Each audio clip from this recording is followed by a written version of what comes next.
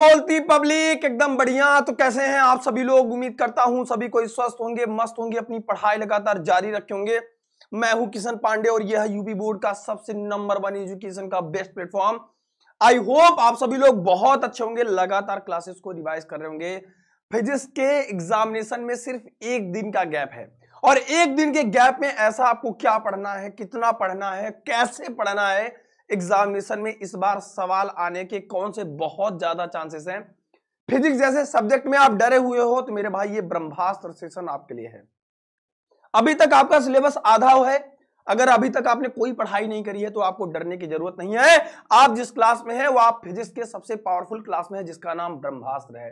हमने आपसे वादा किया था कि एग्ज़ाम के समय में एकमात्र विश्वसनीय चैनल जो आपके सामने दिखाई दे रहा है एक मात्र विश्वसनीय चेहरा जो आपके सामने खड़ा है मेरे भाई, ये आपके एग्जामिनेशन के दिन तक आपके साथ खड़ा रहेगा मेरे भाई। अगर आप नए हैं तो चैनल का सब्सक्राइब, चैनल को सब्सक्राइब ज़रूर कर लेना, क्योंकि मेरे भाई, आज आप और आपके प्यार के सपोर्ट की वजह से आज ये परिवार पूरा आठ लाख का होने वाला है। कुछ देर में आठ लाख हो जाएगा। लेकिन अगर आप नए हैं मेरे भाई तो इस चैनल को सब्सक्राइब ज़रूर कर लेना और उन बच्चों तक ज़रूर करना शेयर जो 2024 बोर्ड एग्जामिनेशन में बैठने वाले हैं। न सिर्फ़ ये चैनल, आठ लाख का हुआ है बेटा, ये सबसे भरोसेमंद चैनल है आपके बोर्ड एग्जामिनेशन के लिए। यूबी बोर्ड का सबसे बड़ा और सबसे विश्वसनीय प्लेटफॉर्म है मेरे भाई। तो चलिए एक बार सेशन को तनी मुनी शेयर करिएगा। उसके बाद बेटा आज की क्लास में क्या क्लास क्या इंपॉर्टेंट है ये बताइए।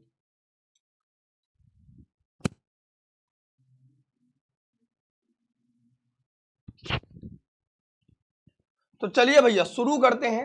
अब आपको एक बात और बताते हैं कि आज की क्लास में क्या महत्वपूर्ण है और हम लोग कैसे पढ़ने वाले हैं। देखिए, दो तीन चीज़ें हैं।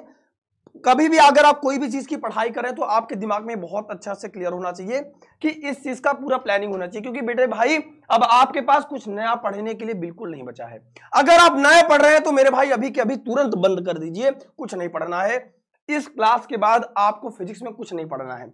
पूरी फिजिक्स होगी। आपके शाम सात बजे से लाइव हो रहे हैं और मेरे भाई आखिरी तब तक पढ़ाऊँगा, जब तक बेटा पूरी फिजिक्स आपको समझा नहीं दूँगा, पूरा फिजिक्स जब तक खत्म नहीं हो जाएगा। दूसरी बात है, पूरी फिजिक्स एक वीडियो में खत्म होगी।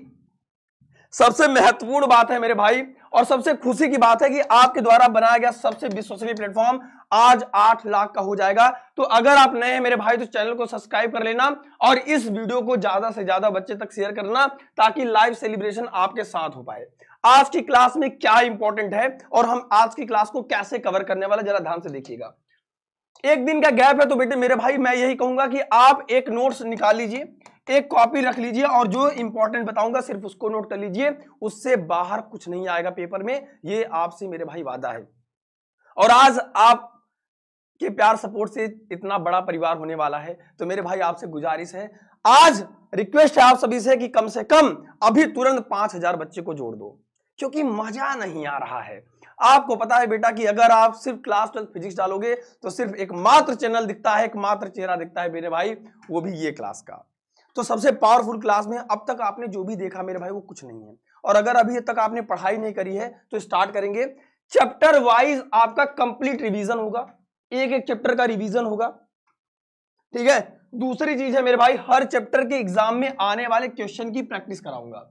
मतलब जैसे ही आपका चैप्टर खत्म होगा, उस चैप्टर के रिगार्डिंग मेरे भाई इंपॉर्टेंट क्वेश्चन की प्रैक्टिस होगी। आज के आज होगी। दूसरा है बेटा, सभी सेट के पेपर आपके यहीं से आएँगे। इनसे बाहर पेपर नहीं पूछा जाएगा, क्योंकि मैं वही चीज़ पढ़ाऊँगा जो आपके एग्जामिनेशन में आने के बहुत ज़्यादा चांसेस है, ठीक है? और फिजिक्स में सिर्फ़ एक दिन का गैप है तो एक दिन का ऐसी क्या प्लानिंग होनी चाहिए सर क्योंकि आप पढ़ने से ज़्यादा आपको इस समय डर लग रहा है। बहुत बच्चे ये सोच रहे होंगे, सर, तुरंत पढ़ाना स्टार्ट कर दीजिए। मेरे भाई, पढ़ाने से पहले बात तुम समझ लो कि अगर जो मैं पढ़ा रहा हूँ, वो आपको कैसे याद होगा? और एग्ज़ाम के समय में ऐसे बच्चों को लग रहा है जैसे, सर, पढ़ तो रहा हूँ, लेकिन मुझे लग रहा है मैं भूलता जा रहा हूँ। इन सारे बीमारी का इलाज मेरे भाई आपको इस सेशन में मिलने वाला है। तो एक बार सभी लोग से गुजारिश है, पहले फटाफट सभी लोग तीन हज़ार का सेशन करेंगे। यानी कि एक बच्चा एक बच्चे तक शेयर करेगा, तब भी ये सेशन तीन हज़ार का तुरंत हो जाएगा। फटाफट से शेयर कर दीजिए और जिन्होंने लाइक नहीं किया मेरे भाई तो सेशन को लाइक कर दीजिए और चैनल को सब्सक्राइब ज़रूर कर लेना, क्योंकि आठ लाख का परिवार बेटा आज क्लास खत्म होने के पहले ही थोड़ी देर में हो जाना चाहिए। अब आपको अगर डर लग रहा है तो मेरे भाई, इस क्लास में क्या इंपॉर्टेंट है? आपको पता है कि सबसे ज़्यादा आपने इस चैनल इस क्लास को प्यार सपोर्ट दिया सूर्योदय की क्लास में। सूर्योदय की क्लास बहुत इंपॉर्टेंट थी। लगभग डेढ़ लाख से ज़्यादा बच्चों ने इसको देखा है। अगर इस क्लास को आपको गलती से मिस नहीं करना है, क्योंकि प्रीवियस ईयर के जितने भी क्वेश्चन पूछे गए हैं, सबको मैंने एक एक करके बेटा चैप्टर वाइज प्रैक्टिस कराया हुआ है। सूर्योदय की क्लास आप आराम से देख लीजिए। और ये जो आपके अंदर डाउट रहता है, मैं बेटा इस क्लास में आपको बार बार ये नहीं बता सकता कि मोस्ट इंपॉर्टेंट टॉपिक कौन सा है मोस्ट इंपॉर्टेंट चैप्टर कौन सा है। मैं इस थीम पे पढ़ाऊँगा कि आपके लिए जो एग्जामिनेशन में एग्जामिनेशन में सिर्फ़ और सिर्फ़ आएगा, वही चीज़ को पढ़ाऊँगा मेरे भाई। तो ये वीडियो को लगभग दो लाख बच्चों ने देखा है और आपकी ज़िम्मेदारी है मेरे भाई, इस दो चीज़ों को तो आप बिल्कुल मत भूलना। और कल कल यानी कि मैं लेके आ रहा हूँ मेरे भाई, आपके लिए सूर्योदय की अभी से क्लास शेड्यूल करा दिया हूँ। आज अच्छे से पढ़ लो, मैं कहता हूँ सिर्फ़ तुम मुझे दो दिन दो फिजिक्स का सारा डर खत्म हो जाएगा तुम्हारे अंदर से, ये मेरे भाई आपसे वादा मैं करता हूँ, ठीक है? और सारे क्वेश्चन का सोल्यूशन भी होगा। नए क्वेश्चन जो नए क्वेश्चन के नए पैटर्न बनते हैं मेरे भाई, सारे क्वेश्चन को एग्जामिनेशन में जो आने वाले हैं, सारे क्वेश्चन की प्रैक्टिस होगी। तो 14 फरवरी वैलेंटाइन डे यानी कि वैलेंटाइन डे हम आप नहीं मनाएँगे। हम आप वसंत पंचमी का एक स्पेशल क्लास मेरे भाई, जो आपके लिए बहुत महत्वपूर्ण होने वाली है। वो क्लास होगी बेटा, चार मार्च की आखिरी तैयारी फिजिक्स का पूरा पेपर आपके आँखों के सामने होगा। तो इस क्लास के लिए अभी से आप तैयार हो जाइए, यानी कि दिल और डेटा दोनों रिचार्ज कर लीजिए। आज से शुरू हो रहा है आपका ब्रह्मास्त्र, ठीक है? तीन नंबर वाले सवाल, पाँच नंबर वाले सवाल सारे होंगे मेरे भाई, चैप्टर वाइज होंगे। और चलते हैं मेरे भाई, अब पढ़ना स्टार्ट करते हैं। चार मार्च की ये है बेटा फाइनल तैयारी। तो सभी बच्चों तक एक बार तनी मुनी शेयर करिएगा, क्योंकि मज़ा नहीं आ रहा है। अभी भी मुझे मज़ा नहीं आ रहा। आपको पता है कि हमारा इंजन कब गर्म होता है? तो क्या बोलती पब्लिक? एकदम बढ़िया। तो मेरे भाई, आज आपके प्यार सपोर्ट से इतना बड़ा परिवार होने वाला है। इस वजह से आपसे गुजारिश है मेरे भाई, इस सेशन को आज पूरी ताकत लगा के प्लीज़ शेयर करना। अगर आपको लगता है कि ये चेहरा आपके लिए मेहनत करता है वो करता आया है मेरे भाई तो आपसे आज विनम्र अनुरोध है मेरे भाई कि आज ये परिवार आठ लाख का हो जाना चाहिए, इस क्लास के दौरान हो जाना चाहिए। ठीक है? तो चलिए, अभी बच्चे जुड़ रहे थे, इस वजह से हमने पूरी स्ट्रेटजी आपके साथ शेयर कर दी। अगर फिजिक्स के पेपर में, बेटा, एक दिन का गैप है तो बेटा, एक दिन में मैं आपको वो बताऊँगा कि एक दिन की तैयारी में भी आपको डर नहीं लगेगा। और ये समय है, बेटा, जब आप फिजिक्स पढ़ लो, अभी समय है पढ़ लो। क्योंकि, बेटा, अभी जैसे जैसे एग्जामिनेशन नज़दीक आएगा तो मेरे भाई, आपको फिजिक्स नहीं, जो पेपर पहले रहेगा, आपको उसकी तैयारी करनी पड़ेगी। तो एक दिन का गैप है, इसलिए अभी से, आज से अभी से मेरे भाई, इस क्लास को बस देख लो इस क्लास के बाद आपको फिजिक्स छूने की ज़रूरत नहीं है। सारी किताब कॉपी कुछ नहीं छूने की ज़रूरत है, बस इसको नोट कर लेना। आपको ना कोई क्वेश्चन बैंक ना कोई इंसॉल्ट ना कुछ क्वेश्चन बैंक सारा कुछ मतलब कंप्लीट फिजिक्स का एक मात्र ब्रह्मास्त्र रिवीजन ये मात्र बेटा तीन से चार घंटे की पावरफुल क्लास देख लीजिए किशन सर की, फिर आपको किसी चीज़ की ज़रूरत नहीं पड़ेगी गाइस तो चलिए स्टार्ट करते हैं बेटा। सबसे पहले चैप्टर से स्टार्ट करेंगे, वैद्युत आवेश तथा क्षेत्र। यानी कि हमने आपसे वादा किया है कि हम आपको चैप्टर वाइज पढ़ाएँगे। और चैप्टर वाइज आपका रिवीजन होगा। और सबसे पहला चैप्टर है बेटा, जहाँ से आठ मार्क के आपके सवाल पूछे जाएँगे। कितने मार्क के? आठ मार्क के सवाल पूछे जाएँगे और ये आठ मार्क आपको कहाँ से मिलेगा? मैं आठ मार्क के वही सवाल बताऊँगा जो सीधे आपके एग्जामिनेशन में आएगा। ये बे, बेटा मैं फुल चैलेंज कह रहा हूँ। ओपन दावे के साथ आपका भाई कहता है जिस चैप्टर में सारे चैप्टर से न डेरावेशन पूछा जाता है न सारे चैप्टर से रिवीजन पूछा जाता है न सा, सारे चैप्टर से थ्योरी पूछा जाता है। कुछ चैप्टर हैं जहाँ से थ्योरी कुछ चैप्टर से जहाँ से डेरावेशन कुछ चैप्टर हैं जहाँ से न्यूमेरिकल पूछा जाता है। तो मेरे भाई पढ़ने से पहले थोड़ा सा तो स्मार्ट तरीका अपनाना पड़ेगा। अगर आपने अभी तक जो करते आप आए हो ना मेरे भाई आज उस चीज़ को छोड़ना पड़ेगा। आज थोड़ा तरीका बदलना पड़ेगा। और अभी भी वक्त है क्या सर मैं अभी से पढ़कर कुछ कर सकता हूँ? तो बेटा ये समय है जब आप एग्जामिनेशन में अपने नंबर में चार चाँद लगा सकते हैं। ऐसे बहुत बच्चे हैं जिन्होंने इस समय थोड़ा सा गेम चेंज किया है। कुछ दिन है, बचा है मेरे भाई, सिर्फ़ एक क्लास और गेम बदल डालो मेरे भाई। अगर नए हो तो सबसे पावरफुल क्लास को बेटा सब्सक्राइब ज़रूर कर लेना। इस चैनल को सब्सक्राइब ज़रूर कर लेना, क्योंकि बेटा आज आपके प्यार सपोर्ट की बेहद ज़रूरत है। तो थोड़ा तनी मुनी हल्का सा शेयर करिएगा। एक बच्चा एक बच्चे को लाएगा, हर उस ग्रुप तक शेयर करिए। हर उस बच्चे के पास शेयर करिए जो 2024 बोर्ड एग्जामिनेशन में इतिहास लिखने वाला है तो चलिए प्रारंभ करते हैं मेरे भाई। इसमें हर चैप्टर से बेटा इंपॉर्टेंट न्यूमेरिकल हर चैप्टर से इंपॉर्टेंट थ्री सब कुछ लिया हुआ है। एक एक टॉपिक बताऊँगा। देखिए मेरे भाई, यहाँ से एक नंबर का सवाल बनेगा और जिस सेट में जो सवाल नहीं बनना होगा, वो भी आपको बता दूँगा, वो भी आपको लिखा दूँगा। यानी कि वैद्युत आवेश से आपको आठ नंबर मिलने हैं। मैं आपको ये टारगेट सीधा बता दूँगा कि सिर्फ़ ये टॉपिक पढ़ लो इस चैप्टर चैप्टर से, इस टॉपिक को पढ़ लो मेरे भाई चैप्टर से, उसके बाद आपको कुछ दिक्कत ही नहीं आएगी। ये वादा है मेरे भाई। तो चलिए गाइस शुरू करते हैं कि आठ नंबर पहले चैप्टर से कहाँ से मिलेगा? और कितना पढ़ना है?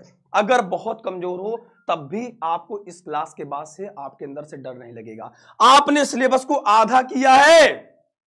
आपने सिलेबस को आधा कवर किया है, फिर भी आपको डरने की ज़रूरत नहीं है। अगर मेरे भाई एक बार कंप्लीट पढ़ चुके हो तो एक बार इस सेशन को देख लेना। फिर तुम्हारे दिमाग से सारा डर खत्म हो जाएगा और एक बार देखते ही देखते ही सारे क्वेश्चन की प्रैक्टिस कर लेना। ये ऐसे सवाल है जो आपके एग्जामिनेशन में चार चार लगाने वाले हैं। पहला है बेटा कि सबसे पहले आवेश के बारे में तो आवेश के बारे में सबसे पहली जो बात है कभी कभी एग्जामिनेशन में आपके पूछा जाएगा एक नंबर के, इसका मात्रा को ये कौन सी राशि है? सिर्फ़ एक नंबर का सवाल पूछा जाता है तो बेटा आवेश क्या होता है? आवेश किसी पदार्थ का गुण होता है, जिसके कारण वैद्युत में वो प्रभाव का अनुभव करता है, वैद्युत का अनुभव करता है बेटा प्रकाश, हमारा क्या कहलाता है बेटा? आवेश कहलाता है।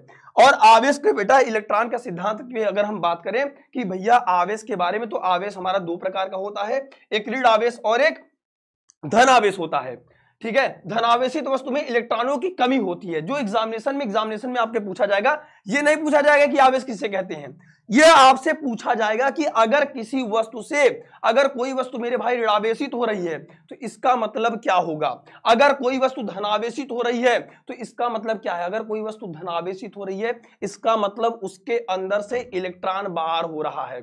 आपको यहाँ से सवाल पूछा जाएगा हंड्रेड परसेंट सवाल थोड़ा सा घुमाता है। इंपॉर्टेंट ये थियरी नहीं। इंपॉर्टेंट बेटा ये तीन लाइन है। आपको नोट क्या करना है? इंपॉर्टेंट में ये तीन लाइन नोट करनी है सिर्फ़। जरा कॉपी में अगर कहीं निकाले हो मेरे भाई तो नोट कर लो। मैं कहता हूँ बेटा, जान लगा दो या जाने दो। ये आखिरी समय है जब तुम दूसरों को पटक के आगे बढ़ सकते हो। पूछो कैसे मैं बताता हूँ? क्योंकि लोग क्या पढ़ेंगे? सिर्फ़ आवेश को पढ़ेंगे। लोग इस पर ध्यान नहीं देंगे कि अगर भैया आवेश, धनावेशित हो रहा है कोई वस्तु तो उसके अंदर इलेक्ट्रॉन की क्या होगी? हमेशा याद रखिएगा, कमी होगी। वस्तु ऋणावेशित हो रही तो इलेक्ट्रॉनों की क्या हो रही है मेरे भाई? अधिकता हो रही, यानी कि उसके ऊपर इलेक्ट्रॉन आ रहा है। जरा ध्यान से देखिएगा, दूसरी बात है बेटा सजाती आवेश एक दूसरे को प्रकर्षित करेंगे और विजाती आवेश एक दूसरे को आकर्षित करेंगे। याद रखिएगा, इस पूरे वाले टॉपिक में सिर्फ़ दो लाइन आपको याद रखनी है। अगर मेरे भाई बहुत कमज़ोर हो तो अगर कोई चीज़ नहीं याद हो रही है तुम किसी चीज़ को भूल जा रहे हो तो मेरे भाई उसको रट डालो, क्योंकि तुम्हारे पास इसके अलावा कोई ऑप्शन नहीं है। करो या मरो की स्थिति है, दोस्त! तो उसको रट डालो, उसको चूम डालो, छोड़ो ही मत मत छोड़ना, एक प्रश्न भी मत छोड़ के आना। टारगेट दे रहा हूँ बेटा, दो नंबर से एक नंबर इस वाले स्लाइड से एक नंबर हर स्लाइड आपके लिए रामबाण है। बहुत बैठ के दस साल का पेपर निकाल के तब ये स्लाइड तैयार हुई है। इसलिए कहता हूँ, गाइज़ तो थोड़ा सा तनी मुनी सेशन को शेयर कर दीजिए। मज़ा नहीं आ रहा है। जब तक तीन हज़ार बच्चा क्रॉस नहीं होगा ना, मुझे मज़ा नहीं आता। तो गाइज़, चलते हैं आगे। न्यूमेरिकल भी कराएँगे। याद रखिएगा, न्यूमेरिकल भी कराएँगे। इन दोनों लाइन में से एक बात याद रखना, सिर्फ़ आपको यह पढ़ना है। क्या? आवेश का क्वांटीकरण किसे कहते हैं? आवेश का क्वांटीकरण से एक न्यूमेरिकल पूछा जाएगा। एक न्यूमेरिकल कैसे पूछा जाएगा? बहुत कमज़ोर हो, सुन लो। अगर बहुत मज़बूत हो पढ़ने में तो एक बार बेटा रिवाइज कर लो, अपने दिमाग को अपडेट कर लो। इस बार क्योंकि पेपर बन चुका है, अब पेपर दोबारा नहीं बनेगा। पेपर में क्या पूछा जाएगा? ध्यान से सुनो मेरी बात को। सिर्फ़ सुनते चलो और तुम्हारे दिमाग में फिजिक्स बैठती जाएगी। पहला सवाल ऐसे इस चैप्टर से पूछा जाएगा। एक एक चैप्टर क्लियर होगा, एक एक टॉपिक और ये पढ़ने का सही तरीका है। जिस टॉपिक को खत्म करूँगा उस टॉपिक से 100 परसेंट प्रूफ दिखाऊँगा कि इस टॉपिक से सवाल एग्जामिनेशन में हर बार पूछा गया है, ठीक है? बेटा, मैं बताता हूँ कि बिना न्यूमेरिकल के कैसे पास होगे? कोई सवाल नहीं आता है तो क्या जुगाड़ है बेटा? हर चीज़ का एक जुगाड़ होता है और वो जुगाड़ हमारे पास है। थोड़ा मुस्कुराइए, आपको डरने की ज़रूरत नहीं। आप फिजिक्स के सबसे पावरफुल क्लास है, पूरे यूट्यूब के सबसे पावरफुल क्लास में उपस्थित है, आपको डरने की ज़रूरत नहीं है मेरे दोस्त। न्यूमेरिकल एक नंबर का पूछा जाएगा, जैसे आठ माइक्रोकुलाम के पर आठ माइक्रोकुलाम आवेश पर, आठ माइक्रोकुलाम आवेश पर इलेक्ट्रॉनों की संख्या की गणना करिए। यहाँ से सवाल आएगा, और जो फार्मूला होता है बेटा, याद रखना, Q बराबर प्लस माइनस एनी से। एक सवाल फिक्स है 110 परसेंट बेटा फिक्स है। यहाँ से बेटा एक नंबर का न्यूमेरिकल पूछा जाएगा। और एक नंबर का ही पूछा जाएगा, ना इससे ज़्यादा, ना इससे कम, मेरे दोस्त। याद रखिएगा गाइस इस बात को। कुलाम का नियम भूल जाइए। कुलाम का नियम नहीं पढ़ना है, आपको पढ़ना है मेरे भाई। कुलाम के नियम की सीमाएँ। अगर नहीं पढ़े हो तो जरा मेरे ऊपर फोकस कर लो। इस नियम की बेटा सीमाएँ तुमको किताब में बहुत कम देखने को मिलेंगी। क्वेश्चन बैंक में ना जाओ मेरे भाई। मैं कहता हूँ, इस नियम की सीमाएँ याद कर लो। लिमिटेशन याद कर लो। इस बार पेपर में थोड़ा सा चेंजेस है। पेपर आपका बन चुका है बेटा, सात सेट के पेपर में। कुलाम का नियम हंड्रेड परसेंट फिक्स है तो कुलाम के नियम से ऐसा कौन सा सवाल है जो तुम्हारे पेपर में पूछा जाएगा? तो याद रखिएगा मेरे भाई, कुलाम का नियम, पहली बात तो दो आवेश के लिए वैलिड है। कुलाम के नियम के सीमाएँ मैं आपको बता देता हूँ। इन्होंने बताया कि अगर हम दो आवेश को आर दूरी पर, कुछ दूरी पर रख देते हैं, दो आवेश को अगर हम आर दूरी पर रख देते हैं तो उनके बीच एक बल कार्य करता है। क्या करता है बेटा? बल कार्य करता है, और यह बल या तो आकर्षण का हो सकता है, या तो यह बल प्रतिकर्षण का हो सकता है। और सुनो ध्यान से, बेटा बहुत मज़बूत हो तो थोड़ा दिमाग लगा के पढ़ लो। बहुत दिमाग से थोड़ा सा मज़बूत हो तो दिमाग लगा के थोड़ा सा पढ़ लो, क्योंकि बेटा आखिरी समय है। बहुत पढ़े हो ना, फिर भी भूल सकते हो। और तुम्हें भी लग रहा होगा कि सर मैं पढ़ा तो बहुत कुछ हूँ लेकिन मुझे ऐसा लग रहा है कि सर मैं भूलता जा रहा हूँ। क्या सोचो, क्या तुम्हें तीन सीमाएँ याद है इनकी? कम से कम बेटा कुलाम के नियम की तीन सीमाएँ आपको याद होनी चाहिए, क्योंकि दो नंबर का प्रश्न पूछा जाएगा कि कुलाम की नियम के सीमाएँ को लिखिए। तो कुलाम के नियम के सीमाएँ क्या होंगी मेरे भाई? पहले कुलाम के ताकत को समझ लो और अपने ताकत को समझ लो, क्योंकि मैं आपसे दो प्रश्न सिर्फ़ करूँगा। जो प्रश्न एग्जामिनेशन में आना है और उस सवाल को कैसे आपको एग्जामिनेशन में अटैम्प करना है? दो बातें हैं। दो बातें मत जा, जाना भूल। एक किसान सर की क्लास और बेटा ये इंपॉर्टेंट क्वेश्चन को। दो क्लास बिल्कुल मत भूलना। गाइज़ जरा नजरे फोकस जहाँ पे होनी चाहिए। सिर्फ़ यहाँ पे और कॉपी निकाल के नोट कर लेना बेटा। इतने लोग हो यार बेटा। अगर एक बच्चा एक बच्चे को शेयर करेगा ना तो कम से कम सेशन डबल का हो जाएगा।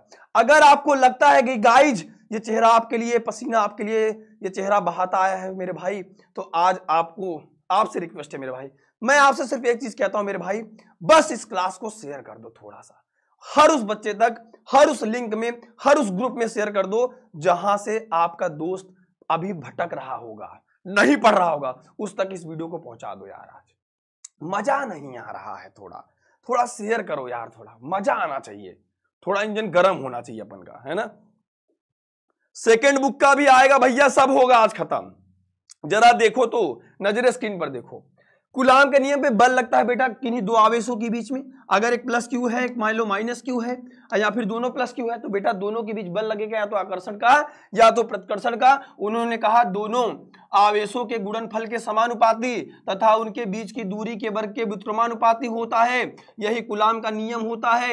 एक बटे चार pi epsilon naught, q one, q two बटे आर का स्क्वायर। कभी कभी भैया निर्वात की वैद्युतशीलता बेटा जो बच्चा दिमागदार रहेगा बेटा, वो आराम से निर्वात की वैद्युतशीलता को यहाँ से निकाल लेगा। कैसे? जरा नज़र स्क्रीन पर देखो, मैं निकाल के दिखाता हूँ आपको। निर्वात की वैद्युतशीलता अब साइलेंट नॉट की कभी मात्रक और तो कभी बीमा पूछा जाता है आपसे।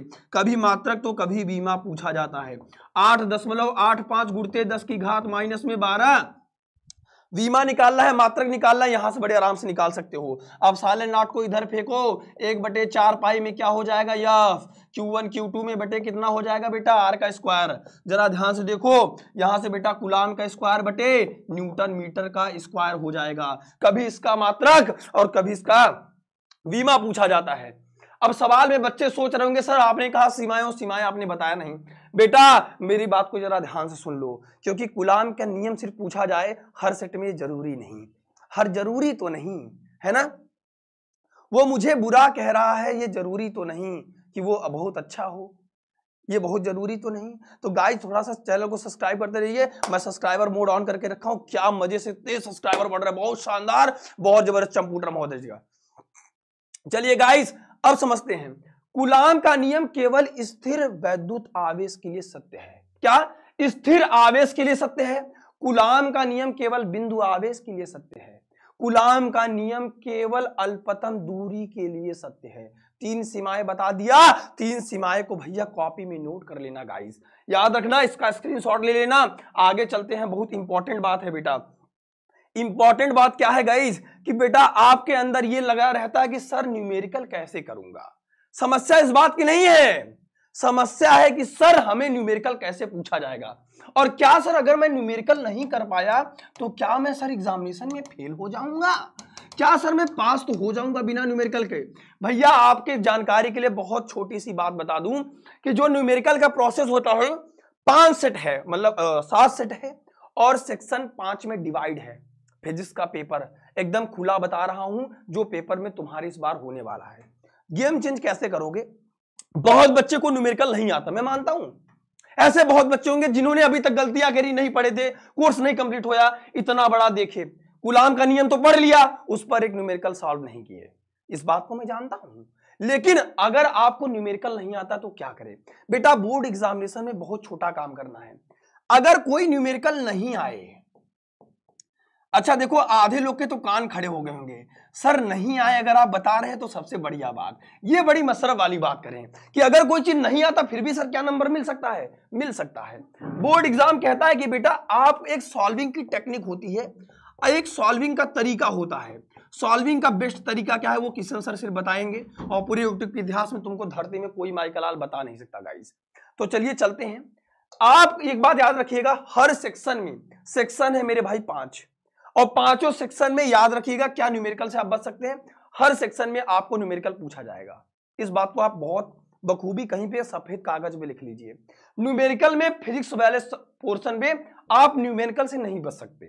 तो क्या तरीका सर न्यूमेरिकल अगर आएगा? पहली बात तो है जो एक नंबर का होगा सेक्शन दो नंबर का सेक्शन होगा, पाँच नंबर का सेक्शन होगा उसमें न्यूमेरिकल के लिए हम क्या कर सकते हैं सर तो भैया, मेरे बाबू, मेरे देवता, मेरे मालिक, मेरे सरकार, जब तक आपका भाई ज़िंदा है तो आपको सब कुछ बताएगा तरीका। साम, दाम, दंड, भेद एवरीथिंग करना है बेटा सॉल्विंग का तरीका यह है कि बोर्ड एग्जामिनेशन में एक मार्किंग है बेटा स्टेप मार्किंग की। स्टेप मार्किंग का मतलब ये है कि न्यूमेरिकल सही या गलत, ये एग्जामिनर बाद में फैसला करेगा। पहला फैसला ये होगा कि क्या सॉल्विंग के तरीके पर उन्होंने ध्यान दिया है कि नहीं। बच्चे ने इस बात पर बिल्कुल ध्यान दिया है कि सॉल्विंग का तरीका कैसे होना चाहिए। जैसे हमारे पास ये है सॉल्विंग का तरीका क्या है? बेस्ट तरीका। नहीं आए, कोई प्रश्न नहीं आए, कोई न्यूमेरिकल नहीं आए। तो बेटे भाई याद रखना, सबसे पहले लिखना सोल्यूशन लिख लिया? सोल्यूशन में सबसे पहले लिखना मैं कई दफ़ा बताऊँ गिवन दैट अरे बेटा, ये तो गधा भी कर लेगा। ये बहुत कमज़ोर बच्चा भी रहेगा तो उसको कर लेगा। याद रखिएगा इस बात को कि दो बिंदु आवेश को वायु के एक निश्चित दूरी पर रखने पर उनके बीच की 80 न्यूटन बल कार्य करता है। इसका मतलब क्या है कि बल का मतलब मान आपको 80 न्यूटन दिया हुआ है। बहुत बच्चे दिमाग नहीं लगाते, ऐसे बहुत सवाल होते हैं, एक नंबर, दो नंबर के, जो आपके एग्जामिनेशन में उसका मात्रक वगैरह दिया रहता है। कभी भी जो मात्रक के सवाल होते हैं और आपके बीमा के सवाल होते हैं, वो लगभग अगर आप पेपर कायदे से पढ़ लीजिए, इसीलिए आपको टाइमिंग जो मिला है पेपर का, वो तीन घंटे पंद्रह मिनट का मिलता है भैया। सुन लो, ये कोई नहीं बताएगा। पढ़ोगे, लेकिन गलत दिशा में पढ़ोगे। ज़्यादा पढ़ना भी गुनाह है इस समय। इस समय वही पढ़ना जो आपके एग्जामिनेशन में आए। उन्हीं से पढ़ना है जो आपको एग्जामिनेशन में टॉप करा पाए। ठीक है गाइस मज़ा आ रहा है कि नहीं? और पहली बात ये भाई आपसे रिक्वेस्ट है, जितना ध्यान से कौआ की तरह देख रहे हो, गिद्ध की तरह, उतना ध्यान से भैया पहले लाइक कर दीजिएगा एक। और एक बच्चा प्लीज़ एक, पाँच हज़ार होने में समय नहीं लगेगा। और आज ये सेशन पाँच हज़ार तक पहुँचना चाहिए। क्योंकि बेटा, ये रिक्वेस्ट है, आपसे पाँच हज़ार होगा बेटा तो आज पूरी रात रुकूँगा नहीं। और आपको आगमन तक पढ़ाते रहूँगा, और ये एग्जामिनेशन में आपके चार चाँद लगाने वाली है ये वीडियो ये आपसे वादा है मेरे दोस्त। पक्का वादा है गाइस तुमको किसी सब्जेक्ट में फेल नहीं होने दूँगा। टेंशन मतलब ये तरीका आपको अपनाना पड़ेगा भैया। ये तरीका अपनाना पड़ेगा, ये तरीका ही है जो आपको इस समय बचा सकती है। गाइज़ तनी मुनी शेयर करिएगा, क्योंकि बेटा एक बच्चे तक तो ये सवाल ज़रूर पहुँचना चाहिए, क्योंकि बेटा एक एक बच्चे तक सवाल पहुंचेगा, तभी मज़ा आएगा दोस्त। फटाफट से शेयर करिएगा, तभी मज़ा आएगा मेरे दोस्त। अभी तक किसी बच्चे ने शेयर नहीं किया है, मज़ा नहीं आ रहा है गाइज़ पहले इस वीडियो को सभी लोग शेयर करिएगा, उसके बाद हम आगे बढ़ते हैं, इस पे सवाल पे चर्चा करते हैं गाइज़ ठीक है? अभी जस्ट डबल हो जाना चाहिए यार सेशन को जस्ट डबल कर दो, क्योंकि मज़ा नहीं आ रहा है। ठीक है? हाँ अब मज़ा आ रहा है बेटा। आठ लाख का परिवार बेटा आज की क्लास में कर दो, ठीक है? सवाल में अस्सी न्यूटन दिया है बल कार्य करता है। इन्हीं आवेशों को एक परावैद्युत में इतनी दूरी पर रखा जाता है तो बल का मान आठ न्यूटन हो जाता है। तो माध्यम का परावैद्युतांक की गणना करिए। सवाल में थोड़ा सा बदल दिया। आप ये भूल जाइए कि आपसे सिर्फ़ ऐसे पूछेगा चटनी की तरह कि दो आवेश देके आपसे सवाल पूछ रहे। नहीं नहीं नहीं। आप जब हमसे एक चट्टा ऐसे खत्म करेंगे चूरन की तरह, आपको समझ में आ जाएगा अरे, ये तो सबसे आसान था। फिर सारे चैप्टर धीरे धीरे क्लियर हो जाएँगे गाइज़ टेंशन नहीं लेने का। अभी किसका आंसर आ गया बेटा? पार्ले जी के लिए सवाल है बेटा। किसका आंसर आ गया? ठीक है। मज़ा आना चाहिए आपको भैया। गाइज़ मज़ा नहीं आ रहा है गाइज़ ठीक है? चलिए। अब जब 80 न्यूटन का बल हो गया है, जरा नजरे बेटा सबकी स्क्रीन पर होनी चाहिए। तो बेटा यफ बराबर क्या होता है? एक बटे चार pi epsilon naught q one q two बटे मेरे भाई आर का स्क्वायर अब ये बल कितना है बेटा वायु में? वायु में ये बल है मेरे भाई 80 न्यूटन का है। इसको समीकरण एक मान लेंगे। दूसरा इसमें पैटर्न कह रहा है, इन्हीं आवेश को एक परावैद्युत इतनी ही दूरी पर रखा जाता है तो बल का मान आठ न्यूटन हो जाता है। बेटा ये क्लास तब तक चलेगी जब तक आप लोग रखेंगे, ठीक है? परावैद्युत में रखा हो तो। जब तक आप लोग रहेंगे, तब तक चलेगी गाइज़ समझ में आना चाहिए, ठीक है? तो लिखेंगे ऐसे, अतः माध्यम के बीच के बीच परावैद्युत रखा हो, परावैद्युत रखा हो। तब बेटा यफ बराबर एक बटे चार पाई अब सालन नॉट के into q one q two बटे आर का स्क्वायर ऐसे कंडीशन के लिए साफ़ साफ़ कह रहा माध्यम का परावैद्युतांक आठ न्यूटन। यानी कि अब इसका मान क्या होगा? आठ न्यूटन होगा। अब हमें इसकी के की वैल्यू चाहिए। हमें चाहिए क्या बेटा? के की वैल्यू आपको साफ़ साफ़ दिख रहा है, आपको कुछ नहीं करना है। हाँ बहुत बढ़िया। आधे बच्चे का आ गया। देखो किसका सही आया मेरे भाई। अंकित सरोज का सही आया। है बहुत शानदार भैया, बहुत ज़बरदस्त, बहुत शिंदबाज आपको क्या काम करना है? ऐसे कंडीशन में बेटा, एक ट्रिक बताता हूँ, याद रखना। जब आपको एक वायु में रखा हो और दूसरा माध्यम का परावैद्युतांक पूछे तो आपको सीधे बेटा क्या कर देना है बेटा? डिवाइड कर देना है। यहाँ पे 80 दिया है और यहाँ पे 8 दिया है। सीधे आप वैसे भी तो डिवाइड करते, लेकिन समीकरण बना के करते। आप आराम से कहेंगे, अतः समीकरण एक तथा दो से। मैं ऐसा इसलिए बता रहा हूँ, समीकरण एक तथा दो से, ताकि आप को बोर्ड एग्जामिनेशन में स्टेप मार्किंग के दौरान नंबर मिल पाए। तो गाइज़ यहाँ से क्या आ जाएगा? अतः भैया के बराबर क्या मिल जाएगा? अस्सी बटे बेटा आठ आठ धाम में अस्सी। ठीक है गाइज़ के का मान कितना आ गया? दस आ गया। आधे बच्चे का आया, आधे बच्चे भी सोहर गा रहे हैं। माध्यम का पराविद्युतांक ए का मान दस आ गया। अगर कभी फिर से बता रहा हूँ ये तरीका, ये सवाल ऐसे पूछा जा सकता है। जो बच्चे थोड़े से स्मार्ट तरीका नहीं अपनाते, जब भी आपको एक दो आवेशों के बीच लगने वाला बल दिया रहे और माध्यम का परावैद्युतांक पूछे तो हमेशा जो बल का मान दिया रहे बेटा, उससे सीधा डिवाइड कर देना। ये डायरेक्ट सवाल ऐसे ही रिपीट हुआ है। तीन चार बार पूछा है, बस डिजिट चेंज कर सकता है। यहाँ पे सत्तर न्यूटन, यहाँ पे दशमलव आठ न्यूटन, ऐसे पूछा जा सकता है। याद रखिएगा इस बात को। चलिए, दूसरी बात है बेटा न्यूमेरिकल ना आए तो क्या करें? न्यूमेरिकल नहीं आए तो बेटा, एक बात याद रखिएगा, इतना प्रोसेस अगर आप, इतना प्रोसेस तो कर ही सकते हैं। एक गधा बच्चा भी होगा तो इतना प्रोसेस तो वो अपना सकता है, कोई दिक्कत की बात नहीं है। तो याद रखिएगा गाइस आगे चलते हैं। दूसरा है मेरे भाई, वैद्युत बल रेखाओं से सर क्या सवाल पूछा जाएगा? देखो, पहले दो बात समझ लो। वैद्युत का मतलब जब भी आपसे पूछा जाएगा, अपने दिमाग में एक माइंड मैप बना लो। क्योंकि बेटा, अगर एग्जामिनेशन में कोई सवाल नहीं आएगा तो उसको आपको अपने से लिखने के लिए थोड़ा कंसेप्ट पता होना चाहिए। वैद्युत का मतलब बेटा साफ़ साफ़ है, आवेश से। क्या है बेटा? आवेश से है। बल का मतलब है ताकत रेखाएँ, वैद्युत बल रेखाएँ कहाएँगे ये बेटा एक काल्पनिक रेखाएँ होती हैं। अगर कोई आवेश रखा है तो उसके चारों तरफ़ का क्षेत्र होता है। चारों तरफ़ के क्षेत्र होता है, उसी को हम कह देंगे। चाहे आपको वैद्युत बल रेखाएँ कहें, चाहे वैद्युत क्षेत्र रेखाएँ कहें, बात मेरे भाई एक ही है। जरा ध्यान से देखिएगा इस बात को। वैद्युत बल रेखाओं के या फिर वैद्युत क्षेत्र रेखाओं के गुण आपके एग्जामिनेशन में तीन नंबर का देखने को मिलेगा। कितने नंबर का? तीन नंबर या दो नंबर में पूछा जाएगा गुण। और एक बात और कह देता हूँ, जितना प्रेम से, जितना प्रेम से तुम वैद्युत क्षेत्र रेखाओं के गुण पढ़ोगे, वैद्युत बल रेखाओं के गुण पढ़ोगे, उतना तुम प्रेम से क्या पढ़ोगे मेरे भाई? चुंबकीय बल रेखाओं के गुण। और आपको अंतर के सवाल आपके एग्जामिनेशन में फिक्स है, मैं बहुत दफ़ा बताया हूँ कि चुंबकीय बल रेखाएँ किसे कहते हैं? चुंबकीय बल रेखाओं के गुण क्या होता है? एक बात याद रखिएगा, अगर आप एक चैप्टर सिर्फ़ वैद्युत वाले चैप्टर को अच्छे से कवर कर लेते हो। तो चुंबक वाला चैप्टर तुम्हारे पूरे कब्जे में आ जाता है। पता है, इसका मतलब यह है कि अगर विद्युत और चुंबक दो चैप्टर तुम्हारे कब्जे में आ गए, इसका मतलब पहली बुक पूरी खत्म हो गई। पहले बुक का मेन कंसेप्ट है बेटा, तुम्हारे भूलने का मेन कंसेप्ट है बेटा एग्ज़ाम के लिए महत्वपूर्ण है। जरा इसका स्क्रीनशॉट ले लीजिएगा। बाकी इसका पीडीएफ आपको टेलीग्राम, जिस चैनल से आप जुड़े बेटा, इसी चैनल से अगर टेलीग्राम सर्च करोगे तो वहाँ पे मिल जाएगा, ठीक है गाइस अच्छा दूसरी बात यह है कि एग्जामिनेशन में सर क्या सिर्फ़ इतना ही पूछा जाएगा? नहीं मेरे भाई, जरा नजरे स्क्रीन पर देखो। वैद्युत बल रेखाओं के गुण के साथ साथ आपको चुंबकीय बल रेखाओं के गुण भी अंतर में पूछा जा सकता है। तो एक सवाल से कितने सवाल बन सकते हैं? किस चैप्टर से कितने न्यूमेरिकल बन सकते हैं? ये सब हमको पढ़ना है और समझना है मेरे भाई। चलिए गाइज़ अगर तुम सही जवाब दोगे तब तुम्हारा रिचार्ज कराएगा। कंप्यूटर महोदय जी कहाँ से रिचार्ज कराएँगे रे नालायक कहीं का? तो मेरे भाई, सभी लोग मेरे भाई इतने बच्चे लाइव है, लेकिन लाइक की संख्या कम है। मज़ा नहीं आ रहा है। थोड़ा सा बाबू, ये बेटा नहीं बेटा, यहाँ पे बेटा फ़र्स्ट व्यू वाले, ये इस वाले टॉपिक में क्या इंपॉर्टेंट इस वाले सेशन पता है? इसमें जितने भी न्यूमेरिकल हैं और जितने भी डेरिवेशन लिए गए हैं, वो सारे बेटा नए हैं और डिफरेंट हैं। जो हमने टिक कराया था तो कुछ डेराइवेशन रह गए थे, जो आपके एग्जामिनेशन में आने थे और बेटा वो हम इसमें कराएँगे आराम से, सुकून से, ठीक है? चलिए, सबसे इंपॉर्टेंट स्लाइड है कि वैद्युत क्षेत्र की तीव्रता क्या होती है?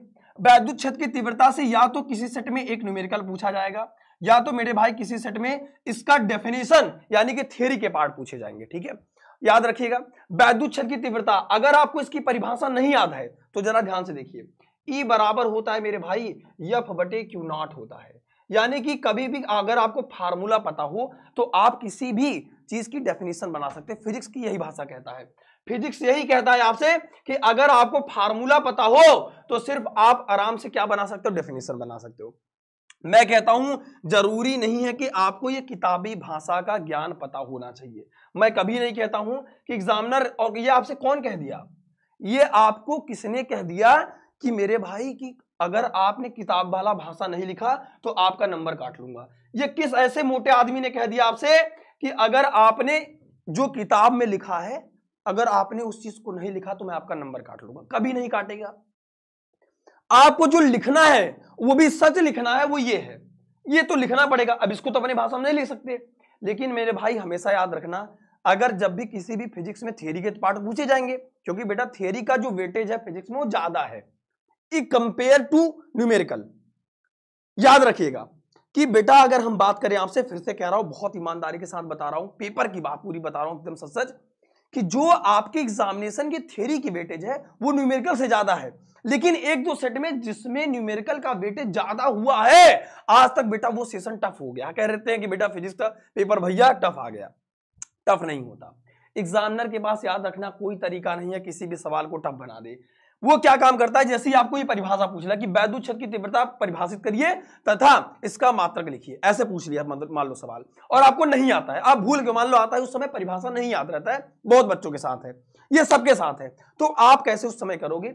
आप लिखोगे, बेटा एकांक परीक्षण आवेश को हमेशा याद रखिएगा। हर वाले को नीचे रख देना। एकांक परीक्षण आवेश जितना बल का अनुभव करेगा, वह उसकी वैद्युत क्षेत्र की तीव्रता कहलाएगी। दूसरी सबसे महत्वपूर्ण बात है वैद्युत यह एक सदिश राशि है, इसका जो, इसका दिशा याद कर लीजिए, क्योंकि वो बेटा आपको डेराइवेशन में प्रॉब्लम नहीं करेगा, आपको नंबर देगा। इसकी जो दिशा होती है, इसकी जो डायरेक्शन होती है, वो हमेशा away from the positive charge यानी धन आवेश से ऋण आवेश की ओर होती है, की ओर, इसको दिमाग में बैठा लीजिए।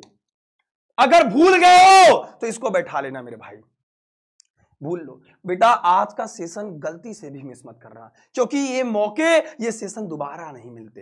ये सेशन अगर आप यहाँ पे आ गए हो मेरे भाई बोर्ड एग्जामिनेशन में बैठने वाले हो मेरे भाई तो ये सेशन आपके लिए कसम से बता रहा हूँ, बहुत इंपॉर्टेंट आज का होने वाला है। मैं कहता हूँ मेरे भाई एक एक चीज़ क्लियर होगा। बेटा न्यूमेरिकल भी करा रहा हूँ ठीक है? थियरी पढ़ा रहा हूँ। अब यानी कि कहने का मतलब है, तीव्रता क्या होती है? जरा ध्यान से समझ लीजिए। आपको कहानी तक पूरी याद हो जाएगी। कहानी से ही पूरी याद हो जाएगी। फिजिक्स के बाद, इसके बाद सिर्फ़ आपको एक दिन का जो गैप मिलेगा, उसमें सिर्फ़ आपको इसका रिवीजन करके जाना है, ठीक है? जब मैं हटता हूँ, उसके बाद आपको स्क्रीनशॉट लेना है, उसके पहले नहीं लेना है गाइज़ तो तनी मुनी, आप पहले सेशन को तनी मुनी शेयर कर दीजिए, ताकि इस सेशन का बच्चा जस्ट डबल हो जाए यार।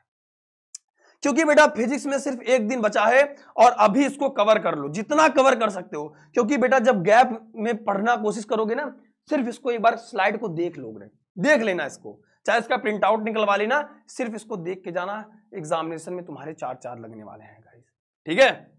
एग्जामिनेशन में मेरे भैया चार चाँद लगने वाले हैं तुम्हारे, सिर्फ़ इसके सेशन से। चलिए। कह रहा है कि वैद्युत क्षेत्र की तीव्रता एक सदिश राशि है। हाँ इसकी बीमा बेटा यहीं पे याद कर लो। वैद्युत क्षेत्र की तीव्रता के बारे में फिर से मैं बता देता हूँ। एकांक परीक्षण आवेश जितना बल का अनुभव करेगा। आवेश है तो आवेश का मेरे भाई एक क्षेत्र होता है। और क्षेत्र की तीव्रता तीव्रता का मतलब ताकत, यानी कि बल का। एक परीक्षण आवेश, एक छोटा सा परीक्षण आवेश, एक जितने बल का, जितने ताकत का अनुभव करेगा, वह उसकी क्या कहलाएगी बेटा? वैद्युत क्षेत्र की तीव्रता कहलाएगी। तो परिभाषा आप अपनी भाषा में लिख सकते हो। अगर परिभाषा तुम भूल गए हो तो तो आप ये काम कर सकते हो, कोई दिक्कत की बात नहीं है। अब आपको वैद्युत द्विध्रुव नहीं पढ़ना है। वैद्युत द्विध्रुव के बारे में सिर्फ़ जानना है और आपको पढ़ना बेटा, द्विध्रुव का आघूर्ण पढ़ना है। ये इंपॉर्टेंट है। इंपॉर्टेंट क्यों है? इंपॉर्टेंट है आपके डेरिवेशन के पार्ट से। क्योंकि भैया मेरे पहले चैप्टर से डेराइवेशन का जो पार्ट आएगा जो पहला चैप्टर है क्योंकि पहला चैप्टर आपको आठ नंबर पूरे देगा। कैसे देगा? नज़र स्क्रीन पर। जब समान परिमाण समान परिमाण मतलब जैसे क्यू है तो प्लस क्यू है। पाँच क्यू है तो पाँच क्यू का आवेश हो। और तथा विपरीत प्रकृति के आवेश को बेटा अल्पतन दूरी पर, यानी कि टू दूरी पर रखते हैं तो ऐसा समायोजन वैद्युत द्विध्रुव कहलाता है। तो भैया, वैद्युत द्विध्रुव नहीं पढ़ना आपको? आपको पढ़ना वैद्युत द्विध्रुव आघूर्ण। ये आप पढ़ लीजिए और आपका काम हो जाएगा। अब इसमें तीन चीज़ें, चार चीज़ें हैं जो आपको एकदम एग्जामिनेशन में रटने वाली चीज़ है, जहाँ से न्यूमेरिकल आपके एग्जामिनेशन में फिक्स है। यहाँ से आघूर्ण से पूछा जाने वाला न्यूमेरिकल अगर मान लो बेटा क्या है, सवाल को जरा ध्यान से समझो। सवाल का पैटर्न जरा ध्यान से समझो।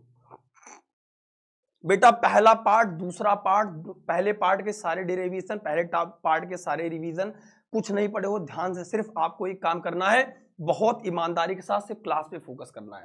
जैसे जैसे बता रहा हूँ, कर ले गए। यकीन मानो कि एग्जामिनेशन में इतिहास तुम सिर्फ़ लिखोगे, सत्तर में सत्तर का सपना देखा है तो भैया इसको देख लो। प्लीज़ आपसे रिक्वेस्ट है, ये सेशन दोबारा नहीं मिलेगा। एक दिन का गैप बचा है और समय बिल्कुल नहीं है। करो या मरो की स्थिति है, जो सवाल नहीं आता है जो ऐसा लग रहा है कि जो मैं एकदम भूल जाऊँगा, ऐसा डेरावेशन है और सर ने कहा कि बेटा ये इंपॉर्टेंट है और ये आपके एग्जामिनेशन में आएगा तो मैं कहता हूँ, बेटा, एक बार कॉपी में लिख के रट डालो। क्या जाता है बेटा? ठीक है? एक बार कॉपी में लिख के रट डालो, क्योंकि बेटा ये चीज़ें अब आपके पास समय नहीं है कि आप कोई नया पढ़ो। नया पढ़ने का समय नहीं है। इस बात को आप याद रखिएगा। नया कुछ नहीं पढ़ना है गाइस ठीक है? चलो गाइस सेकंड बुक भी करा देते हैं गाइस पहले बेटा, आठ लाख बेटा। हाँ सभी लोग चैनल को सब्सक्राइब करते रहिए। अगर नए हो बेटा सब्सक्राइब कर लो। सबसे विश्वसनीय प्लेटफॉर्म है आपके लिए। और एग्जामिनेशन टाइप में यही चेहरा, यही चैनल आपके साथ खड़ा मिलेगा। ये वादा है बेटा। जो पढ़ा रहा हूँ बेटा कमेंट सेक्शन आपके लिए खुला रहेगा। एक एक टॉपिक यहाँ से पूछने वाला है। चलिए तो चलते हैं। वैद्युत द्विध्रुव आघूर्ण क्या होता है? जब समान परिमाण तथा विपरीत प्रकृति के आवेश को अल्पतन दूरी के पर रखते हैं तो ऐसा समायोजन हमारे लिए क्या कहलाता है बेटा? वैद्युत द्विध्रुव आघूर्ण अगर कह रहा है तो भैया, P बराबर इसे P से प्रदर्शित करते हैं, P बराबर टू एल क्यू मैं बार बार कहता हूँ बेटा, इससे सरल तरीका नहीं है। अगर मैं आपको बता दूँ कि यही वाला परिभाषा आप लिख दोगे, आपको नंबर मिल जाएगा तो आपका क्या जाता है? आपको क्या काम करना है?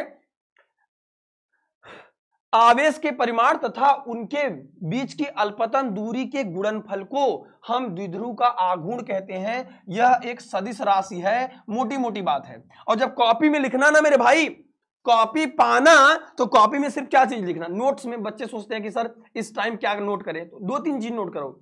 जब आपको मैं बताया तो द्विध्रुव आघूर्ण लिखे। आप लिख लो पी बराबर टू एल क्यू अब हमारे साथ बोलो, क्योंकि एग्ज़ाम में अगर यहीं पे याद करना है क्लास में तो बोल दो। जहाँ बैठा शर्माना क्या? पढ़ रहे हो। कुछ वैसा काम नहीं तो यही बोलो। द्विध्रुव आघूर्ण लिखे तो लिख दो, P बराबर टू एल क्यू? एक किसी एक आवेश का परिमाण तथा उनके बीच की अल्पतन दूरी के गुणनफल को द्विध्रुव का आघूर्ण कहते हैं। यह एक मेरे भाई सदिश राशि होती है। आराम से, सुकून से। वैद्युत द्विध्रुव की तीव्रता में वैद्युत क्षेत्र की दिशा से थीटा कोण पर घुमाने पर किया गया कार्य डब्ल्यू बराबर p one minus cos theta. ये सिर्फ़ फार्मूला नहीं है। ये तुम्हारे इमोशन को छीन लेगा जब एक न्यूमेरिकल पूछा जाएगा। कैसे पूछा जाएगा गाइज़ जरा नजरे स्क्रीन पर। यहाँ से बेटा, एक न्यूमेरिकल आपके एग्जामिनेशन के लिए बेहद इंपॉर्टेंट है। पहली बात सुन लो। बहुत इंपॉर्टेंट है मेरे भैया। यहाँ से न्यूमेरिकल आपके एग्जामिनेशन के लिए बहुत महत्वपूर्ण है। क्योंकि यहाँ इसका डेराइवेशन नहीं आएगा। कह देता हूँ, लिख के सफ़ेद कागज़ में नहीं आएगा। वो दिन गए, जब आपसे पूछेगा, भैया गुलाम के नियम का सत्यापन कर दी? नहीं। कहेगा, गॉस के प्रमेय से गुलाम के नियम का सत्यापन कर दीजिए। ये पूछेगा, ताकि वो ये जान पाए तुमको गॉस का प्रमेय याद आता है कि गुलाम का नियम। दोनों याद है कि नहीं याद है? ठीक है भैया? उसके बाद हाँ टाउ बराबर पीई साइन थीटा। वैद्युत द्विध्रुव को एक समान वैद्युत क्षेत्र की किसी थीटा कोण पर घुमाने पर किया गया कार्य, या फिर वैद्युत द्विध्रुव पर कार्यरत बलयुग्म का आघूर्ण का। सूत्र का, इसका आपको बेटा डेरिवेशन और इसका डेरिवेशन बेटा एकदम चिंटी चौटाला सा है। डेरिवेशन जब भी पूछेगा तीन नंबर का। मैं सिर्फ़ ये नहीं बताऊँगा कि बेटा ये पढ़ लो, ऐसे पढ़ लो ना। ये भी नहीं कहूँगा कि इसकी वजह से ऐसे होगा। मैं आपको ये बता रहा हूँ कि इस सवाल से सिर्फ़ इतना ही पूछा जाएगा, इससे या तो डेरावेशन और भैया कहीं सात सेट में से पाँच सेट में इसका डेरावेशन आया है तो कहीं तीन सेट में हंड्रेड परसेंट इस पर न्यूमेरिकल पूछा जाएगा। और वही तरीका हो जाता क्योंकि देखो क्या होता है कि सारे सेट में एक सवाल नहीं दे सकते तो सेट अलग अलग बनाने को उनका मतलब नहीं निकलेगा। अब आपके दिमाग में मैं एक बहुत अच्छा तरीका बता देता हूँ। बहुत बच्चे सोचते हैं कि, सर, आप इतनी दावा के साथ कैसे कह सकते हैं? देखो भैया, बात क्या है कि लॉन्ग में क्या होता है कि लॉन्ग जब सवाल बनता है तो इसका डेराइवेशन पूछ लेते हैं और एक छोटा सा न्यूमेरिकल तीव्रता पे दे देगा। तीव्रता पे ई e बराबर एफ़ बटे क्यू नॉट छोटा सा देगा। या तो क्या काम करता है? सीधे डेराइवेशन देगा तो सिर्फ़ तीन नंबर का वेरी शॉर्ट आंसर लघु तरी वाले सेक्शन में इसको डाल देगा। तरीका से बदलता है। उसके मेरे, मेरे भाई आ जाइए थोड़ा नजरे स्क्रीन पर कर लीजिए। दो मिनट का काम है और दो मिनट के काम में देरी क्यों करे भैया? शुभ काम में देरी कैसे करें? ठीक है? जरा नजरे स्क्रीन पर देखते रहिए और अभी काम आपका पैंतीस हो जाएगा। ठीक है? द्विध्रुव आगुड़ से संबंधित। ये बेटा एग्जामिनेशन के पॉइंट ऑफ़ व्यू से आए हुए हंड्रेड परसेंट फिक्स है प्रश्न। आवेश का क्वांटम यानी कि क्वांटीकरण क्या है? क्वांटीकरण है। भैया, अगर कुछ नहीं पढ़े हो और भैया एग्जामिनेशन में बहुत कुछ लिखना चाहते हो तो बेटा ये आपके लिए शॉर्ट की है। शॉर्ट की है बेटा, बहुत बच्चे सोचते हैं, सर, थोड़ा सा एकदम इंपॉर्टेंट बता दिए। कौन सी लाइन इंपॉर्टेंट है बेटा? तो याद रखो, पूरा चैप्टर जो पढ़ाया हूँ, ये बोर्ड एग्जामिनेशन में हर दफ़ा 100 परसेंट आने वाले प्रश्न हैं। पहला क्या है मेरे भैया? इलेक्ट्रॉन व प्रोटॉन। आवेश का क्वांटीकरण क्या है? आवेश का क्वांटीकरण है भैया इलेक्ट्रॉन और प्रोटॉन के लिए। क्वांटम क्या है? Electron, proton. भैया, दो बिंदु आवेश Q1 Q2 के लिए अगर Q1 Q2 का मान ज़ीरो से कम है, कई दफ़ा पूछा गया, दोनों आवेश के मध्य बल की प्रकृति कैसी होगी बेटा? आकर्षण होगी। दो आवेशों के बीच वैद्युत बल का सूत्र तो ये होता है। कभी कभी इसका मान पूछा जाता है, अभी हमने इस पर एक न्यूमेरिकल किया है तो अगर माध्यम के बीच परावैद्युतांक रखा हो तो इसका न्यूमेरिकल अभी दो मिनट पहले किया है, ठीक है? याद रखिए, आर दूरी पर स्थित दो प्रोटॉन के मध्य वैद्युत बल एफ़ है, प्रोटॉन को हटाकर इलेक्ट्रॉन रख दे तो वैद्युत बल कैसा होगा बेटा? वैसे ही रहेगा, यानी कि एक समान रहेगा, याद रखिएगा। कुलाम बल न्यूटन के किस नियम का पालन करता है?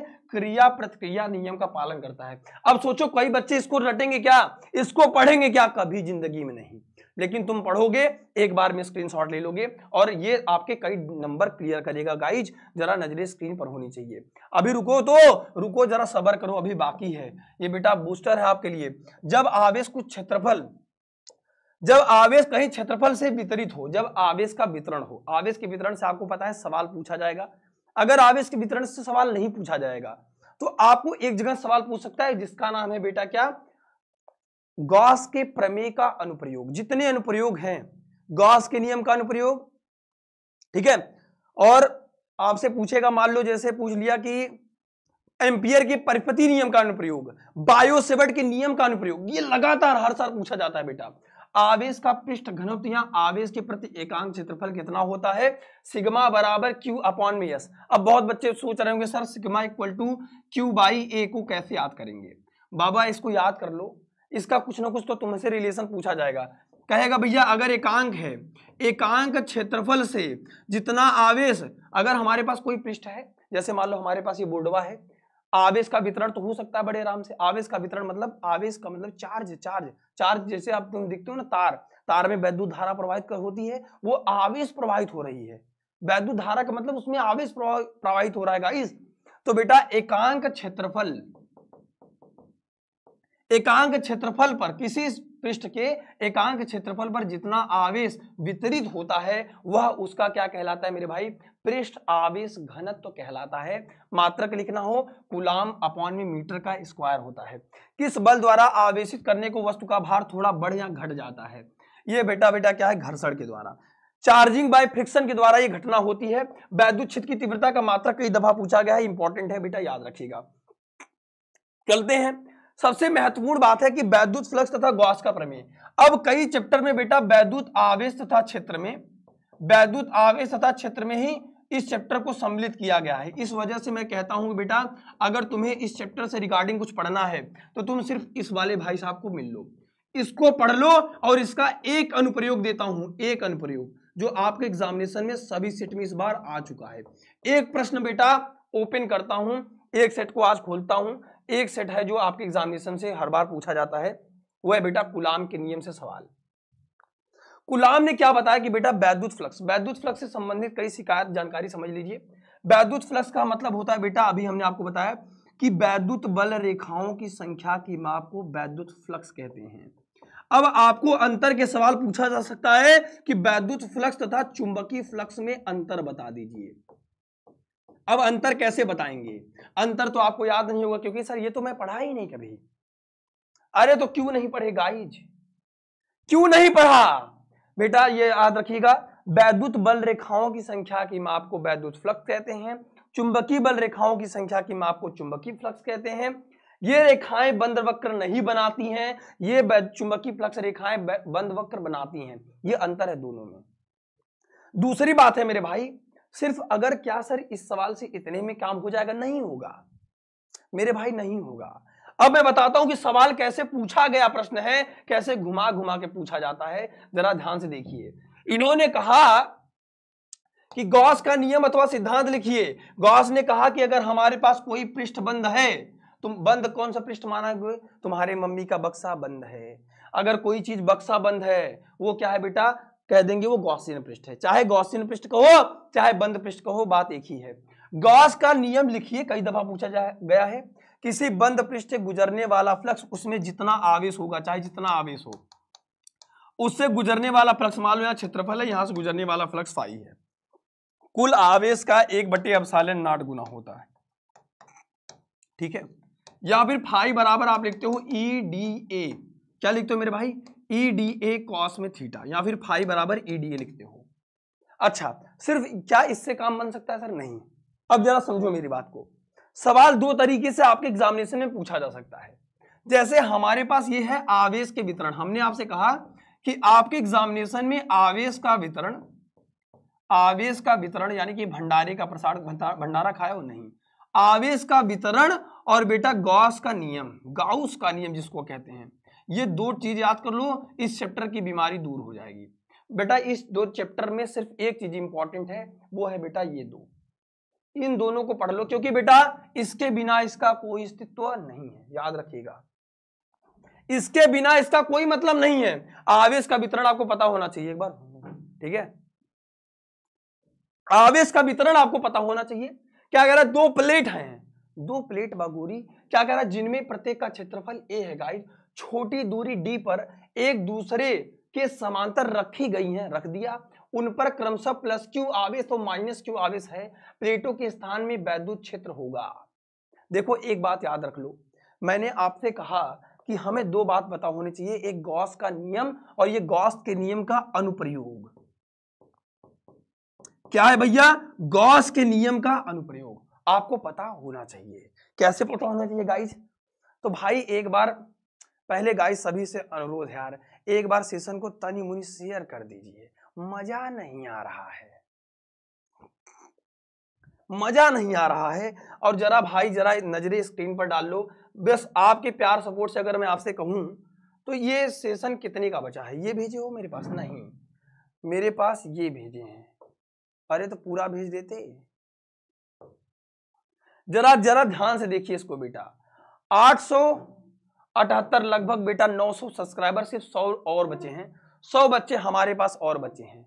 सौ बच्चे और बचे हैं मेरे भाई। मैं आपसे अनुरोध करता हूँ कि आपकी क्लास फिजिक्स की बेटा, मैं आज बेटा पूरी रात लाइव रहूँगा और पूरी रात वो कर की क्लास को इसी मर्ज कर दूँगा। पूरी रात लाइव रहेगा आपका भाई और बेटा पूरा सेट का पेपर ये होगा। ये देखो, गाइज़, जरा देखो, जरा ध्यान से कहाँ से आएगा, यहाँ से बाइक करने से आएगा। चलिए।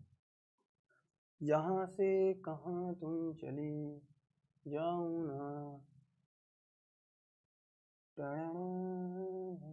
यहाँ से काटने दो। आ गया गाइज़। गाइज़ जरा नज़र सिम थोड़ा वो खोल देना कमेंट सेक्शन भाई गाइज़। ये बेटा कितना बचा है? सौतनी मुनी बच्चा बचा है। तो बेटा जो बच्चे अभी तक सब्सक्राइब नहीं किए चैनल को प्लीज़ सब्सक्राइब कर लीजिए। सत्तर में पैंसठ तो बेटा है, सत्तर, इतना बड़ा परिवार है आपके प्यार सपोर्ट से बेटा तो ये ये परिवार आप कंप्लीट होना चाहिए। आज 900 हो गए मेरे भाई, सिर्फ़ 100 बच्चा बचा है।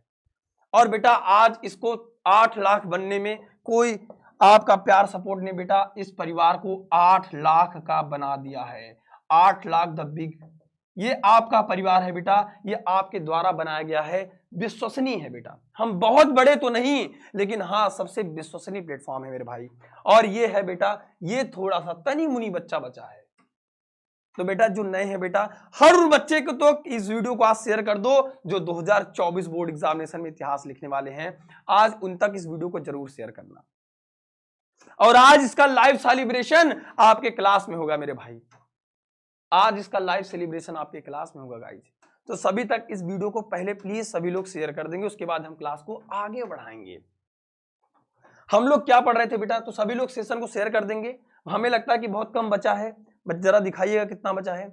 आज इतिहास लिख दो बेटा. ये लगे कि किशन सर की क्लास में फिर से एक बार तहलका मस्ता हुआ.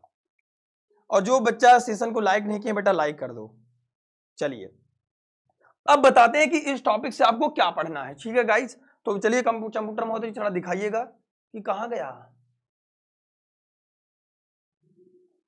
तनी मुनी शेयर करोगे, हमको लगता है तनी मुनी शेयर करोगे, काम हो जाएगा। और जो नए उनको सब्सक्राइब ज़रूर करा देना। चलिए गाइस आगे बढ़ता हुआ, ये पथिक आगे बढ़ता हुआ, चलिए। तो भाई, सभी लोग सेशन शेयर कर दो। यार, अभी मज़ा नहीं आ रहा है। ये सेशन डबल हो जाना चाहिए था अब तक। हमको लग रहा है कि कब्बे से देख रहे हैं कि मज़ा नहीं आ रहा है। ठीक है? ओ माई गॉड, हम लोग यहाँ पे थे। हम लोग यहाँ पे थे। भैया, सभी लोग फटाफट फटाफट से शेयर कर दो। तुरंत चाप के शेयर कर दो। अरे चंपूटर मोदी जी, आराम से बच्चों को, लड़कों को सांस ले दो थोड़ा सा भाई।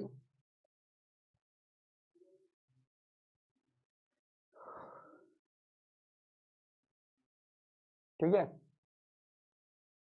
आठ लाख का भंडारा हाँ भंडारा करवा देंगे तुम लोग के लिए। देखो बेटा, याद रखिएगा जब हमारे पास दो प्लेट हों, दो प्लेट, ये न्यूमेरिकल में भी पूछा जा सकता है, और दो प्लेट हो, और दोनों पर बेटा आवेश का वितरण हो, दोनों का आवेश का वितरण हो, कहा है हम लोग?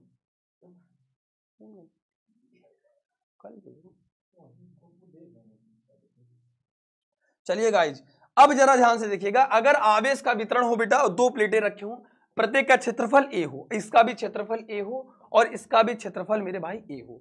तो कह रहा छोटी दूरी डी पर एक दूसरे के समांतर रखी है। उन पर क्रमशः, उन पे क्रमशः प्लस क्यू माइनस क्यू आवेश है दोनों प्लेटों के स्थान पर।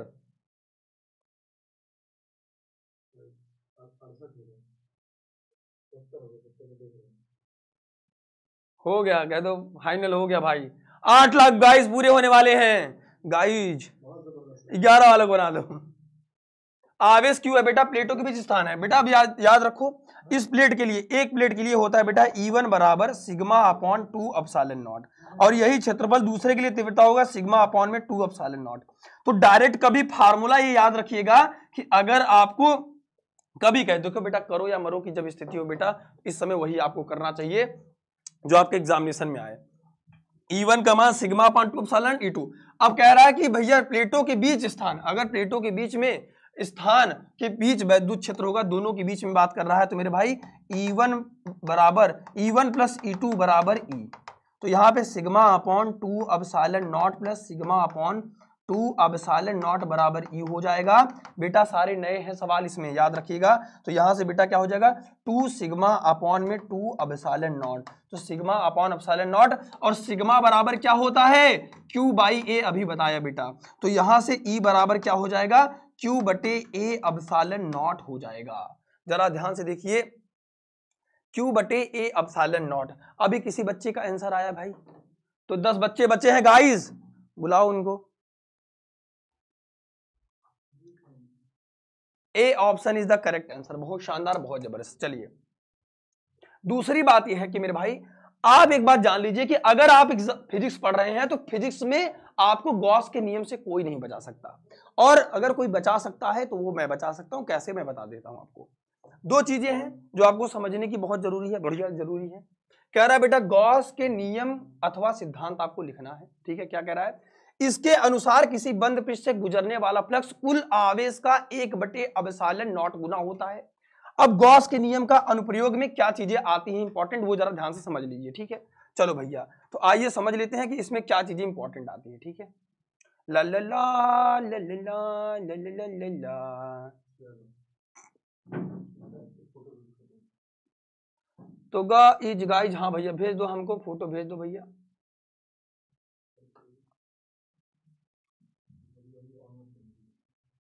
एक नंबर का न्यूमेरिकल कई दफ़ा पूछा गया है तो कहा गॉस के नियम के अनुप्रयोग से सवाल या तो आपके एग्जामिनेशन में और आपके मेरे भाई प्यार और सपोर्ट से कंप्यूटर महोदय जी लगातार ढाई एक बार कंप्यूटर चला रहे हैं, ढाई एक बार पता नहीं क्या चला रहे हैं। तो गाइज़ गाइज़ गाइज़ मैं यहाँ पे खोल लेता हूँ।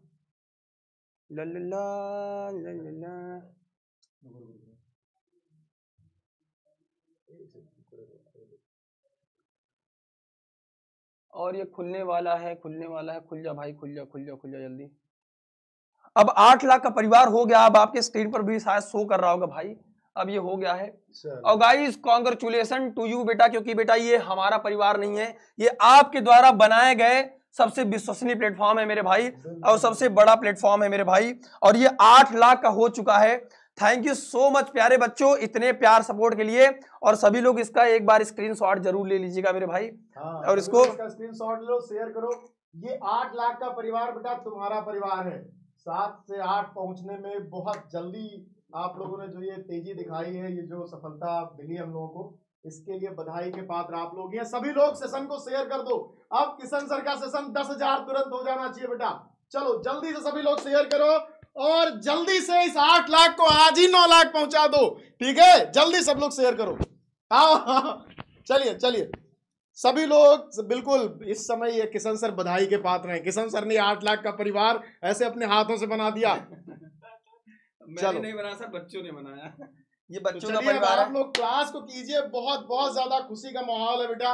आठ लाख का ये परिवार अब इसको बेटा मिलियन में पहुंचाएँगे पूरे उत्तर प्रदेश का सबसे बड़ा परिवार बन चुका है ये आप सबके प्यार और सपोर्ट से। तो क्लास को कंटिन्यू कीजिए। बहुत बहुत धन्यवाद।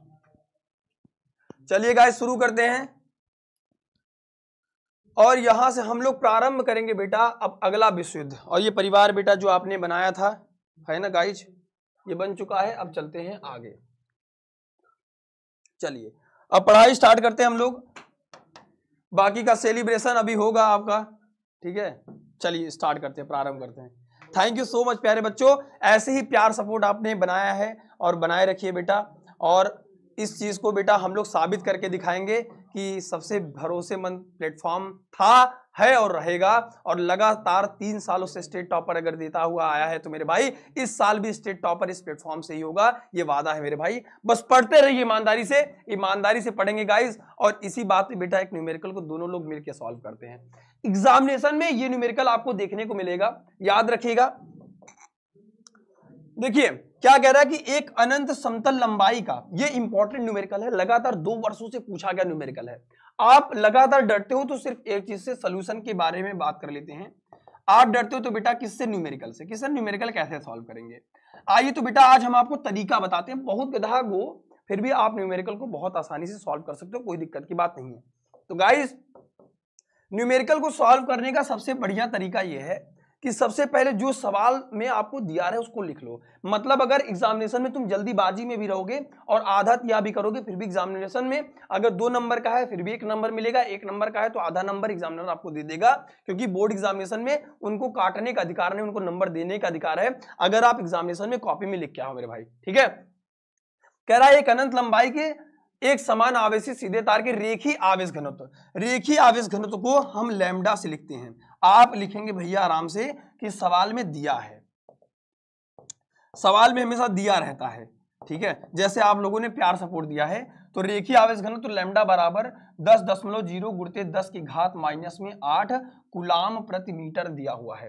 कह रहा तार से दो सेंटीमीटर की दूरी पर। कौन बताएगा बेटा? आर बराबर दो सेंटीमीटर। याद रखिएगा, जब आपको यहाँ पे कुलाम इंटू मीटर है, कुलाम अपॉन मीटर दिया हुआ है तो तार से अगर दो सेंटीमीटर की दूरी पे कह रहा है तो आराम से आप इसको सेंटीमीटर में दिया तो इसको आप आराम से मीटर में बदल लो। दो गुड़ते दस की घात माइनस दो मीटर कर लो। ठीक है? याद रखिएगा इस बात को। सर, इसी इसी खुशी में रिचार्ज करवा दो। सर, कुंजी बैच फ्री कर दो ना। अच्छा भाई। ठीक है, गाइज़, अभी अभी हम इस चीज़ पे चर्चा करेंगे, अभी पढ़ लो और अभी हम आपसे बताएँगे कि अगर आठ लाख का परिवार हुआ है तो आपके लिए भी कुछ अच्छे सरप्राइज़ हैं। आपको कुछ ना कुछ दिया जाएगा, क्योंकि बेटा ये आपका परिवार है। तो अगर थोड़ी देर बाद अभी पहले हम लोग पढ़ लेते हैं, फिर अभी हम आपको आठ बजे बताएँगे। आठ तो बज गया लगभग, अभी आधे घंटे बाद पहले हम लोग पढ़ लेते हैं, ठीक है? क्योंकि बहुत बच्चे अभी परेशान है कि सर कैसे पढ़ें, क्या पढ़ें, वो परेशानी में अभी। तो भैया अभी पढ़ाई कर लेते हैं क्योंकि ये फाइनल तैयारी है, आखिरी तैयारी है और कुछ दिन शेष रह गया है। तो उनके लिए बहुत ज़रूरी है कि वो सेशन को देखें और वो थोड़ा सा बेटा अब बाकी आपके लिए क्या फ्री होगा, क्या चीज़ें इंपॉर्टेंट होगी, वो हम अभी आपको बताया जाएगा, अभी आपको अनाउंस कर दिया जाएगा, ठीक है गाइज़ हाँ गाइज़ बस शेयर करते रहिए क्योंकि मज़ा आना चाहिए गाइज़ एक एक बच्चे तक सभी लोग शेयर ज़रूर कर दीजिए भाई। क्योंकि बेटा जितने ज़्यादा पब्लिक होगी, उतना ज़्यादा मज़ा आएगा, ठीक है? चलिए। तो अतः लिखेंगे ऐसे ही, तार से दो सेंटीमीटर की दूरी पर उत्पन्न वैद्युत क्षेत्र की तीव्रता, अतः तीव्रता अतः तीव्रता ई बराबर एक बटे चार pi epsilon naught two lambda upon में आर होता है। ठीक है? क्या होता है मेरे भाई? टू लैमडा अपॉन में आर होता है। अब आपको, वैसे जब आप इसकी प्रूविंग करते हैं तो यहाँ पे टू पाई अब नॉट लैमडा अपॉन में आर आता है। ये आपके सुविधा के अनुसार कभी दो से मल्टीप्लाई या फिर दो से डिवाइड करने को आप देख सकते हैं, ऐसे देखने को मिलता है एग्जामिनेशन में, ठीक है? इस सवाल मतलब ये फार्मूला कभी भी, कभी ऐसे दिया रहता है ई बराबर एक बटे दो पाई अब नॉट लैमडा अपॉन में आर दिया रहता है, ठीक है भैया? याद रखिएगा। ई बराबर नौ गुड़ते दस की घात नौ हो जाएगा। यहाँ से दो गुड़ते लेमडा का मान कितना है, जरा देखो। लेमडा का मान है बेटा दस गुड़ते दस की घात माइनस आठ। दस गुड़ते दस की घात माइनस में आठ दिया गया है। आर का मान बेटा दिया है कि दो गुड़ते दस की घात माइनस दो दिया गया है। और ये खत्म हो जाएगा। न्यूमेरिकल में एक बात याद रखिएगा कि न्यूमेरिकल में डायरेक्ट आपको सॉल्व नहीं करना है। डायरेक्ट सॉल्व करेंगे, फिर भी अगर एग्जामिनर आपको एक नंबर देने के मूड में रहेगा तो नहीं देगा। वो चाहता है कि आप एक्सप्लेन करें कि आपने, आप, हमने वैल्यू कौन सा दिया और आपको निकालना कौन सा है। ठीक है? याद रखिएगा। चलो बेटा स्क्रीन शॉट इसका ले लीजिएगा सभी लोग, फिर हम आगे बढ़ते हैं, ठीक है?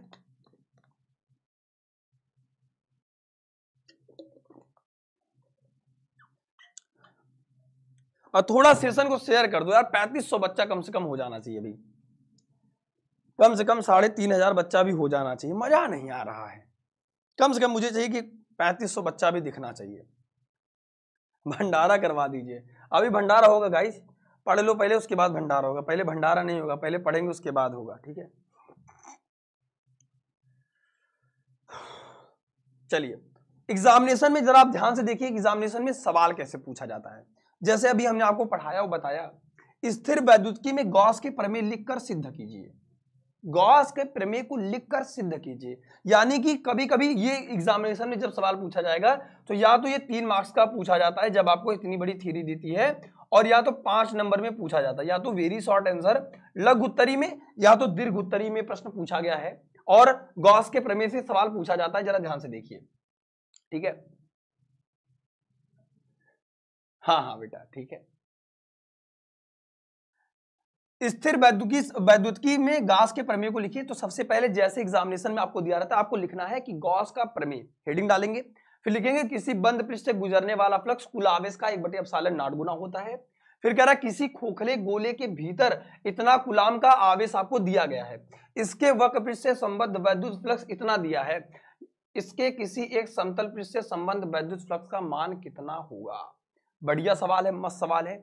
जब आपको एक थियरी और एक न्यूमेरिकल देगा तो वो सवाल तीन नंबर का कम से कम पूछा जाएगा। और याद रखिएगा, आपके सेक्शन पाँच हैं। पाँच सेक्शन है मेरे भाई। और पाँच सेक्शन में तय है, हर सेक्शन में बेटा एक न्यूमेरिकल फिक्स है आपके। ये ज़रूर हो सकता है कि एक से अधिक न्यूमेरिकल पूछ ले, ये भी हो सकता है।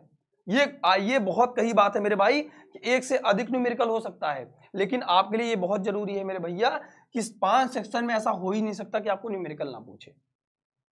ठीक है? चलो भैया, कोई इतना प्यारा कैसे हो सकता है? तुम्हारे बिना गुजारा कैसे हो सकता है? अरे बेटा, वाह क्या सारी तुम्हारी बेटा दिल छू लिया तुमने। बहुत बढ़िया, बहुत शानदार, बहुत ज़बरदस्त, सिंधबाद। ठीक है?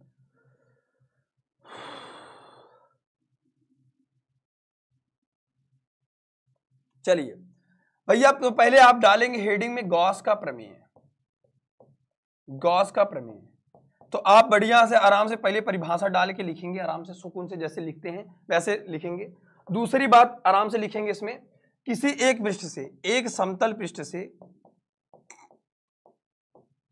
एक समतल पृष्ठ से संबद्ध संबद्ध वैद्युत फ्लक्स।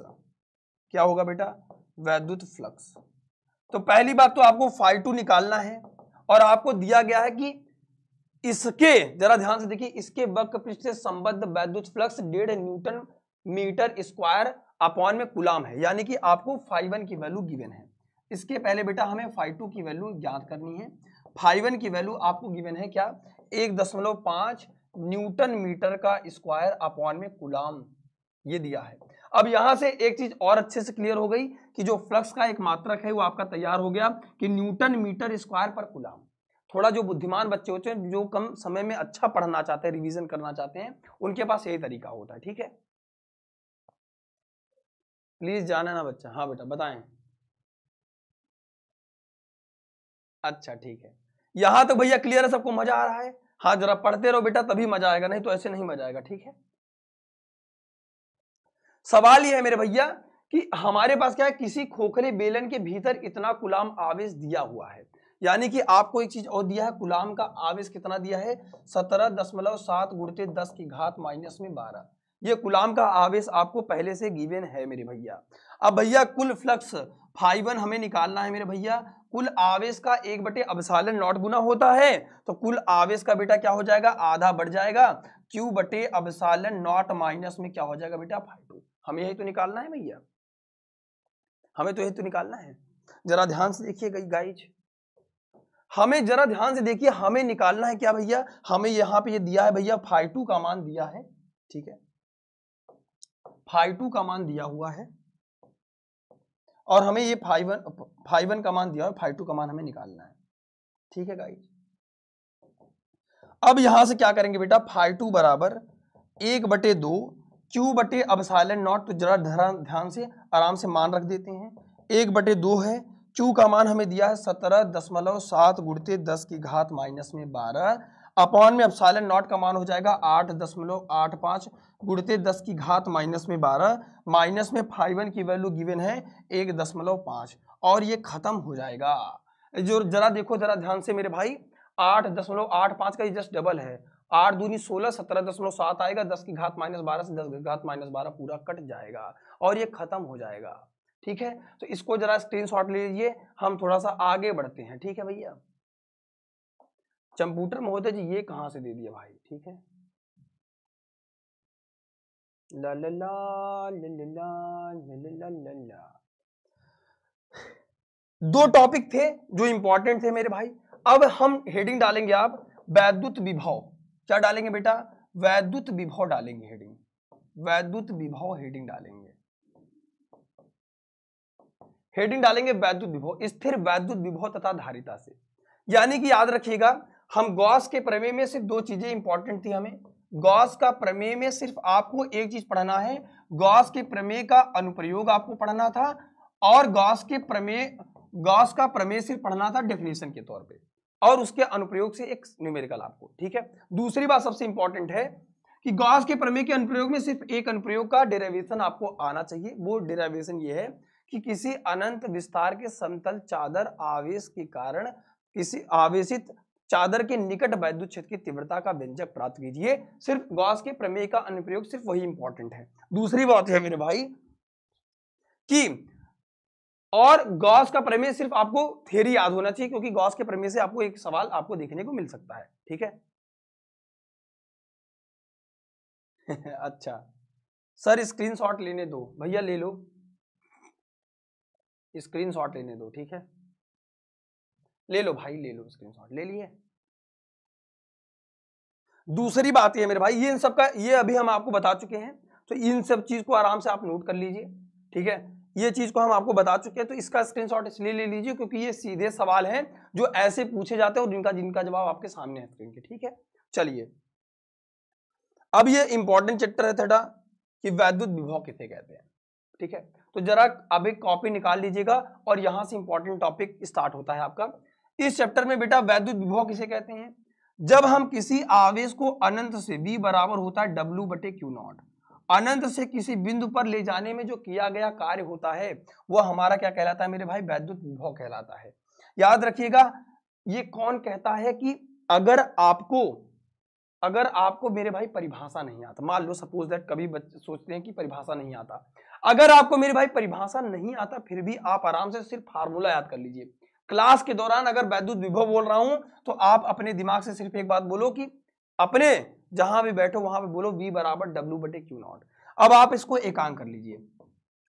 एकांक कर लीजिए। जैसे वहाँ पे तीव्रता का भी परिभाषा बनाए थे, वैसे आपको यहाँ पे भी बनाना आपको क्या लिखना है? एकांक परीक्षण आवेश को अनंत से किसी बिंदु पर ले जाने में जो किया गया कार्य होता है, उसे हम क्या कहते हैं मेरे भाई? वैद्युत विभव कहते हैं, ठीक है? वैद्युत विभव और वैद्युत विभवांतर। वैद्युत विभवांतर क्या होता है?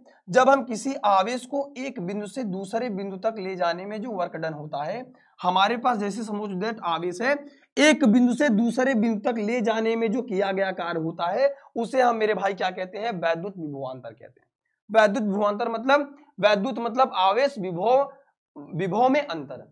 यानी कि जब आवेश को दूरी के सापेक्ष हमेशा याद रखिएगा यह कंसेप्ट पूछा जाता है, वैद्युत क्षेत्र में किसी धन परीक्षण आवेश को किसी एक बिंदु से दूसरे बिंदु तक ले जाने में जो वैद्युत बल के विरुद्ध किया गया कार्य होता है, वह धन, तथा धन धन परीक्षण आवेश के मान की निष्पत्ति को यानी कि अनुपात को हम क्या कहते हैं, उसके बीच का वैद्युत विभवांतर कहते हैं।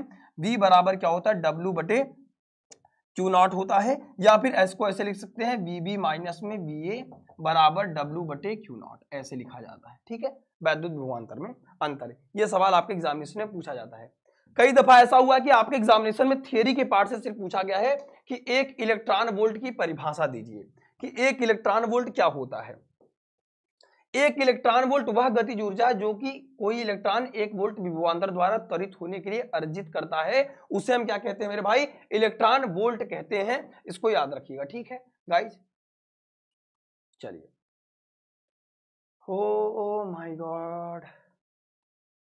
चलिए। वैद्युत विध्रुव के कारण विभव। हेडिंग डालेंगे वैद्युत विध्रुव के कारण विभव। अब थोड़ा सा इंपॉर्टेंट टॉपिक है, क्योंकि यहाँ से रिलेटेड अब आपके एग्जामिनेशन से जो लंबे सवाल बनते हैं। लॉन्ग क्वेश्चन बनते हैं, वो यहाँ से बनते हैं। लॉन्ग क्वेश्चन आपके यहाँ से बनते हैं भाई। तो जरा नज़रें सिर्फ़ स्क्रीन पर होनी चाहिए और आइए समझते हैं। ठीक है? अच्छा सर स्क्रीनशॉट लेना है। बेटा स्क्रीनशॉट जब बताता हूँ तो तुरंत ले लिया करो, क्योंकि वो महत्वपूर्ण है इंपॉर्टेंट है इसका डेफिनेशन ले लिए? भैया, बाबू, ले लिए स्क्रीनशॉट चलिए, आगे बढ़ते हैं।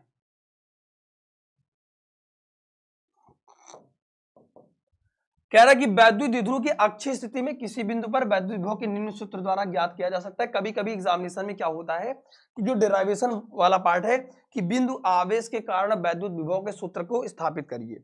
बिंदु आवेश के कारण वैद्युत विभव को सूत्र को स्थापित करिए। कभी कभी एग्जामिनेशन में पूछा जाता है आप ठीक है? ठीक है। तो बिंदु आवेश के कारण वैद्युत विभव, बिंदु आवेश के कारण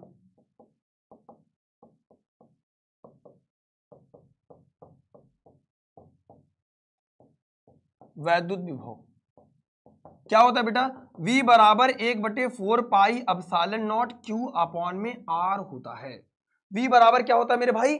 एक बटे चार पाई अपसालन नॉट क्यू बटे आर होता है और इससे रिलेटेड आपके एग्जामिनेशन में एक नंबर का न्यूमेरिकल देखने को मिलेगा गाइज़ न्यूमेरिकल यहाँ से पूछा जाएगा। अच्छा सर कह रहा है, सर स्क्रीनशॉट लेते समय आगे ना आया करिए सर प्लीज़ ठीक है बेटा स्क्रीनशॉट ले लो, नहीं आऊँगा आगे, ठीक है? इसमें जो इंपॉर्टेंट लाइन है, जो तुम्हें नोट करने की ज़रूरत है मेरे भाई, वो ये है कि वैद्युत द्विध्रुव के निरक्षित रेखा पर स्थित वैद्युत विभव का मान क्या होता है मेरे भाई? शून्य होता है। क्या होता है मेरे दोस्त? शून्य होता है। याद रखिएगा। चलिए गाइज़ आगे बढ़ते हैं। अगला टॉपिक है मेरे भाई, विभव प्रवणता। मोस्ट इंपॉर्टेंट टॉपिक है। अगर इस टॉपिक को आप नहीं देखे हो तो भैया, ये मोस्ट इंपॉर्टेंट टॉपिक है आपके एग्ज़ाम पॉइंट ऑफ़ व्यू से। आपके एग्जामिनेशन में एक डेराइवेशन आएगा, जो आप लिख लीजिए कॉपी में, अगर कहीं नहीं लिखी है तो ठीक है? सर, अरे सुनिए सर, बताओ भैया, बताओ। न्यूमेरिकल कराएँगे। न्यूमेरिकल हम चैप्टर वाइज कराएँगे, जो चैप्टर आपको पढ़ा देंगे, और जो कंसेप्ट पे आपके न्यूमेरिकल आएगा, पहले उसको पढ़ाएँगे, उसके बाद उस पर न्यूमेरिकल कराएँगे, ठीक है? परेशान मत होइए। विभव प्रवणता। प्रवणता का मतलब होता है बेटा, किसी चीज़ में परिवर्तन होना, ठीक है? किसी चीज़ में क्या होना मेरे भाई? परिवर्तन होना। दूरी के सापेक्ष क्या होता है बेटा? विभव में क्या होता है? लगातार परिवर्तन होता रहता है। यानी कि अगर हम किसी आवेश को एक बिंदु से दूसरे बिंदु तक ले जा रहे हैं दूरी पर तो दूरी के साथ क्या होता है मेरे भाई? वैद्युत क्षेत्र की दिशा में दूरी के सापेक्ष परिवर्तन को हम क्या कहते हैं बेटा? विभव परिवर्तन की दर को विभव प्रवणता कहते हैं। क्या कहते हैं बेटा? विभव प्रवर्तन परिवर्तन की दर को क्या कहते हैं? प्रवणता कहते हैं। सर सुनिए, बोलो भैया।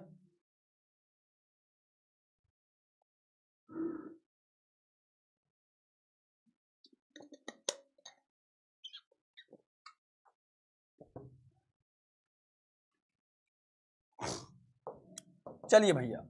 क्या कह रहा कि वैद्युत क्षेत्र की दिशा में दूरी परिवर्तन के साथ, एक बात याद रखिएगा, इसमें इंपॉर्टेंट एक डेराइवेशन है, जो आपके एग्जामिनेशन में तीन नंबर का आता है, कि वैद्युत क्षेत्र की तीव्रता तीव्रता तथा विभव प्रवणता में संबंध, विभव प्रवणता में संबंध।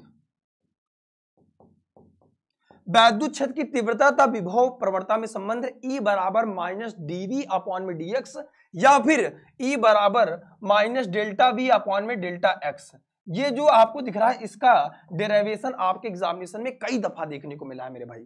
ठीक है? सर पेपर का टेंशन बहुत हो रहा है। तो बेटा आप ये सोचो ये वाला। विभव प्रवणता तथा वैद्युत क्षेत्र की तीव्रता में संबंध निम्न निम्न सूत्र द्वारा ज्ञात किया जाता है ई बराबर माइनस डेल्टा बी अपॉन में डेल्टा एक्स चलिए। पहले इसका स्क्रीनशॉट लीजिए, फिर हम आपको बताते हैं। देखिए एग्जामिनेशन से डर तो सबको लगता है मेरे भाई। धरती में ऐसा कोई आदमी नहीं होगा, जिसको इस समय एग्जामिनेशन से डर नहीं लग रहा होगा। ठीक है? एग्जामिनेशन से ऐसा कोई आदमी नहीं है, जिसको डर नहीं लग रहा होगा गाई ठीक है? कह रहा पिछले वाले में आर स्क्वायर होगा। ए भैया, ये बिंदु आवेश के कारण वैद्युत विभव है। आपसे इसमें क्या कह रहा है कि वैद्युत द्विध्रुव की अक्षी स्थिति में किसी बिंदु पर वैद्युत विभव तो यहाँ पे होगा बी बराबर एक बटे four pi epsilon naught P upon में आर का स्क्वायर ये होगा बेटा यहाँ पे। यहाँ पे जब अच्छी स्थिति के लिए कहेगा, तब होगा। बाबू, मेरे मालिक, देवता सरकार यहाँ पे होगा, ठीक है? याद रखिएगा। अच्छी स्थिति के लिए यहाँ पे होगा पी बटे आर का स्क्वायर और निरक्षी स्थिति के लिए शून्य होगा। लेकिन ये बिंदु आवेश के कारण होगा बी बराबर एक बटे चार पाई अब साले नॉट क्यू बटे आर ठीक है बाबू? मालिक देवता सरकार। चलिए, यहाँ से बेटा पहले हम एक काम करेंगे काम करेंगे, क्या करेंगे? हमें एक चाहिए ब्लैंक स्लाइड तो गाय जरा नजरे स्क्रीन पर अब एक डेराइवेशन आपको कराने जा रहा हूँ, जो आपके एग्जामिनेशन में इस बार आने के बहुत चांसेस हैं। तो भैया, जरा हमको मिल जाओ, ये मिल गए। हमारे भाई साहब मिल गए हैं। अब हम इसको एक स्लाइड पे लेके चलते हैं। अब आपको दिमाग में आना चाहिए कि सर क्या बताने वाले हैं। और इसको भैया कॉपी में नोट कर लेना गाइज़ अगर कुछ नहीं पढ़े तो बेटा इसको प्लीज़ नोट कर लेना, ठीक है? चलिए। भैया, बाबू, मालिक, देवता, सरकार। क्या कह रहा है आपको? सवाल में सवाल में। कहा गया भैया ये रहा? चलिए नोट करिएगा बेटा मोस्ट इंपॉर्टेंट डेरिवेशन एग्जामिनेशन में आने वाला मोस्ट इंपॉर्टेंट डेरिवेशन आइए इस डेरिवेशन को खात्मा करते हैं। पहला डेरिवेशन है मेरे भाई आपके स्क्रीन पर ये कि भैया हम्म, विद्युत क्षेत्र की तीव्रता विद्युत क्षेत्र की तीव्रता जरा नोट करिएगा इंपॉर्टेंट है तीन नंबर का ही पूछा जाएगा ये भी बता देता हूँ तीन नंबर का ही पूछा जाएगा। विद्युत क्षेत्र की तीव्रता तथा विभव प्रवणता में संबंध तथा विभव प्रवणता में संबंध।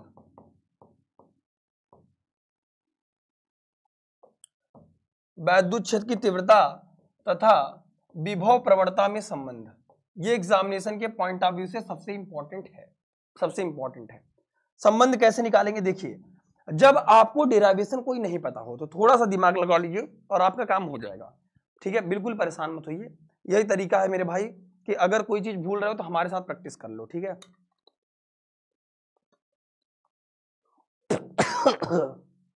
कह रहा सर, पेपर का डर क्यों नहीं खत्म होता? बेटा, पेपर का डर ऐसा धरती में कोई आदमी नहीं है। अगर पेपर में डर नहीं लगेगा तो बेटा क्या ही लगेगा? ऐसा कोई आदमी नहीं जिसको पेपर से डर ना लगे। सबको डर लगता है। गला सबको खुद सूखता है, ठीक है?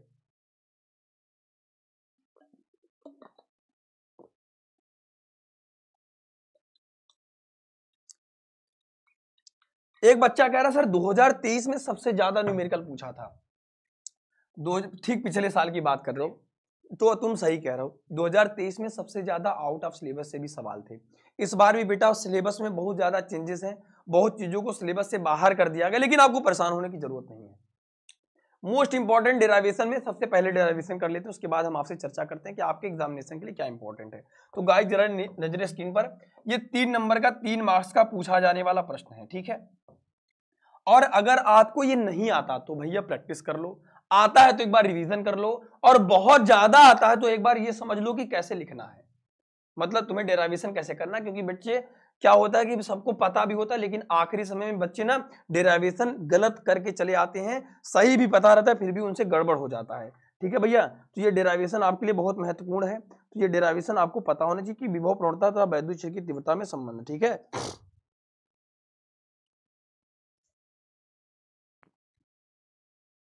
ऐसे लिखेंगे बड़े आराम से। मान लो हमारे पास कोई यहाँ पे सोर्स आवेश है, स्रोत आवेश है प्लस क्यू ठीक है?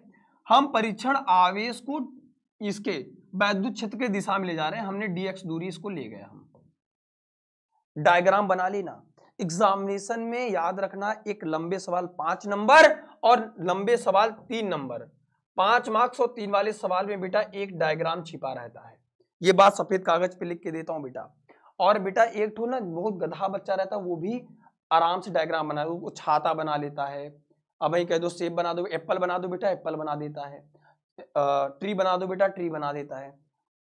तो आप डायग्राम क्यों नहीं बना सकते? अगर आपको थ्योरी नहीं याद हो रही, डायग्राम बनाना सीख लीजिए। तीन नंबर वाले में भी डायग्राम छिपा रहता है, पाँच नंबर वाले में डायग्राम छोटा मोटा डायग्राम बना ही ले जाएँगे। डायग्राम बनाने से एग्जामिनर के दिमाग में ये स्ट्राइक करता है कि इसको लगता है बहुत कुछ आता होगा। ये उसको लगता है। तो लगता है कि यार लड़का बहुत पढ़वैया है, इसको बहुत कुछ आता है। ये उसको पता होता है। उसको नहीं पता कि तुमको कितना आता है, लेकिन डायग्राम तो तुम बना ही सकते हो, ठीक है? हाँ बेटा, बताता हूँ, अंकित भाई, तुम क्यों परेशान हो? नजरे स्क्रीन पर देखो। आप लिखेंगे माना फलाना इंपॉर्टेंट है। मान लीजिए आप नहीं लिख पाते हो, माना परीक्षण आवेश क्यू नाट को ब्रैकेट में लिख लेना, परीक्षण आवेश। परीक्षण आवेश क्यू नाट को डीएक्स दूरी तय करने में तय करने में कार्य डी डब्ल्यू हो तो मतलब बहुत कम हो डी डब्ल्यू हो तो। अच्छा कार्य बराबर होता है बल गुड़ते बेटा विस्थापन। अब विस्थापन क्या हो रहा है बेटा? विपरीत दिशा में। ऐसा कंडीशन जब विस्थापन बेटा विपरीत दिशा में हो मोस्ट इंपॉर्टेंट डेरावेशन है कॉपी में नोट कर लो। काम आएगा। एग्जामिनेशन में आने वाला है। कमज़ोर हो तो लिखने का तरीका समझ लो। एक छोटा सा डायग्राम बाएँ हाथ में बनाना है तुमको पेपर के बाएँ साइड में और दहीने साइड से पेपर को सॉल्व करना है और माना फलाना लिखना ज़रूरी है ताकि नंबर आपको तभी मिलेगा, नहीं तो नहीं मिलेगा। अब जब इस आवेश को इसके परिसर में ले जाएँगे तो भैया जब इसके परिसर में जाएगा तो इस आवेश पर ये बल लगाएगा। क्यों बल लगाएगा? क्योंकि बेटा, जब एक आवेश है और एक आवेश का क्षेत्र है वहाँ पे दूसरा आवेश जाएगा चोरी करने तो पक्का है मारदंगा होगी। इसका मतलब साफ़ साफ़ है कि ये वाला आवेश इस पर बल लगेगा। तो हम ये कह सकते हैं बेटा क्यू नाट आवेश पर लगने वाला बल। आवेश पर लगने वाला बल। ला तो यफ बराबर क्या हो जाएगा बेटा? Q naught into E. देखो, ये कॉमन सेंस की बात है। बहुत बच्चे इसको कर ले जाते हैं।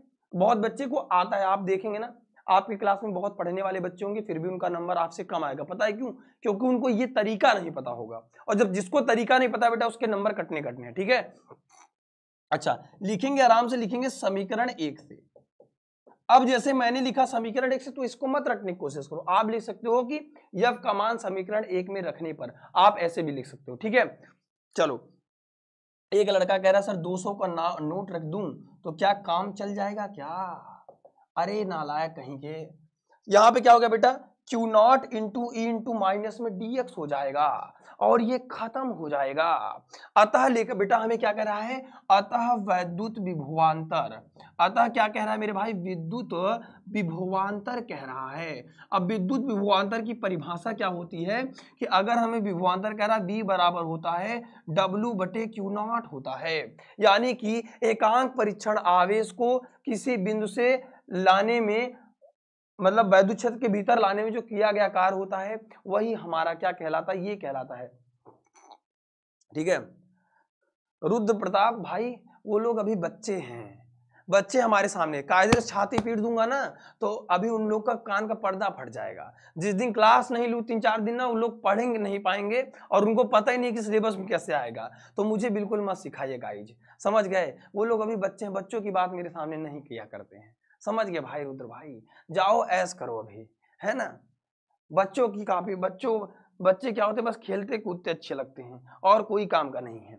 अच्छा अगर ये डी क्यू लाते हैं, अगर विभवांतर कम होगा तो हम किया गया कार्य बेटा क्या होगा मेरे भैया? कम होगा। डी क्यू, डी बराबर, डी डब्ल्यू अपॉन में क्यू नॉट हो जाएगा। यहाँ से बड़े आराम से डी डब्ल्यू बराबर इसको इधर भेज देंगे। क्यू नॉट इंटू में डी वी हो जाएगा। जहाँ जहाँ पे डी डब्ल्यू है, वहाँ वहाँ पे क्यू नॉट डी वी लिख सकते हैं। तो यहाँ से बेटा लिख देंगे कि भैया मान सम्मान रखने पर Q naught into D V बराबर क्यू नॉट इंटू ई और माइनस में डी एक्स हो जाएगा। जरा देखिए, ये खत्म हो जाएगा। अतः वैद्युत क्षेत्र की तीव्रता डीवी बटे माइनस में डीएक्स इसको नीचे ला देंगे। और यही हो गया बेटा वैद्युत क्षेत्र की तीव्रता तथा विभव प्रवणता में संबंध हो जाएगा। और इसको नोट कर लीजिएगा, क्योंकि ये सवाल आपके एग्जामिनेशन के लिए रामबाण है। और ये एग्जामिनेशन में बार बार पूछा गया है। ठीक है? तो ये एग्जामिनेशन में इस बार भी पूछा जाएगा। और आराम से, बहुत प्रेम से कर ले जाओगे। मैं आपको फिर से बता देता हूँ। जब भी किसी भी डेरिवेशन की आप शुरुआत करें, आप बहुत कमज़ोर हो, आपको कुछ नहीं आता है। आपको एक तरीका रामबाण बताता हूँ। सबसे पहले बेटा, जो तुम डायग्राम बना लो डायग्राम बनाना सीख जाओ, बहुत सिंपल तरीका है। हमारे साथ सीख लो, नहीं कर पा रहे हो। बेटा आप स्क्रीनशॉट लो, पहले नहीं लेना था, अब लेना है। दूसरी बात यह कि पहले आप माना फलाना लिखोगे। उसके बाद बेटा आप उस फार्मूले को करोगे, जो फार्मूला आपको दिया गया इस्तेमाल करना है बेटा। आखिरी में बेटा इस बॉक्स को ज़रूर बनाना है। जिस समीकरण का जो भी फार्मूला लिखना बेटा, उसको एक समीकरण मान के तब करना डेराइवेशन में दो तीन बातों को ध्यान रखना, ताकि तुम्हें नंबर ज़्यादा मिले, ठीक है? नहीं बेटा बेटा। एग्जामिनेशन के पास एग्जामिनर के पास कोई तरीका नहीं है किसी भी क्वेश्चन को टफ करने का। चलिए बेटा, आगे बढ़ते हैं। इसका स्क्रीनशॉट ले लीजिएगा, बहुत इंपॉर्टेंट है। थ्योरी के डिपार्ट से अगर हम देखें तो सम विभव पृष्ठ से सवाल एक बार पूछा गया है कि सम विभव पृष्ठ किसे कहते हैं? सम का मतलब होता है, गाइस, समान। क्या होता है? मेरे भाई, समान होता है। जरा रिवीजन करते चलें और एक बार हमारे साथ बोलते चलें। और बेटा, जिन्होंने सेशन को भी लाइक नहीं किया थोड़ा तनी मुनी लाइक कर दीजिए। तुरंत पहले पाँच लाइक हो जाना चाहिए, ठीक है? सर, कह रहा किशन सर इग्नोर क्यों कर रहे हैं? कह रहा सर, इस बार 2000 का नोट रखूँगा। हाँ ये सब गलतियाँ क्यों करना? क्यों करना ये सब? 2000 का हज़ार पाँच सौ का नोट रखना। ये मत करना। दुनिया में होंगे लाखों तेरे जैसा कोई ना होगा। बेटा, याद रखो कि अगर आपने 2000 का नोट रखा 200 का नोट रखा, तुम्हारे लिए पहली बात तो 2000 का नोट तो बंद हो गया। रखोगे तो वैसे भी फंस जाओगे तुम। 200 का नोट भी अगर इसमें एक ज़ीरो हटा के रख दिए तो बेटा, अगर मान लो, पहली बात जिसकी बिया हुआ हो गया है, तुम्हारे जो एग्जामिनर जो कापी जाचक, पहली बात तो बुढ़वा होगा बेचारा। पेट उठ निकला होगा। मार खाए पी होगा दुनिया भर का राशन, घर से बीवी, पैसे वजह झगड़ा रहेगा। तुम्हारा पैसा जैसे देखेगा बेटा, वैसे गुस्सा आ जाएगा। पैसा रखने की गलती मत करना बेटा, ये कोई तरीका नहीं टॉपर बनने का। पैसा दे के भैया वो कार्ड के नंबर दे देगा। पैसा वैसा नहीं रखना है, ठीक है? क्या कह रहा है? सम विभव प्रश्न। पढ़ने से मिलेगा बेटा, यही पढ़ो। मैं तो कहता हूँ कि जो पढ़ा रहा हूँ, आराम से पढ़ लो। यही से नंबर तुम्हारे आ जाएँगे। क्यों दुनियादारी तुम कर रहे हो? ठीक है गाइज़ हाँ ये क्या है? तो लगा दें। चलिए, दो चीज़ें हैं। दो चीज़ें बहुत महत्वपूर्ण है गाइज़ आपके लिए कुछ खास आने वाला है भाई, कुछ बड़ा आने वाला है, ठीक है? हमारे पास ये क्या है इसको क्या बोलते हैं? वो आया है, वो क्या बोलते बम। तो बम क्लास में चाहते हैं, बजे। तो बेटा एक बार सेशन को तनी शेयर कर दिए। कम से कम तीन हज़ार बच्चा तो प्लस हो जाना चाहिए। मज़ा नहीं आ रहा। जब पब्लिक हो, आठ लाख की, और बच्चा हो, सोचो तुम। तुमको भी सोचना चाहिए गुरु जी और किशन सर लाइव है यार, ये भी तो सोचो। है? कह रहा, सर जी, किरण प्रकाश की हम ये बढ़ा दिए, वो बढ़ा दिए। ए बाबू ए बाबू, कहाँ से आए हो तुम? आए? कहाँ से आए हो? मैंने क्या कहा है कि हम बुक टू का कैसे स्टार्ट करेंगे? ये देखो। आज पढ़ रहे हो ना? सबका निचोड़ निकाल दूँगा। मतलब सोचो, ऐसा सेशन कभी ज़िंदगी में देखे होगे? ये सारे सेशन आप इसका स्क्रीनशॉट ले लो भैया। ये सब आने वाला सुबह छह बजे दुनिया वैलेंटाइन मनाएगी, लेकिन तुम्हें क्या मनाना है बेटा? बसंत पंचमी मनाना है हमारे साथ सुबह छह बजे उठ के। तो चलो भैया गाइज़ आगे चलते हैं। आगे वाली है, मिलन की घड़ी तो। ले लिया भैया इसका। इसका स्क्रीनशॉट ले लिया। अरे, कहाँ गया रे सम विभव पृष्ठ? चलिए। एग्जामिनेशन में कई दफ़ा पूछा गया है। तो बेटा, सुबह छह बजे होगा वो क्लास अब कह रहा है कि सम विभव पृष्ठ सम का मतलब होता है, बेटा, समान विभव पृष्ठ कह रहा है। किसी वैद्युत क्षेत्र में खींचा गया वह पृष्ठ जिस पर स्थित सभी बिंदुओं पर वैद्युत विभव बराबर हो, सम विभव पृष्ठ कहलाता है। दूसरा कहला कि सम विभव पृष्ठ के अनुदिश किसी आवेश को विस्थापित करने के लिए किया गया कार्य शून्य होता है। तो ये जो लाइन लिखी है, बेटा, ये लाइन नहीं है, ये आपके एग्जामिनेशन में आने वाली लाइन है। ठीक है? कह रहा कि वैद्युत क्षेत्र वैद्युत बल रेखाएँ समविभव पृष्ठ के लंबवत होती हैं और वैद्युत क्षेत्र की तीव्रता की दिशा वही होती है जो जिस दिशा में वैद्युत विभव घटता है। दूसरी बात यह है, नोट नोट का मतलब बेटा आपको याद रखना एग्ज़ाम के लिए, किसी चालक के भीतर उसके पृष्ठ पर वैद्युत विभव प्रत्येक बिंदु पर नियत रहता है और चालक के अंदर वैद्युत क्षेत्र की तीव्रता शून्य होती है। कई दफ़ा कारण में सवाल पूछा गया है, ये वाला सवाल, ये। ये सवाल क्या है? जरा सुन लो ध्यान से। ये सवाल बेटा कुछ है नहीं, कुछ नहीं है खास। जरा सुन लो। मेरे कहने का तात्पर्य क्या था? जैसे अगर मैं स्टार्ट करूँ आपसे बताना कि अगर हमारे पास कोई चालक है, चालक मतलब बेटा चालक में हमेशा मुक्त इलेक्ट्रॉन स्वतंत्र अवस्था में पाए जाते हैं। हमारे और आपके अंदर भी क्या है? चालक है। इलेक्ट्रॉन मुक्त होता है। हम लोग क्या है? चालक है। हमारे खून उबलता हुआ खून है। ब्लड प्रेशर हमारा हाई लो करंट को पकड़ते हैं, फटक से चिपका लेता है। कंसेप्ट समझ लो। कंसेप्ट में है गुरु, दिमाग से। जब किसी चालक को आवेश देते हैं, ये वाला लाइन समझा रहा हूँ, और इस लाइन से दो सवाल फिक्स होते हैं, जो दो सवाल अलग अलग घुमा के पूछा गया है।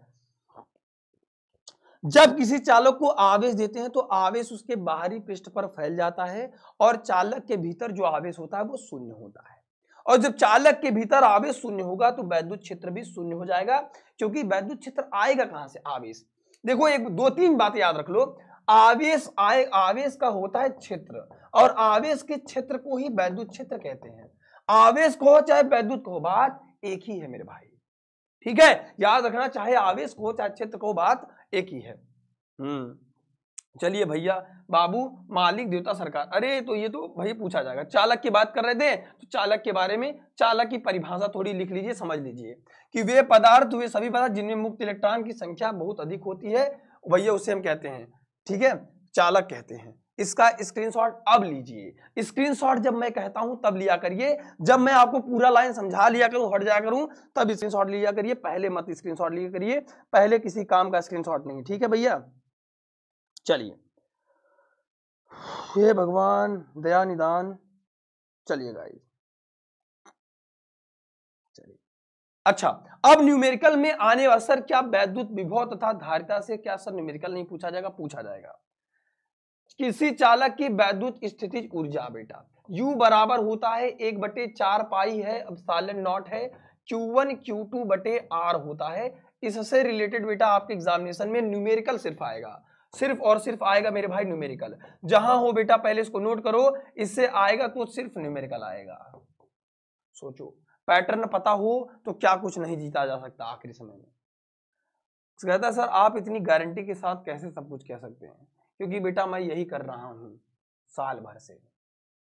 दूसरी बात है, इस चैप्टर का नाम है बेटा स्थिर वैद्युत विभव तथा धारिता।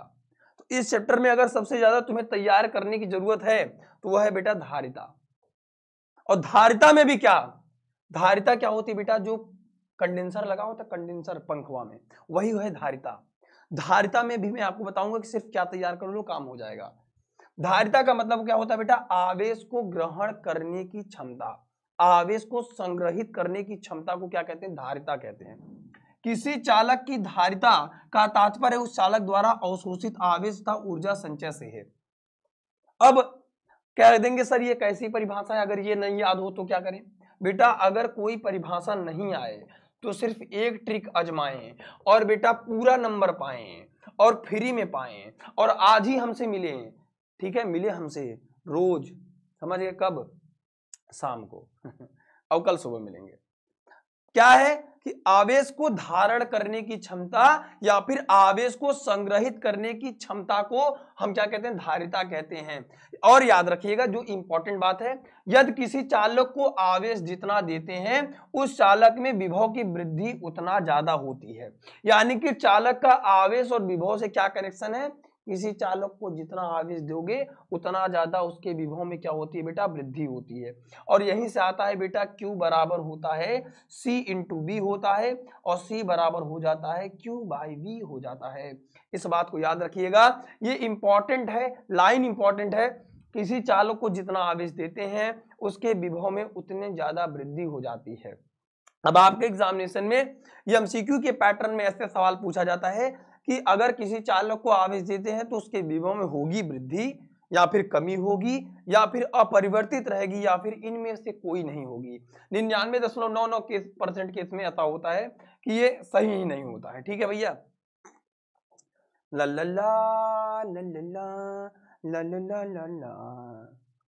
चलिए। चलिए चलिए चलिए संधारित संधारित क्या है बेटा?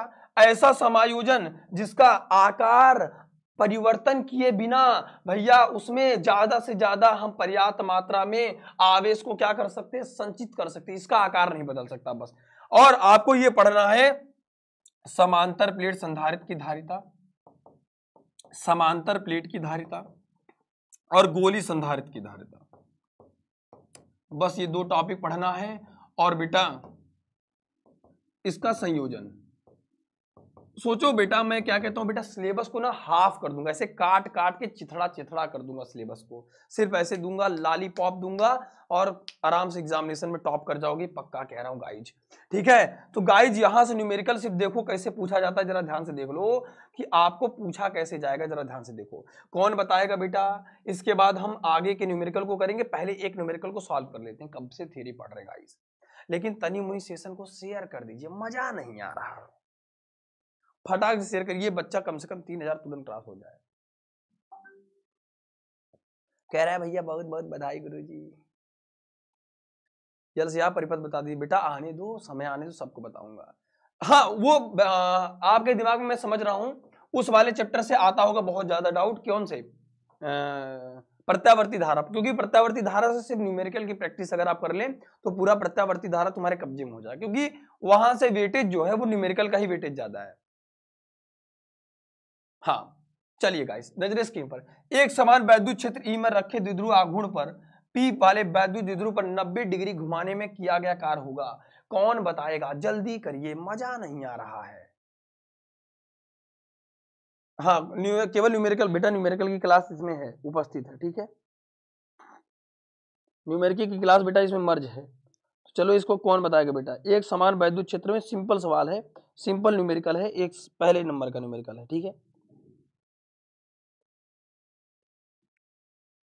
ला ला ला ला ला ला ला ला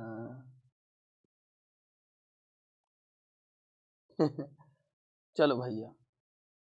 पहले सेशन को शेयर कर दीजिए मज़ा नहीं आ रहा। टाउ बराबर पी साइन थीटा होता है।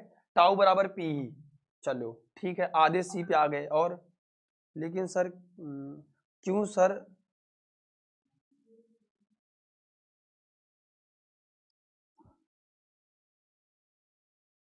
शेयर करते रहे गाइज़ एट हंड्रेड के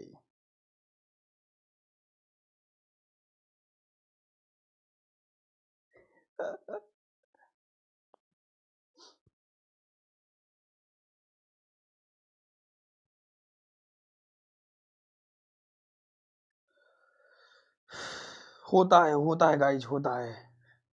चलिए।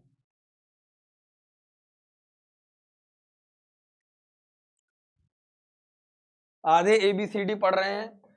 टाउ बराबर पी साइन थीटा साइन नब्बे अंश का मान एक हो जाएगा बेटा सिंपल है। चलिए, आगे बढ़ते हैं गाइज़ न्यूमेरिकल को करवाएँगे। मस्त सवाल है बेटा, गोली संधारित की धारिता। गोली संधारित की धारिता सी बराबर होती है चार पाई अब नॉट इंटू आर याद रखिएगा, ये फार्मूले को सिर्फ़ याद कर लीजिए, इसको चरा ध्यान से देख लीजिए। इसका सिर्फ़ आप फार्मूला याद कर लीजिए, और इस फार्मूले पर ही डेराइवेशन पूछा जाएगा। ठीक है? हाँ इस फार्मूले पर ही डेरावेशन पूछा जाएगा, जैसे, आपको कह दिया एक गोली चालक की धारिता एक माइक्रोफेरेड है, उसकी त्रिज्या क्या होगी? यानी कि आपको इससे रिलेटेड हमेशा याद हो, त्रिज्या देगा, धारिता पूछेगा, धारिता पूछ के त्रिज्या पूछेगा, यही काम करता है। आर बराबर क्या हो जाएगा? सी बराबर फोर पाई अब नॉट आर ठीक है? फिर फोर पाई अब नॉट हो जाएगा, ठीक है सिर्फ़? और आप सी का मान दिया एक माइक्रोफेरेड एक गुड़ते दस की घात कितना हो जाएगा? माइनस छह मीटर, और नौ गुड़ते क्या हो जाएगा? दस की घात माइनस में नौ हो जाएगा। जरा ध्यान से देखिए और सुकून से देखिए, इसको ऊपर लेके जाएँगे तो एक बटे नौ हो जाएगा गुड़ते दस की घात में नौ तीन हो जाएगा, ठीक है? दस की घात तीन हो जाएगा। एक बटे नौ को क्या लिख सकते हैं? पहले देखो, यहाँ पे एक दशमलव एक एक किलोमीटर दिया, दस मीटर दिया, नौ किलोमीटर दिया है, एक दशमलव एक एक सेंटीमीटर दिया। कौन बताएगा? बाईस दिसंबर को होता है बेटा। हम्म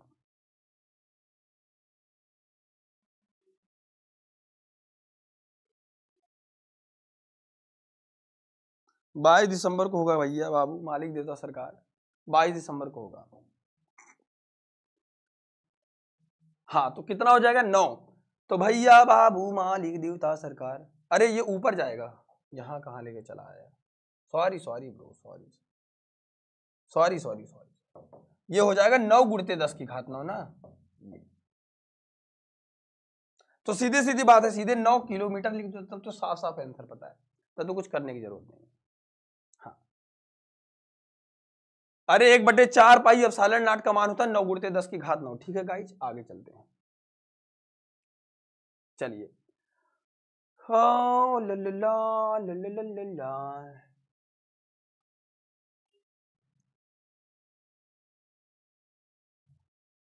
चलिए। याद रखिएगा अभी हमने आपको दो, दो न्यूमेरिकल बताए और दोनों न्यूमेरिकल इंपॉर्टेंट है ठीक है? सवाल एग्जामिनेशन में आपके एग्जामिनेशन में सवाल कैसे पूछा जाता है? सबसे इंपॉर्टेंट चीज़ है कह रहा किसी चालक की धारता में वृद्धि कैसे की जा सकती है? हमने कहा कि अगर किसी चालक के सिरों पर हमने क्या कहा बताया आपसे? कि पहला इंपॉर्टेंट बात बताई धारिता से रिलेटेड इसीलिए सबसे पहले आपको थ्योरी पढ़ाई जाती है इसका स्क्रीनशॉट इसीलिए मैंने कहा ले लीजिए आप। कि हमने कहा कि ये इंपॉर्टेंट नहीं है, आपको ये लाइन नोट करने की ज़रूरत है। जब किसी चालक को आवेश दिया जाता है, चालक को मतलब उसके ऊपर और आवेश दे दो उसको तो उसका विभव क्या होता है बेटा? आवेश के अनुपात में बढ़ जाता है। किसमें बढ़ता है बेटा? आवेश के अनुपात में बढ़ जाता है। कब? जब हम किसी चालक को आवेश देते हैं तो उसका विभव का मान क्या होता है बेटा? बढ़ता है। जितना ज़्यादा देते हैं। सर दिखाई नहीं दे रहा है। लव यू बेटा। ए भाई, दिखाई नहीं दे रहा तो एक बार रिफ्रेश कर लो ना, बाबू।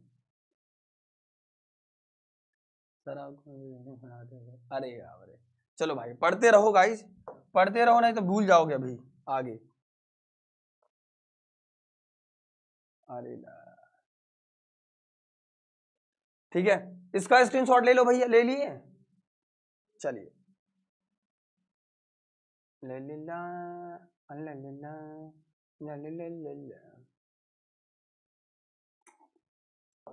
एग्जामिनेशन में कभी कभी एक नंबर का पूछा गया प्रश्न है, परावैद्युत सामर्थ्य किसे कहते हैं? किसी पदार्थ का परावैद्युत सामर्थ्य वैद्युत क्षेत्र के उस अधिकतम मान के बराबर होता है, जो उस पदार्थ के भंजन हुए बिना उस पदार्थ पर लगाया जाता है। कभी कभी एग्जामिनेशन में डायरेक्ट ऐसे पूछा गया है। परावैद्युतांक क्या होता है बेटा? जैसे हम कहना सी बराबर अब नॉट ए बाई डी समांतर प्लेट संधारित की धारिता क्या होती है? तो बेटा यहाँ पे जो epsilon naught A by D हमने लिखा तो ये बेटा जो अपसाइलन नॉट है परावैद्युतांक अपसाइलन नॉट क्या है? परावैद्युत माध्यम की वैद्युतशीलता अपसाइलन नॉट वैद्युत अथवा निर्वात की वैद्युतशीलता है। इसका मान माध्यम की प्रकृति पर निर्भर करता है। कभी कभी एग्जामिनेशन पूछा जाता है कि यह किस पर निर्भर करता है और यह क्या एक सदिश राशि है, कौन सी राशि है? और क्या इसकी बीमा क्या होगी? तो ये एक बीमाहीन राशि है, याद रखेंगे। किसी माध्यम का परवैद्युतांक उस माध्यम में युक्त संधारित अथवा उसकी आकार के निर्वात की संधारित की धारिता का क्या होता है मेरे भाई? अनुपात होता है। दूसरी सबसे इंपॉर्टेंट बात है, आगे बढ़ते हैं कि आवेश संधारित की स्थिति ऊर्जा, U बराबर होता है हाफ़ सी बी का स्क्वायर एग्जामिनेशन में इसका डेरावेशन पिछली बार आया था, लेकिन इस बार पता नहीं क्यों एग्जामिनर के दिमाग में आया कि डेरावेशन इसका हटा दिया गया है। याद रखिएगा, अगर किसी भी चैप्टर का ऐसा टॉपिक जो आपके एग्जामिनेशन के पॉइंट ऑफ़ व्यू से डिलीट कर दिया गया डेरावेशन अगर उसका फार्मूला दिया है तो उसका फार्मूला आपके एग्जामिनेशन में आ सकता है। उस फार्मूले से रिलेटेड आपके एग्जामिनेशन में आप, उस पर न्यूमेरिकल पूछा जा सकता है। ठीक है? इस बात को याद रखिएगा। अगर ऐसा हुआ है तो उस फार्मूले का डेरावेशन अगर नहीं दिया तो उस फार्मूले का न्यूमेरिकल आपके एग्जामिनेशन के पॉइंट ऑफ़ व्यू से इंपॉर्टेंट है। दो चीज़ें हैं।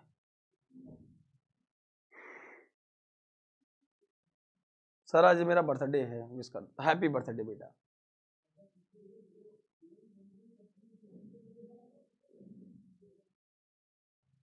चलिए भाई। तो आवेश संधारित अब 100 परसेंट है बेटा 110 परसेंट गारंटी है कि आपको उस पर न्यूमेरिकल देखने को मिल सकता है। पता ही बच्चे क्या काम करेंगे? बच्चे डायरेक्ट तो डेरावेशन तो करेंगे नहीं, क्यों? क्योंकि इसका डेरावेशन आपके एग्जामिनेशन से बाहर है।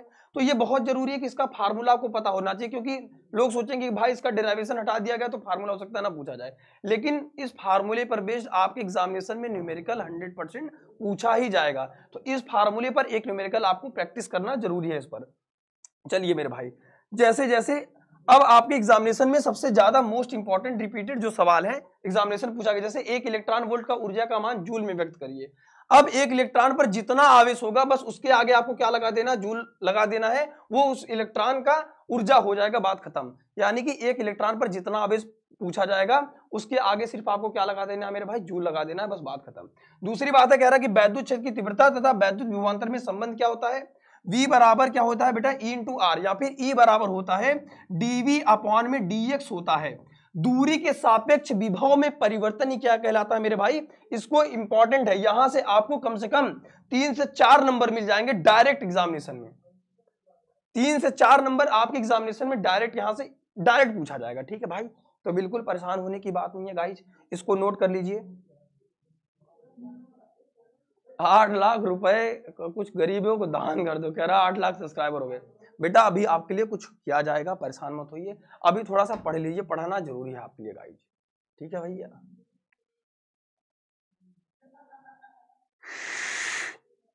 अभी आपके लिए किया जाएगा। ठीक है भैया? बाबू मालिक देवता सरकार। चलिए। दो चीज़ें हैं। हमने इस चैप्टर से दो चीज़ें आपको बहुत अच्छे से बताई। कि किसी चालक की धारिता न्यूमेरिकल की प्रैक्टिस एक बार कर लेते हैं, कि धारिता में वृद्धि कैसे की जाती है, एक समांतर प्लेट वायु संधारित के प्लेटों की त्रिज्या इतनी गिवन है, तथा धारिता एक मीटर की त्रिज्या वाले आवेशित गोली धारिता के बराबर है संधारित के प्लेटों के बीच की दूरी ज्ञात करिए। संधारित की प्लेटों के बीच की दूरी ज्ञात करिए अग्नि की यानी। आपसे क्या कह रहा है मेरे भाई? समांतर प्लेट संधारित की धारिता। अब हमें चाहिए मेरे भाई एक ठो ब्लैंक स्लाइड तो भैया का कंप्यूटर महोदय जी देखिए कहाँ ब्लैंक स्लाइड छोड़े हैं हमको तो कहीं का छोड़े ही नहीं है। छोड़े तो होंगे कहीं ना कहीं से।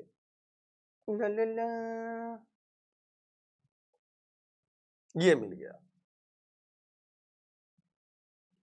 लल्ला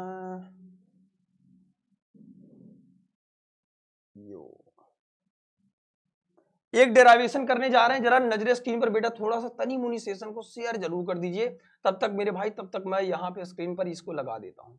आइए, आपका इंतज़ार है। बहुत मस्त से। और फिर इस पर एक न्यूमेरिकल कर लेंगे, फिर आपका दोनों क्लियर हो जाएगा। क्या है बेटा? समांतर प्लेट संधारित की धारिता। जरा हेडिंग डालिएगा।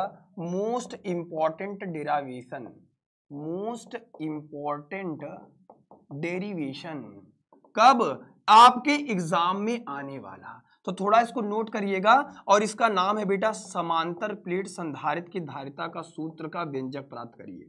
समांतर प्लेट की धारिता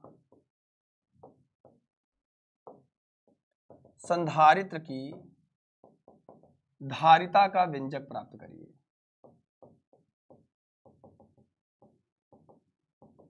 जब भी आपको ये डेराइवेशन पूछा जाए तो आपके दिमाग में सिर्फ़ एक बत्ती जलनी चाहिए कि, सर, अगर हमको नहीं आता, फिर भी हम कैसे करेंगे? और ये एग्जामिनेशन में कहीं ना कहीं आपसे पूछा जाएगा। याद रखिएगा, समांतर प्लेट संधारित की धारिता से आपके एग्जामिनेशन में पक्का सवाल आपके एग्जामिनेशन में एक नंबर का पूछा जाएगा गाइज़ ठीक है मेरे भाई? आपको सबसे पहले ऐसे में डायग्राम बनाना है। डायग्राम कैसे बनाना है? व्यंजक प्राप्त करने के लिए कह रहा है। ठीक है? धारिता का व्यंजक प्राप्त करिए। हमारे पास दो प्लेट है। दो प्लेट है, दोनों प्लेट पर आवेश लगे समांतर प्लेट है, दो समांतर प्लेट है इंपॉर्टेंट है। एक पे अगर माइनस क्यू आवेश है और एक पे मेरे भाई प्लस क्यू आवेश है। और आवेश का वितरण कर दीजिए और इसको समान दूरी डी पर रख दीजिए। डी दूरी पर रखे हैं। नॉर्मल बात है। एक पर माइनस क्यू आवेश है, एक पर प्लस क्यू आवेश है। तो आपको क्या काम करना है? ये डेराइवेशन आपके एग्जामिनेशन में जब भी आएगा मेरे भाई तो ये पाँच मार्क्स का आएगा। जरा ध्यान से देख लीजिए। सुकून से फाइव मार्क्स का आने वाला आपके एग्जामिनेशन में सबसे बेहतरीन सवाल है। हाँ।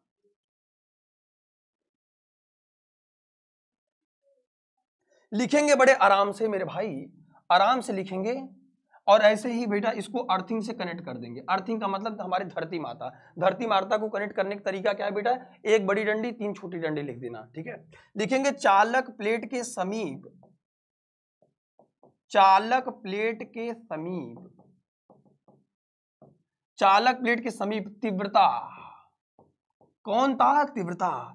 ई e बराबर क्या होता है बेटा? सिग्मा अपॉन में अपसालन नॉट होता है।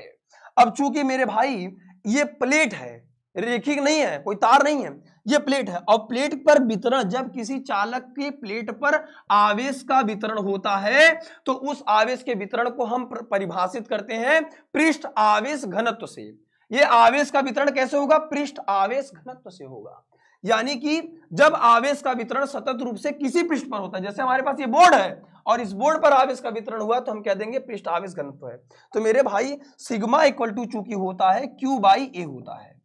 तो sigma equal to Q by A तो इसको लिख सकते हैं ई e बराबर क्यू बटे ए अबसालन नॉट हो जाएगा और इसको समीकरण एक मान लेंगे।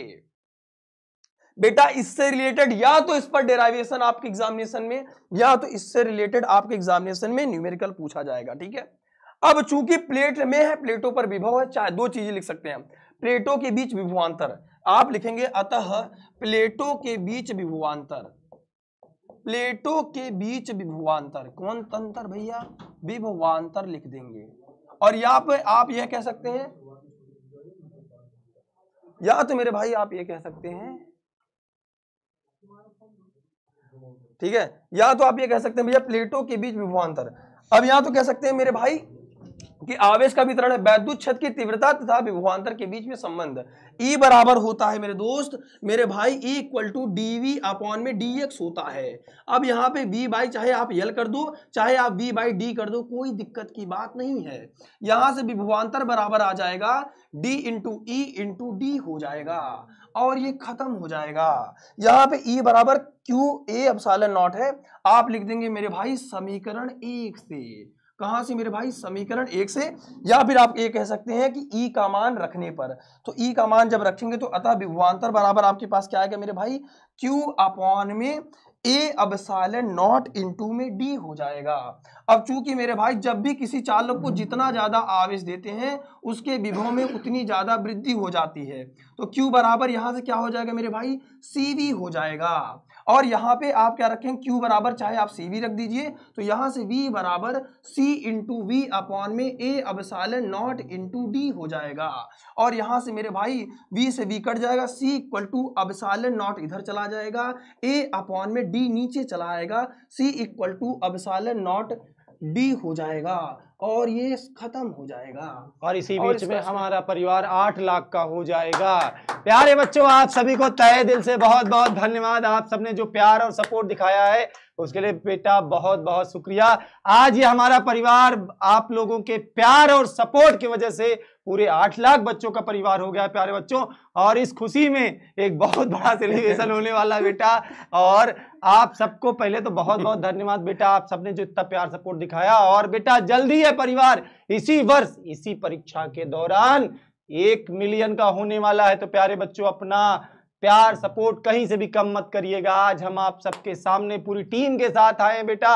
और ये हमारे प्यारे सुमित सर और ये हमारे प्यारे ऋषि सर और ये है प्यारे बच्चों आपका केक। केक काफ़ी बड़ा है क्योंकि आपने जितना प्यार सपोर्ट दिखाया है उस हिसाब से आज केक बनाया गया है केक बेटा। बच्चों को सर एक बार। हाँ तो बेटा एक बार आप केक को पास से देखेंगे। केक को पास से देखेंगे। बेटा केक में काफ़ी खुशियाँ भर गई हैं। बड़ा खूबसूरत है। तो इसके बहुत खूबसूरत केक है। इसके बनने में ही हुआ है। बेटा ये आठ लाख बच्चों का परिवार है और ये आप सबको समर्पित है। उत्तर प्रदेश के घर घर गाँव गाँव के बच्चे को समर्पित है बेटा। हर बच्चे के घर तक इस केक को पहुँचा देना। और जल्दी बेटा यहाँ पर हम एक मिलियन लिखने वाले हैं। प्यारे बच्चों उत्तर प्रदेश की सबसे बड़ी टीम सबसे विश्वसनीय टीम आपने बनाई है बेटा। सबसे विश्वसनीय टीम सबसे बड़ी बात है। सबसे ज़्यादा बच्चों का भरोसा आप लोगों ने बनाया है प्यारे बच्चों। और आप सबकी बधाइयाँ कंप्यूटर में दो मिनट कमेंट खोल देना। कमेंट खोल दो हाँ आप सबकी बधाइयाँ लगातार आ रही थी सुबह से आ रही थी। एडवांस में कुछ बच्चे बोल रहे थे कि सर आठ लाख परिवार होने की एडवांस में बधाइयाँ। बेटा हम नहीं रुकेंगे। हम उत्तर प्रदेश के घर घर गाँव गाँव तक शिक्षा पहुँचा के मानेंगे बेटा। और आप सबको एक बहुत बड़ी जानकारी दे दूँ जल्दी ये परिवार एक मिलियन का होने वाला उसके साथ साथ बेटा आपके लिए एक बहुत बड़े सरप्राइज़ है। ट्वेल्थ के बाद भी हम आपका साथ नहीं छोड़ने वाले हैं। ट्वेल्थ के बाद भी सरकारी एग्ज़ाम की तैयारी भी कराएँगे बेटा। हम। आज ये आपके सामने अनाउंस करके जाते हैं प्यारे बच्चों। आपको जब तक नौकरी नहीं दिला देंगे आपके कंधे पर वर्दी नहीं चढ़ा देंगे, आपको डॉक्टर इंजीनियर नहीं बना देंगे, आपको I S P C S नहीं बना देंगे, तब तक दम नहीं लेंगे। बेटा, आप सबने इतना प्यार सपोर्ट दिखाया, उसके बदले बेटा एक एक कर्ज चुकाएँगे। ठीक है? तो आज ये केक कटेगा, प्यारे बच्चों। बस आप लोग इसी तरह लाइव आते रहिएगा। कल सुबह आप देख रहे हो शिक्षकों की क्या मेहनत है। आपने पिछले पंद्रह दिनों से देखा होगा, शायद आप देखते हो कि एक रात के बारह बजे तक पढ़ाते हैं और वही सुबह उठकर छह बजे से फिर पढ़ाते हैं। बेटा सोचो उन दो क्लास के बीच में मात्र पाँच घंटे की रात होती है और उस रात में भी आपके लिए कंटेंट बनाया जाता है। दिन में जाके दो चार घंटे सो लेते हैं, फिर दिन में ऑफ़िस आते हैं। और बेटा ये पूरी टीम ने आप सबके लिए बहुत मेहनत की है और दिन रात ये टीम मेहनत करती रहेगी, प्यारे बच्चों। बस आप अपना प्यार सपोर्ट इस तरीके से बनाए रखिएगा। तो प्यारे बच्चों, हम लोग केक काटेंगे। और भी काफ़ी सदस्य हमारे सब सामने हमारे दादा भी आज आए हुए हैं। दादा आप भी आओ। ठीक है ये दादा हैं बेटा ये बड़े वाले दादा हैं। ठीक है तो, तो दादा भी बेटा आप सबको बधाई देने के लिए आ गए क्योंकि हाँ काफ़ी दिनों के बाद दादा आपको देखने को मिले होंगे बेटा। दादा बड़े खतरनाक आदमी की पहली बार। हाँ तो प्यारे बच्चों ये प्यार सपोर्ट बनाए रखिएगा। एक मिलियन आज वादा करो बेटा एग्ज़ाम के मात्र पच्चीस दिन बचे होंगे पच्चीस दिन में। अगर सात से आठ हज़ार बच्चा रोज आएगा तो ये परिवार हमारा एक मिलियन का होगा। और प्यारे बच्चों, आज मैं आपके सामने ये बात बोल के जा रहा हूँ कि अगर एक मिलियन का परिवार आपने करा दिया तो ट्वेल्थ के बाद आपका साथ नहीं छोड़ेंगे। आप जिस भी सेक्टर में जाना चाहते हो, बेटा, एनडीए की तैयारी करना चाहते हो, नीट की तैयारी करना चाहते हो आईटी की तैयारी करना चाहते हो, आप वनडे एग्ज़ाम की तैयारी करना चाहते हो, बेटा, सारे एग्ज़ाम की तैयारी कराना स्टार्ट कर देंगे। आपके इसी प्यारे चैनल से स्टार्ट कराएँगे और बेटा, आपको सब कुछ पढ़ाएँगे। बस आप अगर एक मिलियन करा दिए थी ठीक है? तो प्यारे बच्चों हम लोग केक काटेंगे। सबसे पहले ये केक आपके सामने काटा जाएगा प्यारे बच्चों। दादा क्या और नहीं, सर आपका ठीक है? तो केक में बेटा काफ़ी खुशियाँ भरी आप हाथ लगाओ सर पकड़ रखा है मैंने आप पकड़ो सर। हाँ। अरे मैंने पकड़ लिया सर इस पे आओ सर, सब लोग लगाओ। ठीक है। हाथ लगा अंकित सर पकड़िए। पकड़िए अंकल सर। बेटा ये केक सबसे पहले तो आप सबको समर्पित है। उत्तर प्रदेश के हर गाँव हर कोने में बैठे हर बच्चे को समर्पित है बेटा। वर्चुअल रूप से खा लो। टॉप करोगे तो घर में ला के खिलाऊँगा। देखो भाई मैं बार बार तुमसे आजकल बोलने लगा हूँ कि मैं गरीब ब्राह्मण हूँ। ठीक है? गरीब ब्राह्मण के बाद तुम्हें शिक्षा देने के अलावा कुछ नहीं है। और इस वर्ष काफ़ी लोग बहका रहे हैं बच्चों को बहुत ज़्यादा टॉप करोगे तो एक लाख देंगे। हाँ। बेटा एग्ज़ाम के पहले से ही भड़काना शुरू कर दिए कि एक लाख देंगे रेट सेट कर दिए हैं। लेकिन हम बेटा साहब से आपको केक खिला रहे हैं टॉप करोगे तो लड्डू लेके तुम्हारे घर में आएँगे। बस ये प्यार है बेटा और ये शिक्षा है यही दे सकते हैं यही देते रहे और लड्डू भी अगर बनिए ना उधार दे दिए तो। तो बेटा यही है हमारे पास देने के लिए। आप सबको प्यार वर्चुअल रूप से खा लो बेटा सभी लोग खा लो। और बेटा ये उत्तर प्रदेश के हर बच्चे को समर्पित है। ठीक है? तो हम लोग इसको खाना स्टार्ट करते हैं। आज किशन सर की क्लास चल रही तो सबसे पहले किशन सर को खिलाते हैं बेटा। आपके किशन सर आपके साथ बहुत मेहनत कर रहे हैं काफ़ी दिनों से और इसी प्रकार से आपके बेटा मैथ के बब्बर शेर सुमित सर जो कि कल सारी रात पढ़ाए हैं सर कल रात के दो बजे बेटा घर गए हैं। कल रात के दो बजे घर गए हैं और शायद आज ही कल में सुबह फिर आने वाले हैं। बेटा आप सबके लिए टीम दिन रात मेहनत करेगी। आपके आचार्य ऋषि सर। जो कि उत्तर प्रदेश छात्रों की इस वर्ष इस वर्ष पहली पसंद है। हिंदी में सही मार्गदर्शन अगर मिला है बच्चों को तो पहली बार। पहली बार इस वर्ष। में यूपी बोर्ड हाँ हिंदी को हिंदी की तरह पढ़ाया सर ने। अंकित सर ठीक है? बेटा अंकिता मैम कहते हैं बच्चे। अंकिता मैम अच्छा। हाँ। तो बेटा आपकी प्यारी अंकिता मैम और जिन्होंने आपको केमिस्ट्री की मिस्ट्री खत्म कर दी ठीक है? तो अंकिता मैम और प्यारे बच्चों दादा बच्चे अभी। ठीक है। सर ये ये बचा था। और ये आपके साथ आगे बीच में तो बीच में हाँ प्यारे बच्चों आप सबको बताते हो बहुत खुशी हो रही कि हमारे यूपी बोर्ड इंग्लिश मीडियम का परिवार भी एक लाख लाख। होने वाला है। प्यारे बच्चों इस चैनल के में लिंक है यूपी बोर्ड इंग्लिश मीडियम। तो प्यारे बच्चों आपके जान पहचान में आस पड़ोस में जितने भी बच्चे यूपी बोर्ड इंग्लिश मीडियम के हों उनको भी ये चैनल शेयर करिएगा। यूपी बोर्ड इंग्लिश मीडियम में संकल्प सर की क्लास थी प्यारे बच्चों। वो क्लास से आए हैं तो संकल्प सर तुरंत बेटा क्लास में जाएँगे। ठीक है क्योंकि संकल्प सर की लगातार लाइव क्लास चल रही है यूपी बोर्ड इंग्लिश मीडियम के बच्चों के बीच। और यूपी बोर्ड इंग्लिश मीडियम के बच्चों का सेलिब्रेशन करेंगे बहुत ज़्यादा। बेटा सर ने मुझे प्यार से यूट्यूब दिया खाने के लिए।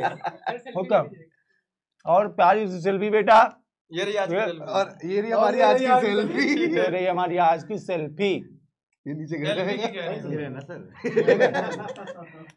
प्यारे बच्चों ये सेल्फी हम कम्युनिटी पे पोस्ट करेंगे। आप सभी इंस्टाग्राम पे शेयर ज़रूर करना। हाँ। भाई दूसरे फ़ोन ले। लो लाओ दो यार। बेटा ये सेल्फी हम कम्युनिटी पे पोस्ट करेंगे। आप अपने इंस्टाग्राम पे मेंशन ज़रूर करिएगा। बेटा बहुत गौरवपूर्ण पल है हम सबके लिए।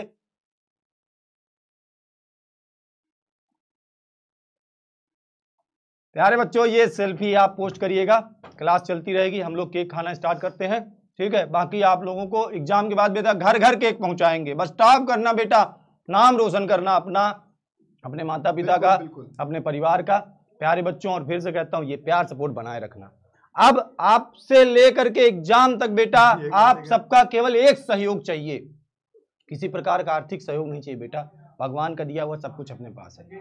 ठीक है? रुपया है पैसा है धन है दौलत है लोग हैं। सब कुछ है अपने पास। एक सहयोग चाहिए कि अगर हम इस मुहिम पर निकले हैं कि उत्तर प्रदेश को शिक्षित करना है घर घर तक पहुँचना है क्वालिटी के साथ पहुँचना है इधर उधर की बातों के साथ नहीं पहुँचना है। और इस बार सर बच्चे ने क्वालिटी को दिखा दिया है। और बेटा इस बार बच्चों ने क्वालिटी को दिखाया भी है। जो लोग हर साल बहकाते थे उनके पास कौन पढ़ने जा रहा है वो दुनिया ही जानती है वो भी खुद अच्छी तरीके से जानते हैं। तो प्यारे बच्चों क्वालिटी के साथ पहुँचना है। और अगर इस मुहिम को लेकर के इस क्रांति को इस आंदोलन को लेकर के बेटा हम लोग चले हैं तो आपका केवल एक सहयोग चाहिए कि आप इस चैनल को शेयर करिएगा। दस लाख बच्चों के घर तक शिक्षा पहुंचाना बेटा हमारा लक्ष्य है। तो आप सभी अपना प्यार सपोर्ट उस सहयोग के माध्यम से बनाए रखना प्यारे बच्चों। बस यही सहयोग चाहिए आप सभी से ठीक है? तो आप लोग क्लास पढ़ते रहे बाकी हम लोग केक खाने जा रहे हैं। थैंक यू सो मच बेटा। मातरम। बेटा उत्तर प्रदेश बनेगा अब। उत्तम प्रदेश। ठीक है बेटा पढ़ाई करते रहे।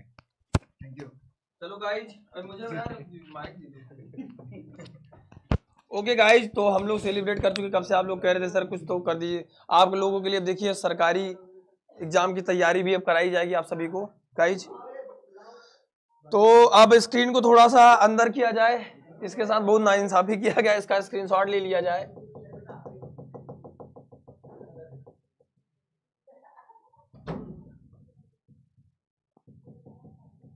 चलिए भैया।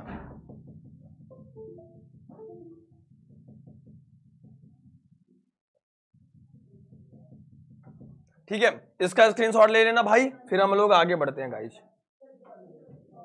अब स्क्रीनशॉट ले लियो तो बेटा C equal to epsilon naught A upon में डी ये जो फार्मूले का हमने निगमन किया, थोड़ी देर पहले किया तो सभी लोग नजरे स्क्रीन पर देख लें कि सर ने कैसे किया।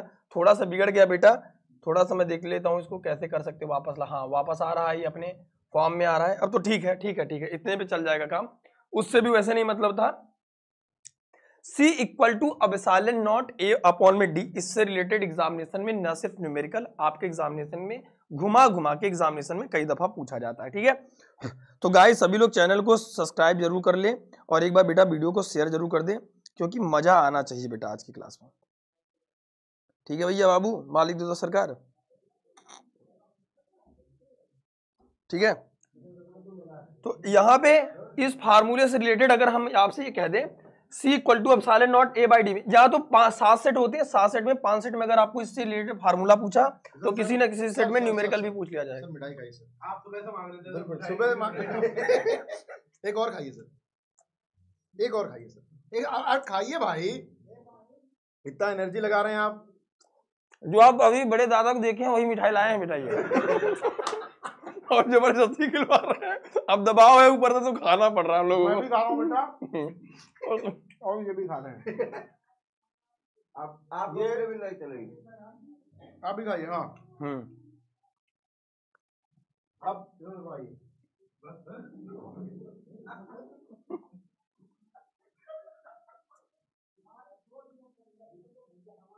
हम्म, हम्म हम्म।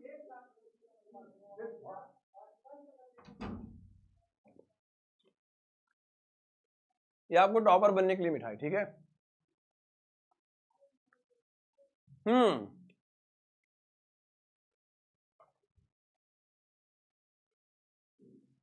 अब बेटा न्यूमेरिकल बहुत इंपॉर्टेंट है, तुम लोग बहुत चिल्ला रहे थे।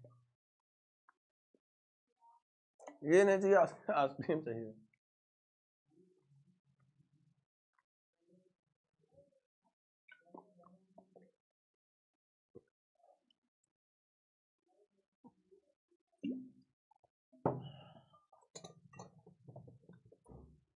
चलिए। सॉल्यूशन पे बात कर लेते हैं मेरे भाई। एग्जामिनेशन में न्यूमेरिकल इस पर देखने को मिलेगा ही। तो सी इक्वल टू क्या होता है? सालन नॉट ए बाई डी दिया है, यानी कि गिवन दैट समांतर प्लेट वायु संधारित के प्लेटों की त्रिज्या जो दी है, प्लेटों को जो त्रिज्या दी है, ये कैपिटल आर ही मान लेते हैं तो ज़्यादा बेहतर होगा, ठीक है? प्लेटों की त्रिज्या आपको दी है तीन गुड़ते दस की घात माइनस में दो मीटर। ऐसा पहली बार हुआ है कि जब सवाल में मात्रक अपने आप से दिया हुआ है, ठीक है? तथा धारिता एक मीटर त्रिज्या वाले आवेशित गोली की धारिता के बराबर है। एक मीटर त्रिज्या वाले आवेशित गोले की धारिता के बराबर है, ठीक है? प्लेटों की त्रिज्या दी है किसके? समांतर प्लेटों की। समांतर प्लेटों की त्रिज्या आपको गिवन है। कह रहा धारिता गोली प्लेट की धारिता के लिए त्रिज्या एक मीटर वाले आवेशित गोली की धारिता के बराबर है। सवाल में कहने का मतलब क्या है कि गोली धारिता बराबर, गोली संधारित की धारिता, समांतर प्लेट की संधारित की धारिता के बराबर है।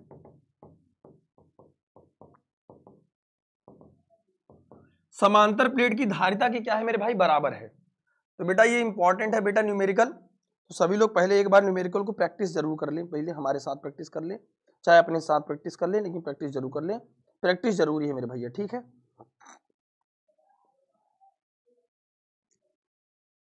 चलो।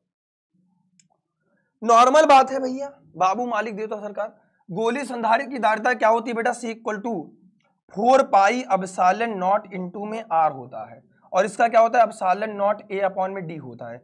इसको बराबर बाद में करना, लेकिन हमें चाहिए यहाँ पे क्या? क्षेत्रफल पहले चाहिए। क्षेत्रफल कैसे निकालोगे? आपको अगर सवाल में दिया है तो यहीं पे निकाल लेते हैं। यहीं पे निकाल लेते हैं, क्या दिक्कत है? त्रिज्या आपको गिवन है। तो क्षेत्रफल निकालना है, क्षेत्रफल कितना हो जाएगा? क्षेत्रफल कितना हो जाएगा गाइस क्षेत्रफल हो जाएगा बेटा ए बराबर पाई आर का स्क्वायर हो जाएगा। और पाई आर के स्क्वायर का मतलब पाई का मतलब तीन दशमलव एक चार गुड़ते आर का मान तीन गुड़ते दस की घात माइनस दो हो जाएगा। और इसका स्क्वायर हो जाएगा। और ये हमें क्या कह रहा है बेटा? क्षेत्रफल कह रहा है बड़े आराम से। पर दिखा के ही ले गए, खिलाए नहीं। अरे भैया, खा भी लो, तुम लोग खा लो। है ना?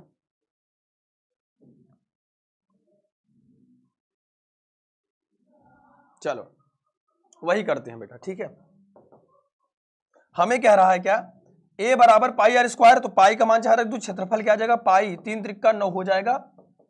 और दस की घात माइनस में कितना हो जाएगा बेटा? चार हो जाएगा। तो यहाँ से क्षेत्रफल आ जाएगा नौ पाई और गुड़ते दस की घात माइनस में चार हो जाएगा। ठीक है? अब गोली संधारित की धारिता, समांतर प्लेट संधारित का क्या क्या है? मेरे भाई, यहाँ पे देखो बराबर है। यानी कि C equal to epsilon naught A by D किसके बराबर है बेटा? Four pi epsilon naught R के बराबर है। ठीक है? जरा ध्यान से देख लीजिए। हमें प्लेटों के बीच की दूरी पूछ रहा है। तो यानी कि हमें का क्या कट जाएगा? मेरे भाई अपसालन नॉट से अपसालन नॉट कट जाएगा। डी की वैल्यू पूछ रहा डी की वैल्यू इधर ला दो।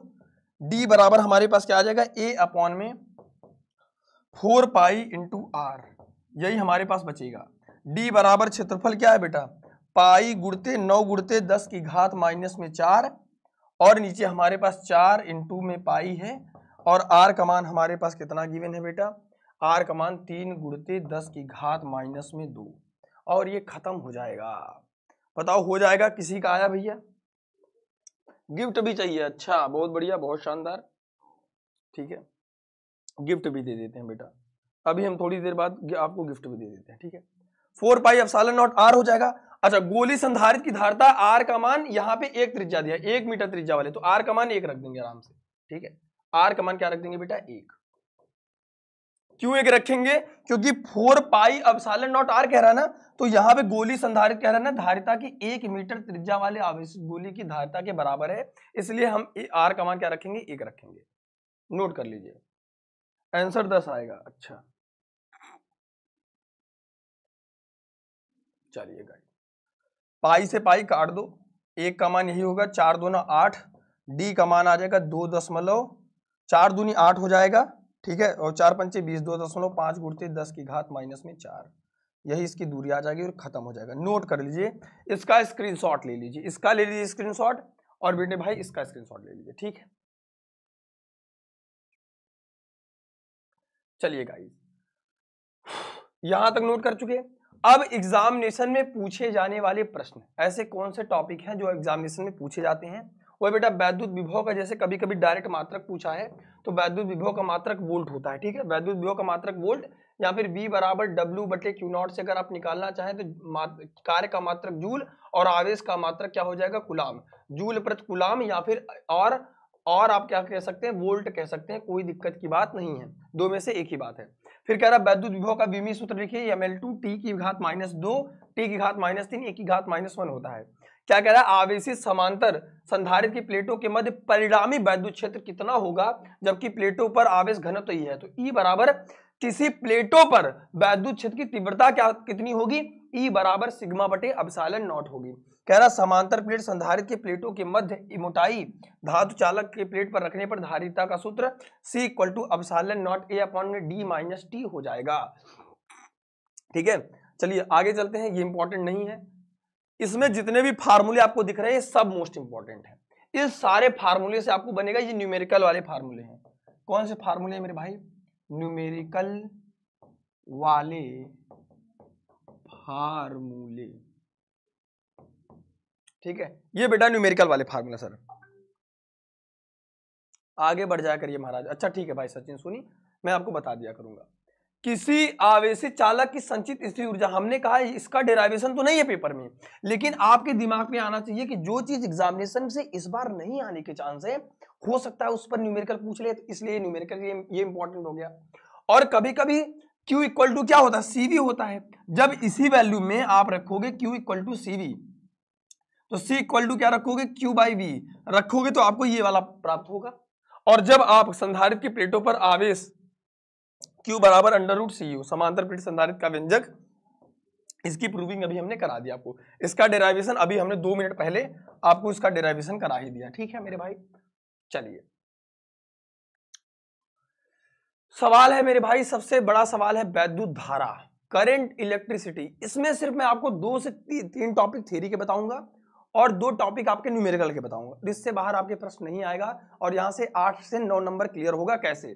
बेटा यहाँ से बेटा आपको यानी कि वैद्युत धारा से रिलेटेड आपके एग्जामिनेशन में वैद्युत धारा से रिलेटेड आपके एग्जामिनेशन में ये न्यूमेरिकल वाला चैप्टर है। और हमने आपको ये कई दफ़ा बोला है कि न्यूमेरिकल बोर्ड एग्जामिनेशन में आने वाले न्यूमेरिकल वाले टॉपिक को भी आप कवर करते चले। बेटा, और जो जिन्होंने लाइक नहीं किया, बेटा, उस सेशन को लाइक कर दे प्लीज़ ठीक है? तभी मज़ा आएगा मेरे दोस्त। हाँ। सर, किस चीज़ का प्रॉब्लम है बाबू अच्छा। सर, सवाल लगाना है सर रिकॉर्डेड वीडियो देखते हैं, सुबह सुबह मिलते हैं, कल सिस्टम हैंग कर देना है।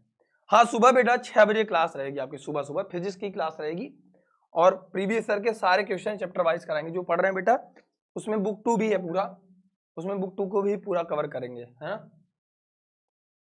जैसे अभी क्या काम करेंगे बुक फ़र्स्ट के मोस्ट इंपॉर्टेंट चैप्टर और रिवीजन करते चल रहे हैं तो उसमें क्या करेंगे? बुक सेकंड को पूरा खत्म करते हुए चलेंगे। ऐसे करेंगे। ये ज़्यादा बेहतर तरीका है मेरे हिसाब से, है ना?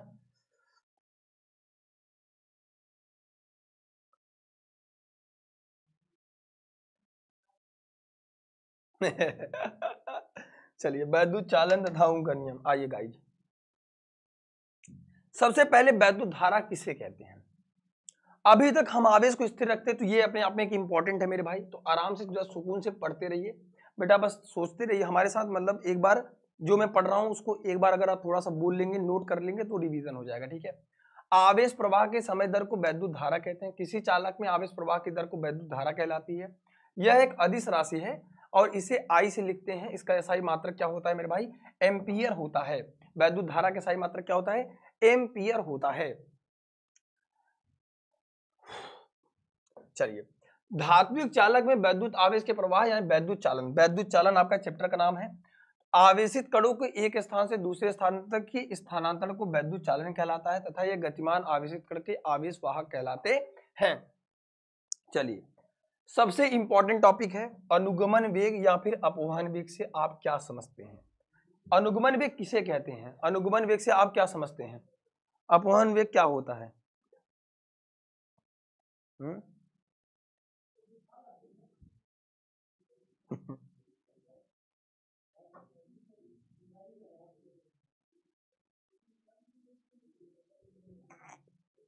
गाइस तनी मुनी सेशन को शेयर कर दिखाई नहीं दे रहा अच्छे से।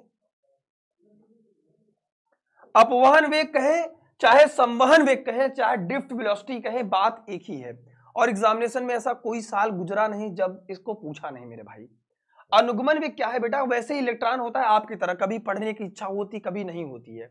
ऐसे भी इलेक्ट्रॉन है, जब किसी चालक के अंदर होता है बेचारा तो इधर, उधर इधर, उधर गति करता रहता है। उल्टा पुल्टा काम करता रहता है। जब किसी चालक के अंदर कोई इलेक्ट्रॉन उपस्थित होता है और वो इधर, उधर इधर, उधर गति करता रहता है जिगजैग मोशन यानी कि इधर, उधर त्वरित गति करता रहता है। जब हम किसी, इसको किसी बैटरिया के सिरे से जोड़ देते हैं, बैटरी के किसी सिरे से जोड़ देते हैं, जैसे बैटरी का धन सिरा, बैटरी का ऋण सिरा है।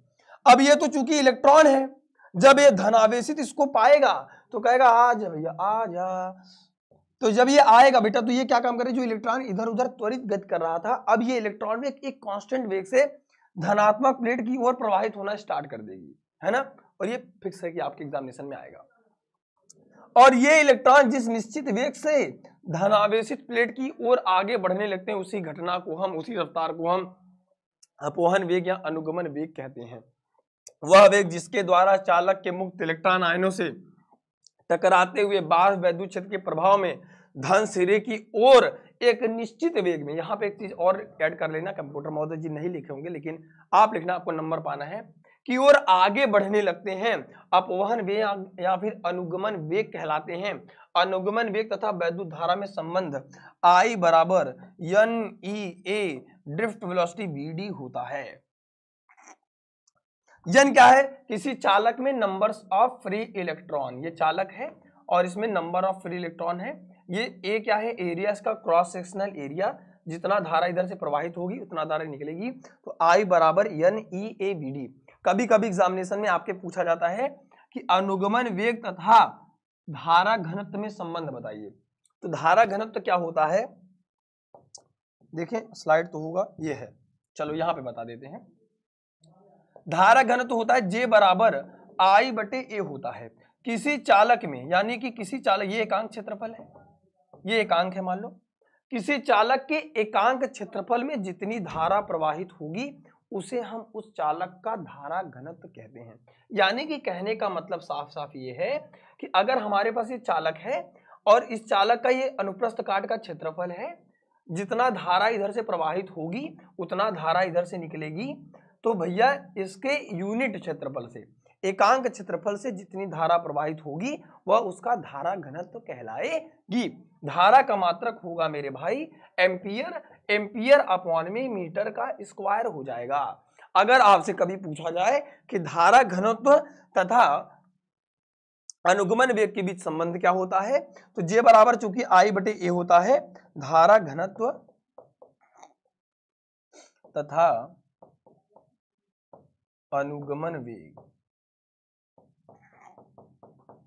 में संबंध। तो भैया आई अपॉन में A equal to N E V D हो जाएगा। आई अपॉन में ए दैट इज़ क्या हो जाएगा? जे जे बराबर एन ई वी डी हो जाएगा और ये खत्म हो जाएगा। तो ये भी बहुत इंपॉर्टेंट है। इसका स्क्रीनशॉट ले लीजिए, फिर इस पर न्यूमेरिकल के भी चर्चा करेंगे। इसके अलावा बेटा, बहुत बच्चे क्या है मोबिलिटी किसे कहते हैं? गतिशीलता क्या होती है? गतिशीलता बहुत बच्चे नहीं पढ़ते हैं। गतिशीलता कुछ है नहीं। अगर गतिशीलता को आप परिभाषित करना चाहे तो बड़े आराम से, बेटा, सभी लोग सेशन को लाइक करते चलिए। मज़ा नहीं आ रहा है। ठीक है? हाँ स्क्रीनशॉट लेते चलिए गाइस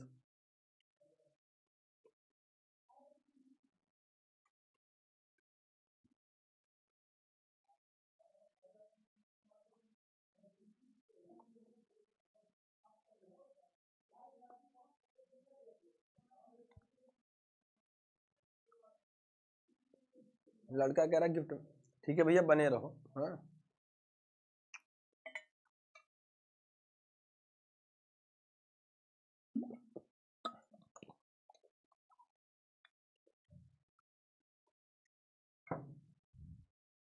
आइए। चलिए। क्या कह रहा है मोबिलिटी गतिशीलता क्या होती है? देखो मेरे भाई थियरी आपके लिए इसलिए ज़रूरी है क्योंकि थियरी से आप न्यूमेरिकल तब कर पाएँगे जब आपकी थियरी पूरी तैयार रहेगी। दूसरी बात है थियरी से आपके very short answer short answer आपको एमसीक्यू सब थियरी से बन सकता है।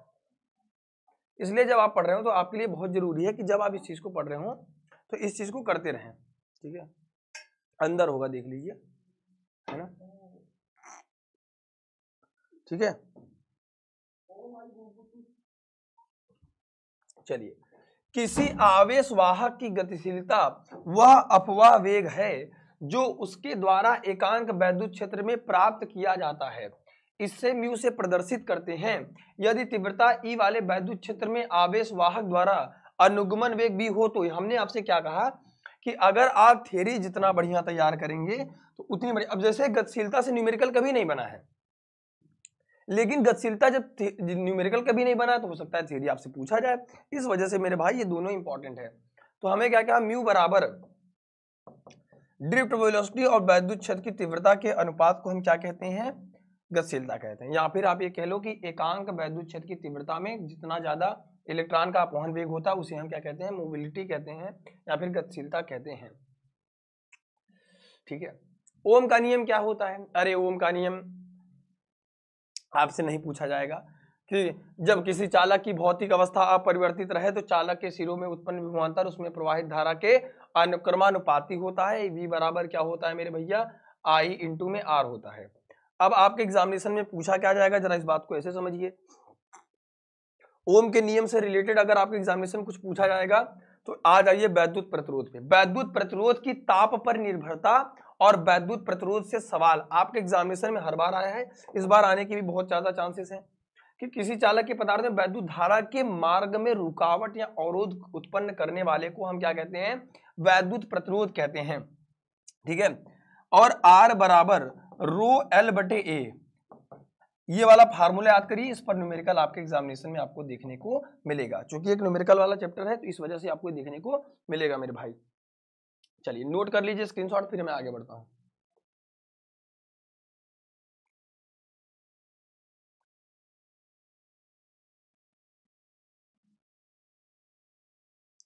सचिन सोनी, क्यों नहीं बेटा? ये टॉपिक पढ़ना है, ये वाला टॉपिक पढ़ना है। ओम का नियम नहीं पढ़ना है। ठीक है?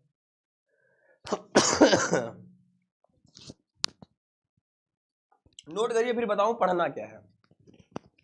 ओम के नियम अगर आपको नहीं पढ़ना है तो भैया सचिन सोनी भाई, आपको यह पढ़ना पड़ेगा। ओम, ओमी तथा अनओमी परिपथ, ये इंपॉर्टेंट है। देखो एग्जामिनेशन में वो जमाना नहीं रहेगा गुलाम का नियम पड़ेगा। गुलाम के नियम की सीमाएँ पूछेगा। गॉस का प्रमेय नहीं पूछेगा, गॉस के प्रमेय के अनुप्रयोग पूछेगा? बायोसेवेट का नियम नहीं पूछेगा, बायोसेवेट के नियम के अनुप्रयोग पूछेगा। ओम का नियम नहीं पूछेगा, ओम के नियम की परिपथ पूछेगा, ओमी परिपथ पूछेगा। अनोमी परिपथ पूछेगा। ये सब पूछा जाएगा आपके पेपर में, भैया।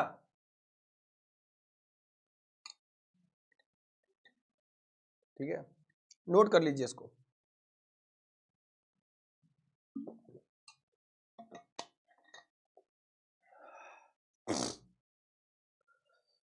हाँ बेटा, सुबह छह बजे से क्लास है और फिजिक्स के सारे कंप्लीट फिजिक्स के मोस्ट इंपॉर्टेंट प्रीवियस ईयर की क्वेश्चन प्रैक्टिस करेंगे दबा के। तो अकेले मत आना, सब बच्चों को लिए आना कम से कम दस हज़ार बच्चा लाइव चाहिए।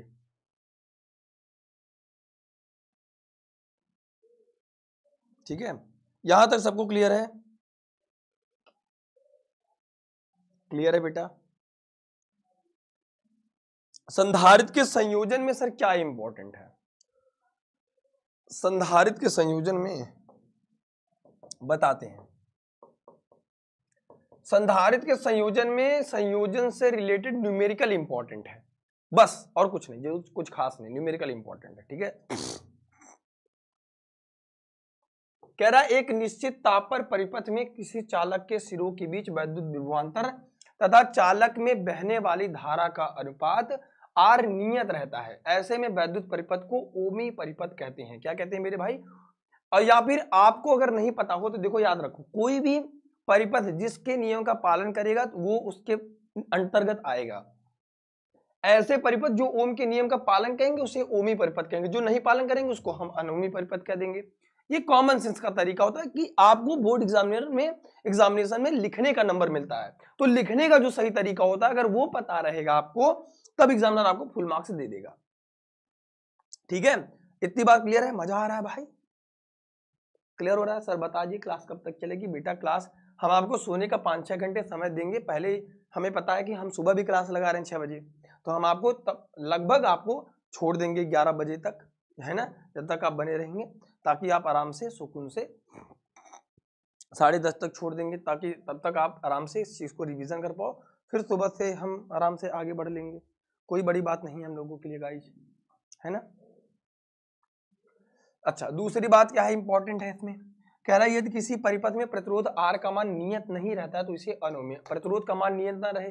अब प्रतिरोध, भैया, ओमी परिपथ क्या कहता है? यदि किसी चालक की भौतिक अवस्था अपरिवर्तित रहे तो चालक के सिरों में उत्पन्न विभवांतर, उसमें प्रवाहित धारा के अनुक्रमानुपाती होता है।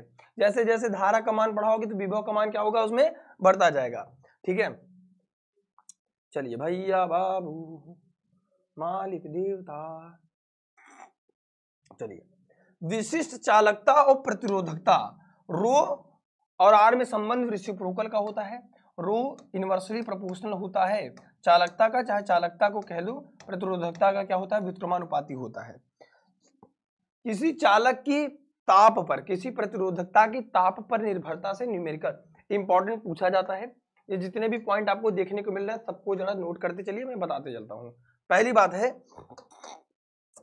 कि जब, ये तो हम सेमी कंडक्टर वाले जब चैप्टर को आप पढ़ेंगे सेमी कंडक्टर अर्ध चालक वाले, तब भी आपको इसको मैं बताऊँगा, लेकिन फ़िलहाल के लिए आप समझते चलिए बेटा, सभी लोग लाइक करते लिए सेशन को।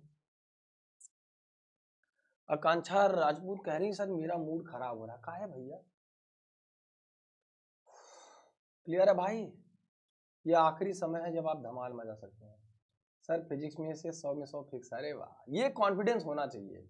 ये आत्मविश्वास आपको आगे ले जाएगी बेटा। याद रखिएगा। ये आत्मविश्वास आपको आगे ले जाएगी।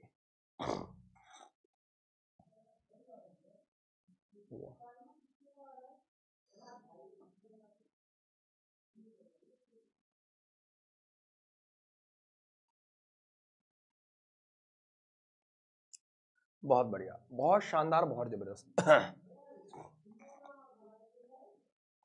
कह रहा है, मिश्र धातुओं जैसे मैग्नीज, यूरेका, कांस्टेंट आदि प्रतिरोधकता ताप बढ़ाने पर बढ़ती है।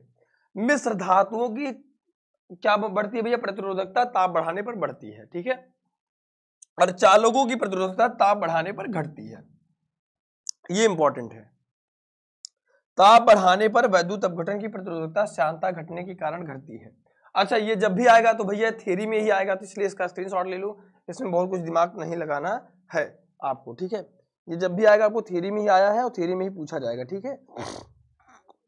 गाइस नोट कर लो। हे प्रभु, हे आनंद दाता। इसका स्क्रीनशॉट बताए सर प्लीज़ मैं पास हो जाऊँगा। हाँ भैया पास पास का है पास होने के लिए थोड़ी पढ़ा रहा हूँ, नालायक। टॉप करने के लिए पढ़ा रहा हूँ भैया। पास तो हो ही जाओगे। पास होने के लिए क्यों परेशान हो तुम? हैं?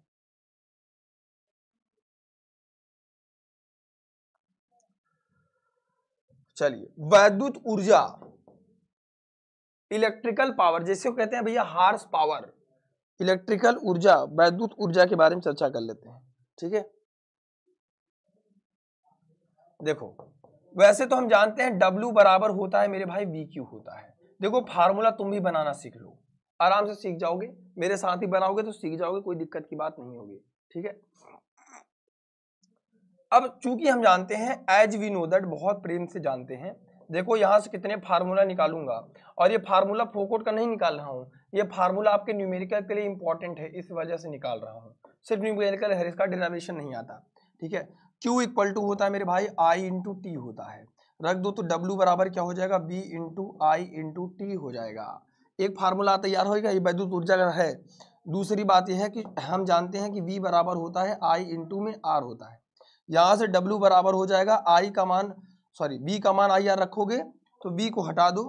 आई आर को रखोगे तो आई आर रख दिया। I into I I square I square R into में टी अब जब आपको वैद्युत धारा दी रही, प्रतिरोध दिया रहे, तब आपको वैद्युत ऊर्जा W बराबर इस फार्मूले से। जब आपको ये दिया रहा तो वैद्युत ऊर्जा इस फार्मूले से। और जब आवेश दिया रहा तो वैद्युत ऊर्जा इस फार्मूले से। तो इसको नोट कर लीजिए न्यूमेरिकल के पॉइंट ऑफ़ व्यू से इंपॉर्टेंट है आपके लिए। किलोवाट घंटा कभी कभी आपके घरों में कितनी बिजली की खपत हुई और कितनी बिजली की खपत नहीं हुई, ये एग्जामिनेशन में घुमा फिरा के आपके एग्जामिनेशन में पूछा जाने वाला प्रश्न है मेरे भाई। ठीक है? हम्म।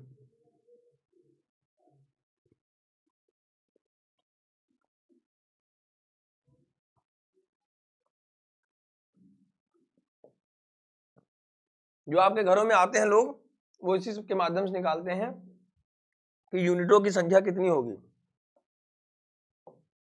यूनिटों की संख्या। न्यूमेरिकल कभी कभी एक नंबर का पूछा गया है। वाट इंटू घंटा अपॉन में एक हज़ार। ठीक है? चलिए। कौन बताएगा? जो बताएगा बेटा, हमारी तरफ़ से आज उसको मिठाई खिलाऊँगा उसको। हमारी तरफ़ से उसको मिठाई खिलाऊँगा, चलो।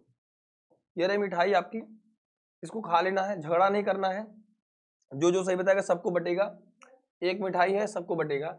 वैद्युत धारा घनत्व जी अपवहन वेग बीडी में संबंध है, जहाँ इलेक्ट्रॉन वेग का आवेश और संख्या एन है। हमने आपको बताया कि वैद्युत धारा तथा वैद्युत धारा तथा धारा घनत्व में संबंध। बताइए। कोई नहीं बताएगा। हम्म। आप मुस्कुराइए, आप कृष्ण सर की क्लास में।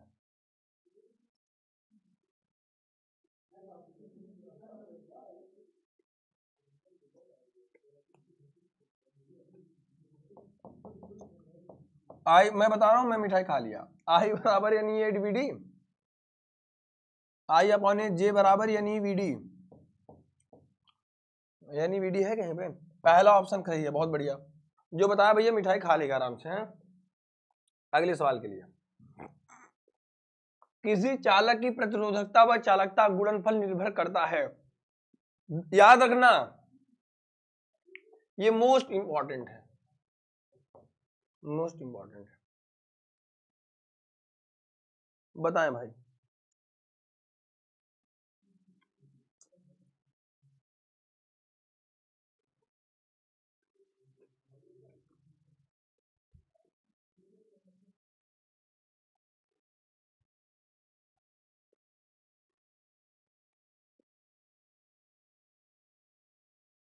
अनुप्रस्थ काट के क्षेत्रफल पर प्रवाहित धारा के भैया तनी मुनी सेशन को शेयर भी करते रहिए।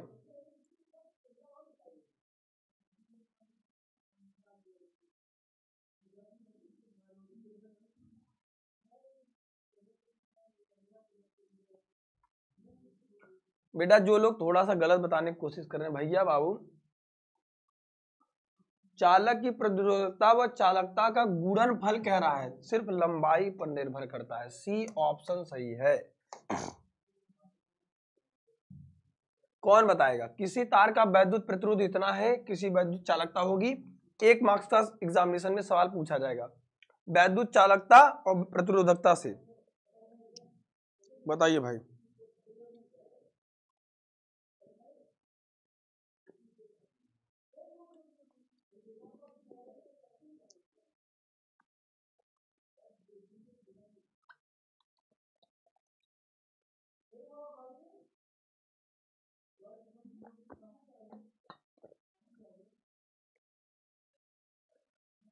सर, घरों में कितने वोल्टेज की बिजली? बेटा 240 वोल्ट आता है 220 वोल्ट 240 वोल्ट। यही घरों में बिजली आता हो, कितना? बारह हज़ार वोल्टेज है क्या रे? बस इतने वोल्टेज का बिजली आएगा।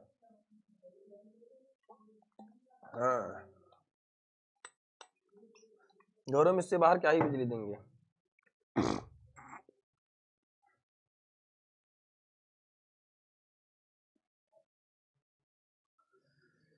तार का वैद्युत प्रतिरोध दिया, चालकता चालकता भैया, वैद्युत प्रतिरोधकता के भैया व्युत्क्रमानुपाती ही, एक बटे पाँच सौ कर दोगे, आंसर आपका आ जाएगा। इसकी बताइए, विशिष्ट प्रतिरोध का मात्रक है? बताइए। पार्ले जी के लिए सवाल है।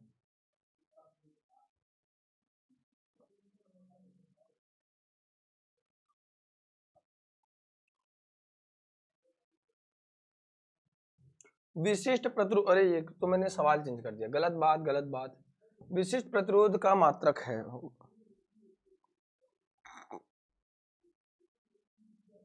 भैया आर बराबर होता है रो एल बाई ए रो का मान पूछा है आर इंटू ए बाई में एल हो जाएगा। प्रतिरोध का मात्रक होता है बेटा ओम। ओम नमस्या बोलो। ओम हो गया? क्षेत्रफल का मीटर का स्क्वायर हो गया, ये मीटर का हो गया, एक मीटर से एक मीटर कर गया, ओम इंटू विशिष्ट प्रतिरोध का, ओम इंटू मीटर। आधे ए, आधे बी, आधे सी, आधे डी, ऐसे, कैसे चलेगा बाबू? आए ohm into metre D option सही। बाकी लोग क्या आलू छिल रहे हैं क्या भैया? चलिए। लंबा लंबा न्यूमेरिकल करते हैं, छोटे मोटे में हम लोग मज़बूत हो गए हैं। बढ़िया सवाल है न्यूमेरिकल है एग्जामिनेशन के पॉइंट ऑफ़ व्यू से आप ये जान लो कि वैद्युत धारा अपने आप में न्यूमेरिकल का चैप्टर है। आपको 30 सेकंड का टाइम देता हूँ। 30 सेकंड में मैं देखता हूँ कि ऐसा कौन सा धरती का बच्चा है। भाई सब्जेक्ट टाइमर नहीं आ रहा है।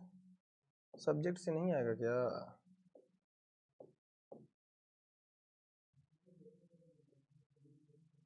यार, मैं न्यूमेरिकल दिया? तीस सेकंड टाइम है, कौन बताएगा? जल्दी बताइए। एक बार सेशन शेयर कर दीजिए बस।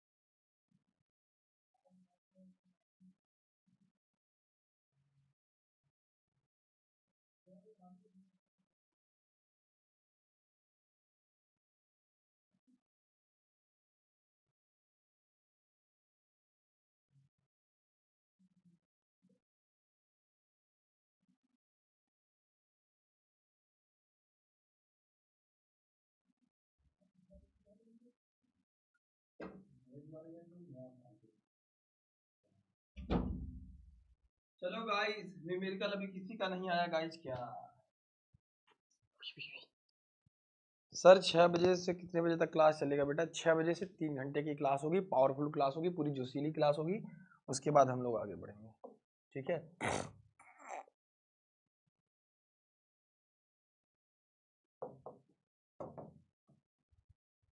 सोल्यूशन की बात कर लेते हैं। पाँच एम्पियर की धारा तार से प्रवाहित हो रही है। प्रति मिनट तार के अनुप्रस्थ काट का क्षेत्रफल से गुजरने वाली इलेक्ट्रॉनों की संख्या कितनी होगी? देखो भैया, एक बात जान लो। आपको ऐसे सवालों में लिखना है गिवन दैट। क्या होगा भैया गिवन दैट? आई का मान है पाँच एम्पियर। प्रति मिनट का मतलब है कि टी का मान है साठ सेकेंड। अनुप्रस्थ काट के क्षेत्रफल से गुजरने वाले इलेक्ट्रॉनों की संख्या कितनी होगी? Q इक्वल टू क्या होता? है आई इंटू टी होता। है Q बराबर एन ई बराबर आई इंटू टी होगा। नंबर्स ऑफ़ इलेक्ट्रॉन पूछ रहा है। एन का मान हो जाएगा आई इंटू टी अपॉन में ई हो जाएगा। तो नंबर ऑफ़ इलेक्ट्रॉन कितना होगा? पूछ रहा है। आई का मान है एक। पाँच एम्पियर। साठ सेकेंड होगा। एक इलेक्ट्रॉन पर आवेश। एक दशमलव छः गुड़ते दस की घात माइनस में उन्नीस। और ये खत्म हो जाएगा। चलो, आगे चलते हैं बेटा। अभी बहुत हमें, हम लोग को, अपन लोग को बहुत कुछ देखना है ज़िंदगी में। इस रिलेटेड अच्छा हाँ। शक्ति पी बराबर डब्ल्यू अपन टी श्रेणी क्रम में जोड़ा जाता है। ये आपके लिए एच डब्ल्यू देता हूँ। दो साल से पूछा गया प्रश्न है। अगला सवाल है, एक एम्पियर में धारा का मान कितना होगा? इतना होगा। और बेटा याद रखिएगा, मुक्त इलेक्ट्रॉन का अपवन वेग अनुगमन में क्या होता है? बी डी बराबर ई वी टाउ अपॉन में एम एल होता है। वैद्युत धारा था अनुगमन वेग के बीच संबंध क्या होता है? आई बराबर N E A V D important है। अब गतिशीलता का मात्रक क्या है बेटा? मीटर का स्क्वायर अपॉन में बोल्ट इंटू सेकेंड होता है, ये गतिशीलता का मात्रक है। किसका मात्रक है बेटा? गतिशीलता का। ओम के नियम के अनुसार अपवाहिक तथा वैद्युत की तीव्रता का संबंध बताइए। तो डायरेक्ट समानुपाती होता है, प्रतिरोध की बीमा क्या है? अभी हमने दो मिनट पहले निकाला। अगला चलते हैं भैया। अगला इसमें क्या इंपॉर्टेंट है? विशिष्ट प्रतिरोध का सूत्र बताइए। आर बराबर रू एल बाई ए होता है। विशिष्ट प्रतिरोध के व्युत्क्रम को क्या कहते हैं? विशिष्ट चालकता कहते हैं। गयात्मक प्रतिरोध का सूत्र क्या होता है? डेल्टा आर बराबर डेल्टा बी अपॉन में आई होता है। ताप बढ़ाने पर किसी चालक की वैद्युत चालकता पर क्या प्रभाव पड़ेगा? याद रखिएगा, किसी चालकता की अगर हम ताप बढ़ाएँगे तो उसकी ताप बढ़ाने पर किसी चालक की वैद्युत चालकता वृद्धि होती है। ठीक है? और वैद्युत चालकता अगर बढ़ेगी तो प्रतिरोधकता क्या हो जाएगी? घट जाएगी। क्यों? क्योंकि वैद्युत चालकता प्रतिरोधकता के व्युत्क्रमानुपाती होती है। ठीक है? सर, फिर से बोलिए, सर, प्लीज़, आप। हाँ भैया, मुस्कुराइए, आप किशन सर की क्लास में हाँ पीडीएफ पहले चाहिए, पढ़ना नहीं है। हाँ भैया अच्छा आयुष पांडे हेलो भैया जी, कैसे हो आप? आज पहली बार आया हूँ पर बहुत टाइम से फॉलो कर रहा हूँ। हेलो भैया जी। हैं? किसको फॉलो कर रहे भैया? Congratulation for your eight hundred की सर, आज बहुत हर्ट हुआ। क्यों भैया?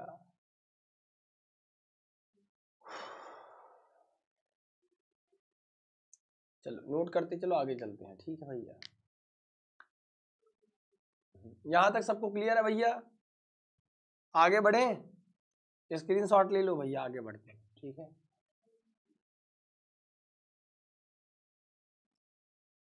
हाँ आठ लाख हो गए भैया आपकी कृपा से। नींद आ रही खुद को चाटा बेटा, एक ही दून की तो बात है।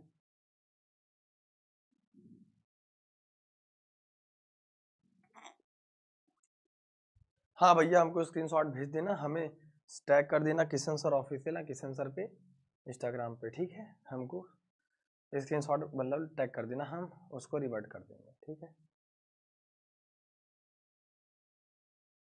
चलिए, आगे बढ़े भाई। चलिए। फिर इस वाले टॉपिक में आता है कि बेटा वैद्युत सेल क्या होता है? वह सेल ऐसी युक्ति जो रासायनिक ऊर्जा को वैद्युत ऊर्जा में परिवर्तित करता है, जैसे हमारा बैटरिया वगैरह हो गया, वही हो गया, ठीक है?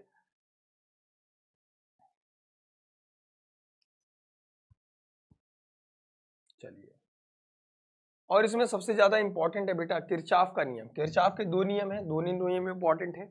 एक है बेटा धारा संधि का नियम। धारा संधि का नियम, ठीक है? एक है बेटा धारा संधि का नियम और एक है बेटा वोल्टता का नियम।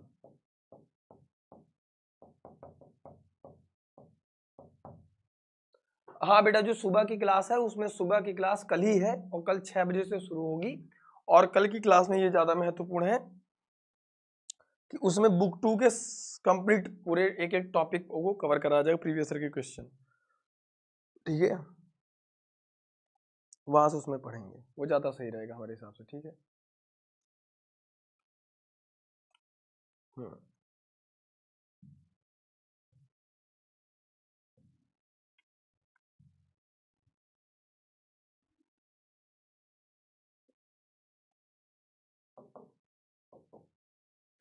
किसी वैद्युत परिपथ में किसी भी संधि पर मिलने वाली सभी धाराओं का बीजगणितीय योग शून्य होता है। सिग्मा आई बराबर ज़ीरो। इस नियम के परिपथ में उपयोग करते समय चिन्ह परिपाटी यह कहती है कि आने वाली धाराओं का योग बराबर जाने वाली धाराओं का योग। ठीक है? दूसरा नियम है बेटा लूप का नियम अथवा उल्टता का नियम। ठीक है? किसी परिपथ में प्रत्येक बंद पास से विभिन्न भागों में बहने वाली धाराओं का संगत प्रतिरोधों का बीजगणितीय योग यानी कि sigma equal to sigma I R ठीक है? बराबर ज़ीरो। अब आपको पता है वीट स्टोन ब्रिज आपका पीछा तो छोड़ेगी नहीं। तो क्या कहते हो बेटा, इसका डेराइवेशन करा दूँ कि आगे बढ़ लूँ? पाँच नंबर में पूछा जाता है, अगर इसका डेराइवेशन कर लो तो मैं आगे बढ़ लूँ? वरना आप लोग जैसा कहें कि मैं बता दूँ। कमेंट करें फटाफट से।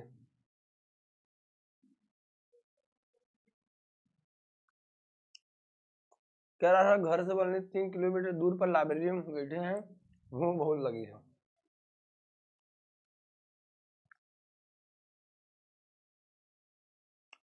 अच्छा कह रहे, मज़ा नहीं आ रहा है।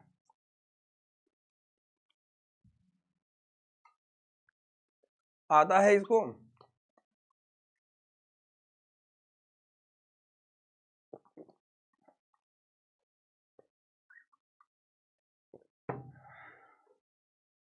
कमेंट करो भाई।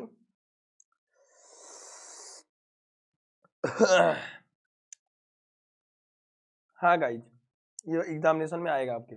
वीट स्टोन ब्रिज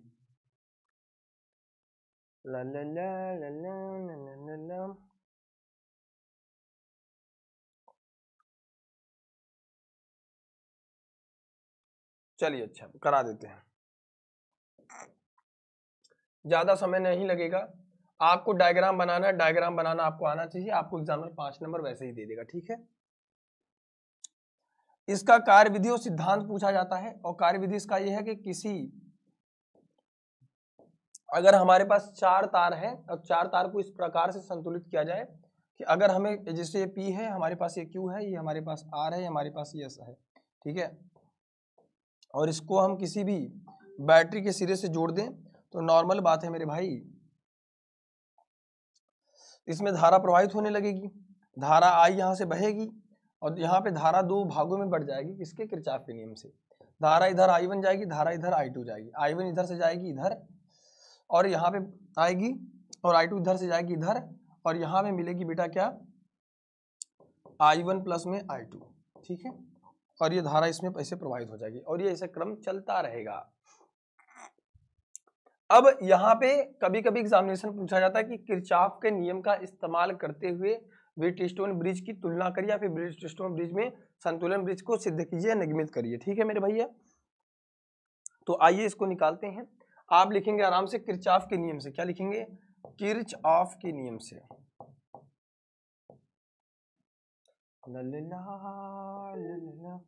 किरचाफ के नियम से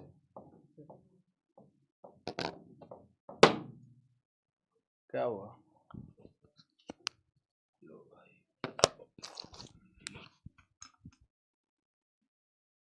अंजलि बारे अखिल भाई, बहुत बढ़िया। हैं, दुनिया कहाँ परेशान है? पढ़ लिख के टॉप कर जाए, परेशान है अंजलि। देखो, इसमें लूप मानोगे, लूप का डायरेक्शन मानोगे? किरचाफ का नियम बहुत इंपॉर्टेंट है। और किरचाफ का नियम भी सीख जाओगे, अगर नहीं सीखोगे तो सीख लोगे, ठीक है?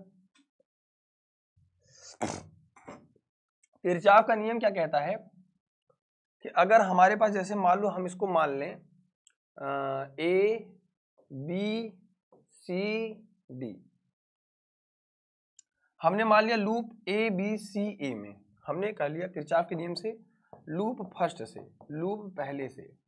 लूप पहला क्या है बेटा? ए बी सी ए ये लूप है। ए बी सी ए एक बात बस याद रखेंगे, अगर लूप और धारा की दिशा लूप और धारा की दिशा, अगर मेरे भाई क्या है, विपरीत है। विपरीत है। विपरीत का मतलब क्या है कि ये लूप का दिशा है, ये लूप का डायरेक्शन है और धारा की दिशा विपरीत है। तो जो v का मान लेंगे, यानी कि आई आर का मान लेंगे मेरे भाई, अगर विपरीत है तो मेरे भाई क्या लेंगे? धनात्मक। अगर एक समान है समान है तो क्या लेंगे भैया इसको? ऋणात्मक लेंगे। बात खत्म। और ये खत्म हो जाएगा। यानी कि ये विपरीत है। तो हमारे पास ये क्या है? पी नाम का प्रतिरोध है। आई वन इंटू पी धनात्मक ले लिया यहाँ पे गए धारा की दिशा भी इधर है और लूप की डायरेक्शन भी इधर है। तो माइनस में आई टू इंटू क्यू बराबर में मेरे भाई क्या हो जाएगा? शून्य हो जाएगा। यहाँ से आई वन इंटू पी बराबर आई टू इंटू क्यू हो जाएगा। इसको समीकरण एक मान लीजिए। अब हमारे पास क्या कह रहा है बेटा? लूप सेकंड में। लूप सेकंड से क्या कह रहा है? जरा ध्यान से देखो। लूप सेकंड मतलब ये वाला। चाहे इसको ऐसे मान लो, लूप इधर ही डायरेक्शन मान लो। इधर चल रहे हैं, धारा का दिशा इधर है। ये आई ही तो इधर आया है। धारा की दिशा इधर है और लूप का डायरेक्शन अपोजिट है दोनों मतलब। यानी कि यहाँ पे आ जाएगा आई वन इंटू आर और ये लूप घूम के इधर गया, यानी कि जिधर भी धारा की दिशा आई टू है और उधर ही लूप का भी डायरेक्शन है। सेम डायरेक्शन होने पर हम क्या लेंगे? ऋणात्मक लेंगे। तो माइनस में आई टू इंटू में एस बराबर zero I one into R बराबर आई टू इंटू एस समीकरण दो। समीकरण एक और दो का भाग देने पर। चलो, भाग, भागम भाग। आप लोग को यही रहना है गाइज़ क्या हो जाएगा? I one into P upon में I one into R I two into Q upon में I two into S cut जाएगा बेटा पी अपॉन में क्यू को इधर ला दो अपॉन में आर अपॉन में एस यही संतुलन ब्रिज है बेटा, यही संतुलन ब्रिज की अवस्था है, छाप लीजिए। ब्रिज से किसी अज्ञात ताप का हम क्या निकालते हैं मेरे भाई, प्रतिरोध। सर, आप पूरा पढ़ाई के लिए मज़ा आ रहा है। पूरा तो पढ़ा रहा हूँ बेटा, जो इम्पोर्टेंट है वही तो पढ़ाएँगे। हे भगवान नोट कर लीजिए गाइस स्क्रीन शॉट ले लीजिए। हाँ भाई, सुबह भी क्लास आपकी रहेगी छह बजे से। नोट कर लिए, आगे बढ़ो। इसे छापना है एग्जामिनेशन में डायग्राम बना दोगे, तीन नंबर मिल जाएगा, समझे? पाँच नंबर का आता है।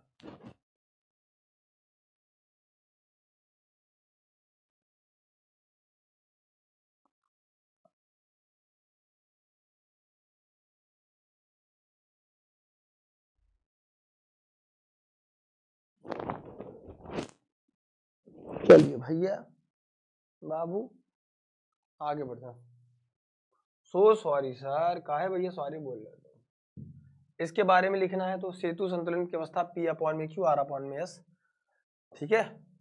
सेतु की सुग्राहिता प्रतिरोधों के मानों पर निर्भर करती है ये सब। तो खैर, रटे रटाए चीज़ें हैं, कैसे लिखना, कैसे नहीं, वो आप लिख लेंगे, ठीक है गाइज़ चलिए। न्यूमेरिकल करते हैं बेटा। सेल के विद्युत वाहक बल से आपके एग्जामिनेशन में न्यूमेरिकल पूछा जा सकता है। न्यूमेरिकल पे चलते हैं इंपॉर्टेंट है। इंपॉर्टेंट ठीक है? चलिए। जो सॉल्व करेगा उसकी तरफ़ से हमारा मतलब उसकी तरफ़ से क्या? हमारी तरफ़ से उसको मिठाइयाँ मिलेंगी, मिठाइयाँ। चलो। तुम लोग सॉल्व कर लो भाई जल्दी जल्दी। कोई सॉल्व किसी का आंसर नहीं आया। भाई, एग्जामिनेशन का समय बहुत दिन बचा नहीं है। इसलिए बेटा, जो न्यूमेरिकल दें, उसको खुद से सॉल्व करने की कोशिश करो। न्यूमेरिकल तो नहीं बताया हूँ। न्यूमेरिकल तो अलग है। थियोरी तो बताया हूँ। थियोरी पढ़े होगे तो रिवीजन हो जाएगा, लेकिन न्यूमेरिकल डेरावेशन जो प्रीवियस क्वेश्चन है, वो तो बेटा नए हैं। उसको कौन करेगा?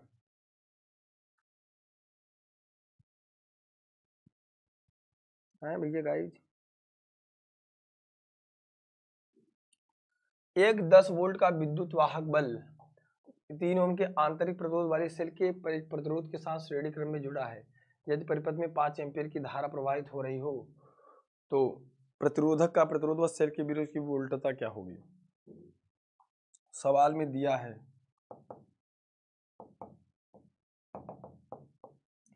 सवाल में दिया है, बेटा 10 वोल्ट के विद्युत वाहक बल, यानी कि सेल का विद्युत वाहक बल ई बराबर 10 वोल्ट आपको दिया है। तीन के आंतरिक प्रतिरोध, स्मॉल आर जब भी आंतरिक प्रतिरोध प्रतिरोध कहे तो स्मॉल आर स्मॉल आर का मान कितना है? आंतरिक प्रतिरोध तीन ओम वाली सेल के विद्युत के एक प्रतिरोध के साथ श्रेणी क्रम में जोड़ा गया है। ये कह रहा है किसमें जोड़ा गया? श्रेणी क्रम में जोड़ा जाता है। यदि परिपथ में धारा का मान कितना है? ज़ीरो दशमलव पाँच एम्पियर। तो प्रतिरोधक के प्रतिरोध व सेल के प्रतिरोधक का प्रतिरोध पूछ रहा है। यानी कि कैपिटल आर का मान पूछ रहा है। ये आपसे पूछ रहा है। परिपथ का प्रतिरोधक कितना हो जाएगा? I equal to E upon में आर प्लस आर हो जाएगा। ठीक है? ई का मान कितना है मेरे भाई? सेल के वोल्ट का 10 वोल्ट का विद्युत भाग बल। कैपिटल आर का मान हमें निकालना है। स्मॉल आर का मान कितना है? ज़ीरो दशमलव पाँच। बराबर किसके करंट ज़ीरो दशमलव करंट का मान कितना है? तीन दशमलव तीन ओम। स्मॉल आर का मान ये दिया है। स्मॉल आर का मान तीन ओम दिया है। और आई का मान कितना दिया? ज़ीरो दशमलव पाँच। ठीक है मेरे भैया? हेलो हेलो हेलो क्या हुआ ये? समथिंग वेंट रॉन्ग गाइस क्या मैं सबको दिखाई दे रहा हूँ? कंप्यूटर महोदय।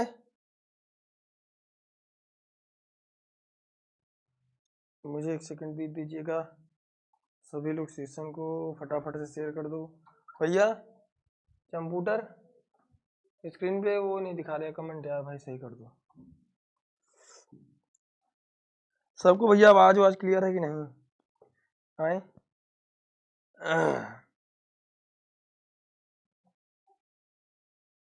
नया स्ट्रीम चालू कर दिया क्या तुमने अच्छा आ रहा हूँ। ठीक है गाइज़ ओके गाइज़ चलो गाइज़ चलते हैं। हम लोग आगे बढ़ते हैं। क्या कह रहा गाइज़ आर प्लस तीन है। अब इसको उधर ले जाओ। हमें कैपिटल आर का मान निकालना है, ठीक है? इसको दशमलव पाँच को इसको ज़ीरो लिख लेंगे। ये दस दम्बा कितना हो जाएगा भैया? सौ? सर जी, आप थक गए नहीं बेटा, थका नहीं हूँ। न थके हैं पाँव, न अभी हिम्मत हारी है। कोशिशों की जंग अभी फिर भी जारी है। ठीक है? तो पाँच इक्यावन पाँच पाँच दूनी दस, और ये दस दूना बीस हो जाएगा। बीस बराबर आर प्लस तीन हो जाएगा गाइज़। और ये क्या हो जाएगा भैया? आर का मान सत्रह। छाप लीजिए। एक चीज़ दिया बेटा, अब हमें वोल्टता याद करनी है।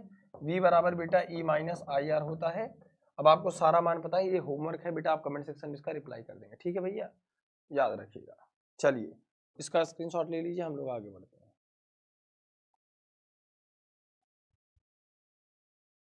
हम्म।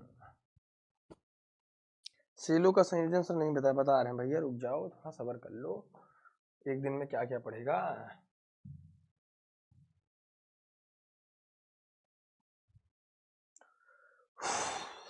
ये इंपॉर्टेंट ऐसे प्रश्न हैं जो एग्जामिनेशन में सीधे एक नंबर का हमेशा ऐसे डायरेक्ट पूछे जाते हैं और इस- इसमें चेंजेस नहीं होते हैं। इस वजह से ये वाला स्लाइड हम आपको दिखा रहे हैं।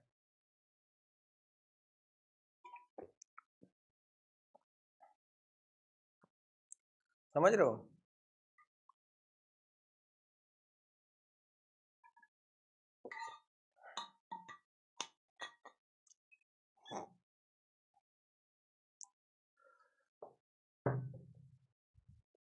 चलो, भैया बाबू, मालिक देवता सरकार। वह कौन सी युक्ति है? ठीक है, अच्छी बात है। अरे यार, इसको चार्ज लगाना होगा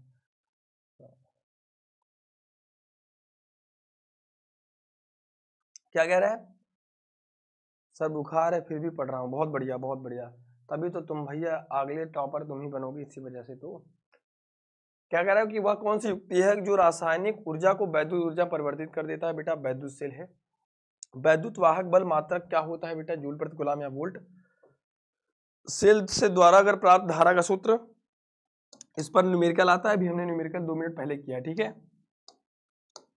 और किरचाप का नियम किस सिद्धांत पर काम करता है, कैसे काम करता है, ये हमने आपको बता दिया, ठीक है? आगे बढ़ते हैं। वैद्युत धारा का चुंबकीय प्रभाव। सबसे पहले बात करते हैं बेटा, वैद्युत धारा के चुंबकीय प्रभाव से चुंबकीय क्षेत्र क्या होता है? जैसे वैद्युत क्षेत्र होता है कि वैद्युत के आवेश के चारों ओर का वह क्षेत्र जहाँ पे वह वैद्युत बल का अनुभव करता है। ऐसे चुंबकीय क्षेत्र क्या होता है? किसी चुंबक के चारों ओर का वह क्षेत्र है, जहाँ वो चुंबकीय बल का अनुभव करता है, चुंबकीय क्षेत्र कहलाता है। दूसरा है, चुंबकीय क्षेत्र के बारे में किसी चालक में वैद्युत धारा प्रवाहित की जाती है तो उसके चारों ओर चुंबकीय क्षेत्र उत्पन्न हो जाता है और वैद्युत धारा के कारण चुंबकीय उत्पन्न, चुंबकीय क्षेत्र की घटना को वैद्युत धारा का चुंबकीय प्रभाव कहते हैं। यानी कि अगर कोई तार है, तार में धारा प्रवाहित करा दी है तो इसके चारों तरफ़ क्या उत्पन्न हो जाता है? चुंबकीय क्षेत्र। और इसी वजह से हम इसे क्या कहते हैं? वैद्युत धारा का चुंबकीय प्रभाव, ठीक है? चलिए। सबसे इंपॉर्टेंट बात है बायो सेवर्ट का नियम। बायोट और सेवर्ट दो साइंटिस्ट थे। इन्होंने कहा काम किया, बहुत छोटा तार लिया, तार में धारा प्रवाहित कराई और इसको कुछ दूरी पर, थीटा एंगल पर कहा कि भैया, इस वाले बिंदु पर चुंबकीय क्षेत्र कितना होगा? यानी चुंबकीय क्षेत्र की गणना करिए, कितना होगा? तो चुंबकीय क्षेत्र का मान। उन्होंने कहा कि किसी अल्पांश लंबाई के तार के लिए किसी छोटे तार में, अगर ये तार बहुत छोटा हो तो तार बहुत छोटा हो तो उसमें उत्पन्न चुंबकीय क्षेत्र, उसमें प्रवाहित धारा के अनुक्रमानुपाती होता है। तथा डेल्टा बी क्या कह रहा है भैया? उसके लंबाई के, डेल्टा एल साइन थीटा के अनुक्रमानुपाती होता है। तथा उनके बीच की दूरी के वर्ग के व्युत्क्रमानुपाती होता है। ये समीकरण दो मान लिया, समीकरण तीन मान लिया। समीकरण एक, दो तथा तीन से इसको डायरेक्ट लिख सकते हैं। I, delta L sine theta बटे आर का स्क्वायर इसी को कह देंगे बेटा डेल्टा बी बराबर म्यू ज़ीरो अपॉन में चार pi I delta L sine theta बटे आर का स्क्वायर हो जाएगा। छाप लीजिए। और बायोसेवर्ट के नियम के अनुप्रयोग भी पूछा जाता है।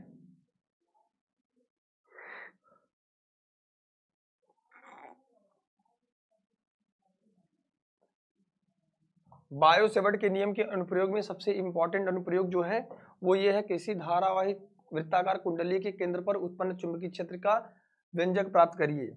यानी कि धारावाही लूप का मतलब क्या है कि धारावाही जिसमें धारा प्रवाह हो रही हो, उसे धारावाही कहेंगे। और वृत्ताकार मतलब कोई चीज़। वृत्ताकार कुंडली का मतलब तार में लपेटों की संख्या। तार लिया, ऐसे लपेट दिया, धारा प्रवाहित करा दिया। चलो, ये तार तो बहुत ऐसा ले लिया, ऐसा नहीं आपको लेना है है ना? तार ऐसे लेना है। इसमें धारा प्रवाहित कराए हैं। ये कह रहा है कि इसके केंद्र ओ पर अगर इसकी त्रिज्या क्या है बेटा? आर है। मान लो इसकी त्रिज्या क्या है? स्मॉल में आर है। और ये इसका स्मॉल क्षेत्रफल है, डेल्टा एल मान लो स्मॉल एरिया ले लिया, डेल्टा एल ठीक है? भैया, सभी लोग सेशन को लाइक कर दीजिए। सबसे इंपॉर्टेंट डेरावेशन है हाँ भैया। अब देखो, अब जब हम किसी तार में धारा प्रवाहित करते हैं उस तार के चारों तरफ़ चुंबकीय क्षेत्र पैदा हो जाता है, ठीक है? लेकिन उसके केंद्र पर भी तो कुछ पैदा होगा। केंद्र पर कितना होगा भैया? लिखेंगे बड़े आराम से बायो सेवर्ट के नियम से।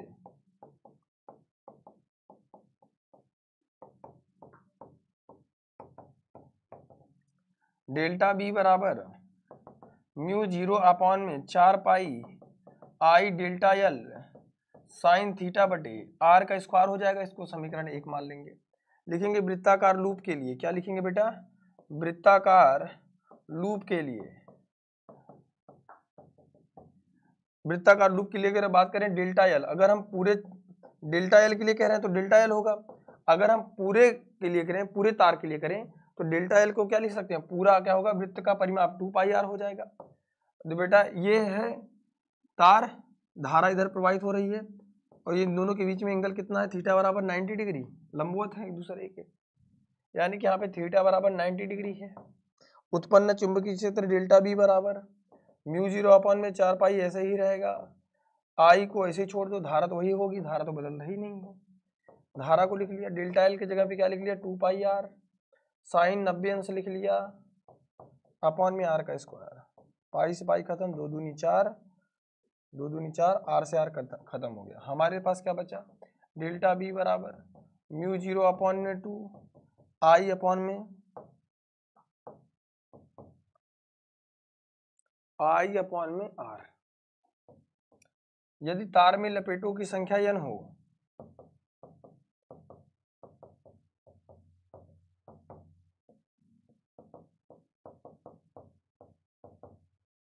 तो डेल्टा बी बराबर mu zero N I upon में टू आर इस पर या तो किसी ने किसी एग्ज़ाम में डेराइवेशन या तो किसी ने किसी एग्जामिनेशन में इसका न्यूमेरिकल पूछा जाएगा।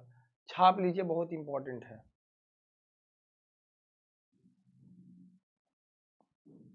सनी देओल, भैया अभी गदर मूवी रिलीज़ नहीं हुई है, और आप लड़ाई पहले करने लगे हैं। ये अच्छी बात नहीं है, याद रखिएगा। अच्छा मोबाइल रिचार्ज, मोबाइल चार्ज कर लेना बेटा क्योंकि सुबह भी है है। अच्छा है सुनो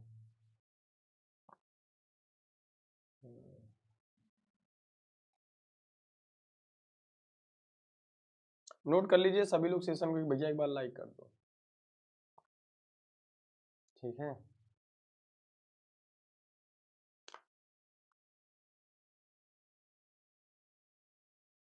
आगे बढ़ो।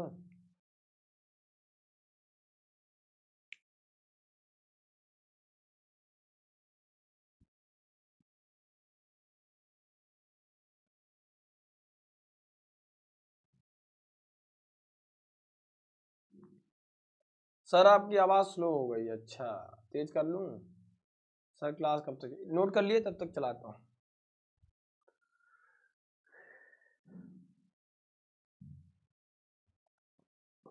हेडिंग डालेंगे भैया, एम्पियर का परपति नियम सीधे थियोरी में आएगा। ठीक है।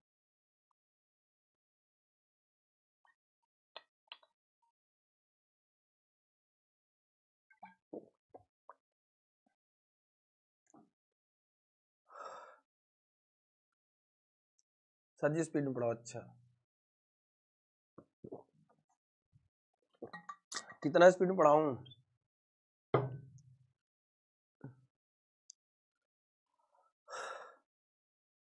चलिए भाई। नोट करते चलिए। इस नियम के अनुसार किसी बंद परिपथ में सीमा के अंदर अनुदिश चुंबकीय क्षेत्र बी का रेखीय समाकलन, जैसे आप वैद्युत फ्लक्स लिखते हैं तो बी इंटू डी एल बराबर mu not I not times होता है।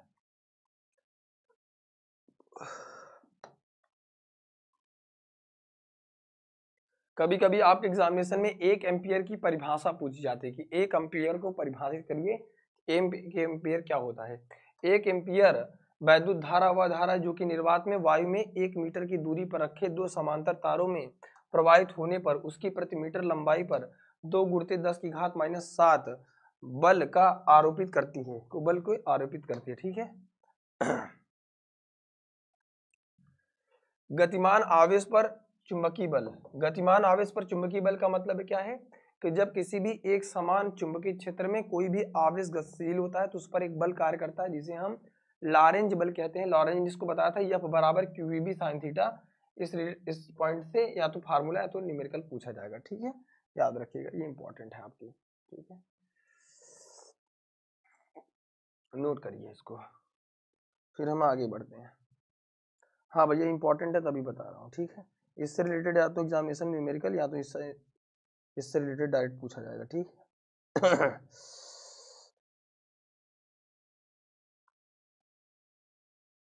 चलिए चलिए।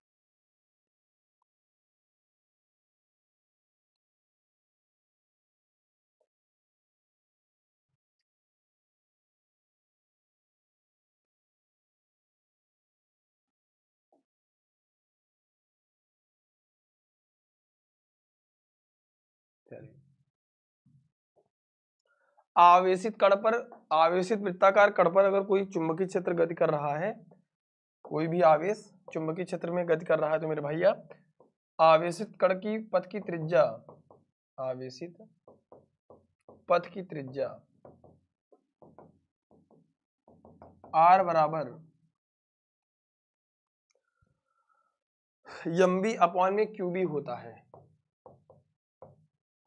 इस फार्मूले पर रिलेटेड न्यूमेरिकल पूछा जाता है आपके एग्जामिनेशन ठीक है?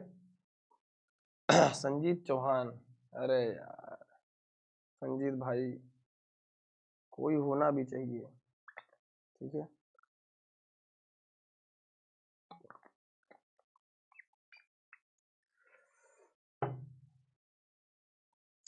दूसरा बात है, प्रति एकांक द्रव्यमान का आवेश ही विशिष्ट आवेश कहलाता है। कह रहा है चुंबकीय। क्षेत्र में वृत्ताकार पथ पर गतिमान आवेशित कण का आवर्तकाल T equal to two pi M upon में क्यू बी होता है। क्या होता है? T equal to two pi M upon में क्यू बी होता है। तो इसको नोट कर लीजिए। फिर इससे रिलेटेड हम लोग न्यूमार्कल करेंगे न्यूमार्कल ठीक है? चलिए, ये इस बार यूपी बोर्ड मॉडल पेपर में था। कौन इसका आंसर बताएगा? इस पर एक सवाल कर लेते हैं, फिर आगे बढ़ते हैं। चलो भाई, कौन बताएगा? कमेंट करो, भाई उसका नाम मैं यहाँ लिखूँगा। जिसका सबसे पहले आंसर रहेगा उसका नाम मैं बोर्ड पे लिखूँगा सीधे।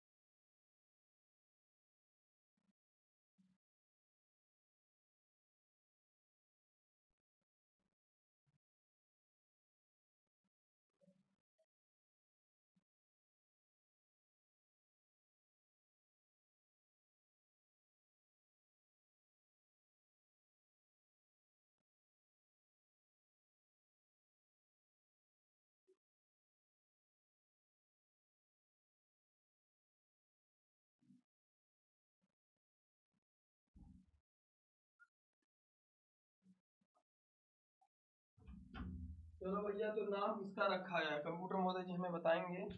चलो guys we are back now कौन बताएगा? सर आप जवाब क्यों नहीं देते? पूछो भैया। कांग्रेचुलेसन आठ लाख हो गए। हाँ बेटा थैंक यू सो मच चलिए इसका जवाब दीजिए अब।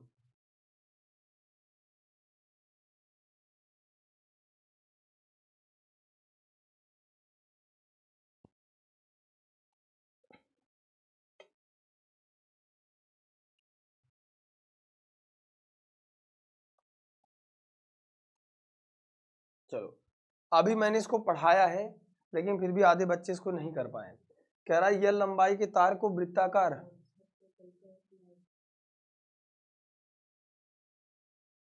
यह लंबाई के तार को वृत्ताकार कुंडली में मोड़ा जाता है। कुंडली में वैद्युत धारा आई, प्रवाहित केंद्र पर उत्पन्न चुंबकीय क्षेत्र का मान कितना होगा? देखो, केंद्र पर चुंबकीय क्षेत्र का फार्मूला होता है B equal to mu zero upon में टू आई अपॉन में आर होता है। लेकिन कह रहा है कि यह लंबाई के तार को मोड़कर वृत्ताकार बना दिया जाता है। यानी कि आप ये जरा बुद्धि सोचिए, यानी कि आपको साफ़ साफ़ है कि टू पाई आर पूरा हो जाएगा यल के। यहाँ से आर बराबर क्या आ जाएगा? यल अपॉन में टू पाई। तो जहाँ जहाँ यल है, वहाँ वहाँ टू पाई रख सकते हैं, रख दो। तो बी का मान क्या आएगा? म्यू ज़ीरो अपॉन टू पहले से था। पाई हमारा था। यल अपॉन में टू पाई हो जाएगा। ये ऊपर चला जाएगा। हमारे पास बी का मान क्या बचेगा? म्यू ज़ीरो अपॉन में टू बचेगा। यहाँ पे आई पहले से बचा था। टू पाई यहाँ पे फिर से बच जाएगा। नीचे हमारा यल बच जाएगा। दो से दो कट जाएगा। यहाँ से बेटा क्या हो जाएगा? Mu zero pi I upon में L mu zero pi I upon में। पहला ऑप्शन ही सही है। ठीक नोट कर लो। किसका सही तो वही भैया इसको एच डब्ल्यू दे दूँ? एच डब्ल्यू दे देता कुछ ज़्यादा सही है ना? इसको तो एच डब्ल्यू दे देता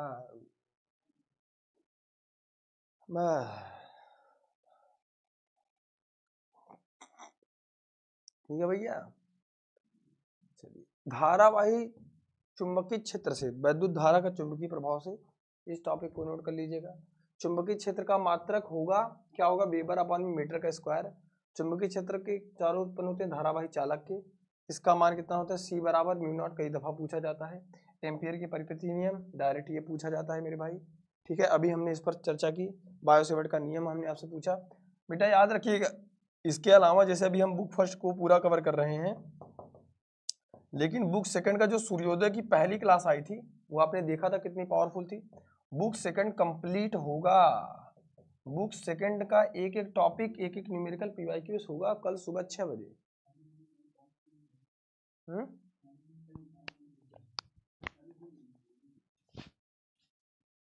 अच्छा। चलो भैया बोलो। सर जी भोर में क्लास कोई नहीं है प्लीज़ हेल्प भोर में है बेटा? है बेटा छः बजे? अरे ये क्लास है, आपको दिखा देता हूँ। बेटा याद रखिएगा, इसको हर बच्चे को, इसको स्क्रीनशॉट लेके बेटा पक्का शेयर करना है आपको। बसंत पंचमी कल स्पेशल है, कल बेटा बसंत पंचमी सरस्वती माता का दिन है। भारत की सबसे पावरफुल क्लास होगी सुबह, है ना? सुबह छः बजे कल ही होगी ये, ठीक है? छः बजे से आपके आगमन तक ये लगभग पूरा कंप्लीट होगा कंप्लीट फिजिक्स चार मार्च का फिजिक्स का असली पेपर सुबह दिखाऊँगा। लेकिन अभी जाना नहीं है गाइज़ अभी हम लोग को पढ़ना है, ठीक है? तो इसलिए क्लास के लिए आप कर तैयार हैं इसलिए मैंने आपको बता दिया।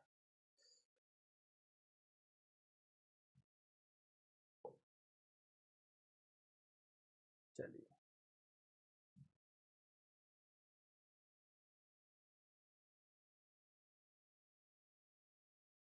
हैं?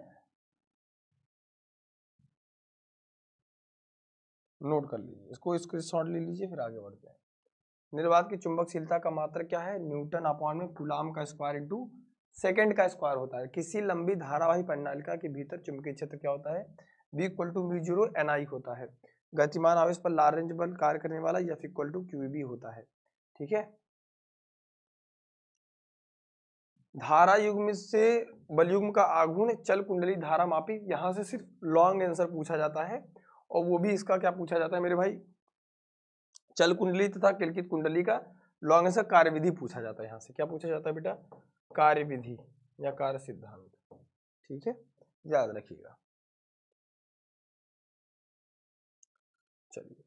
चुंबकीय पदार्थ से आप क्या पढ़ेंगे? चुंबकीय पदार्थ से सिर्फ़ दो चीज़ें आपको पढ़ना है। अन्य चुंबकीय पदार्थ प्रति चुंबकीय पदार्थ और लौ चुंबकीय पदार्थ। चुंबकत्व और चुंबक में क्या अंतर होता है? कभी कभी पूछा जाता है। चुंबक वे पदार्थ जो चारों ओर अपने चुंबकीय क्षेत्र उत्पन्न करते हैं। उसे हम चुंबक कहते हैं। और जिसके अंदर चुंबक के गुण आ जाते हैं, उसको हम चुंबकत्व कहते हैं, ठीक है? चुंबक के समान ध्रुव में प्रतिकर्षण था असमान ध्रुव में आकर्षण होता है। किसी चुंबक के समीप उसके प्रभाव को चुंबकीय बल रेखाओं द्वारा प्रदर्शित करते हैं। याद रखिएगा इस बात को, ठीक है? सिर्फ़ आपको तीन परिभाषा याद रखनी है।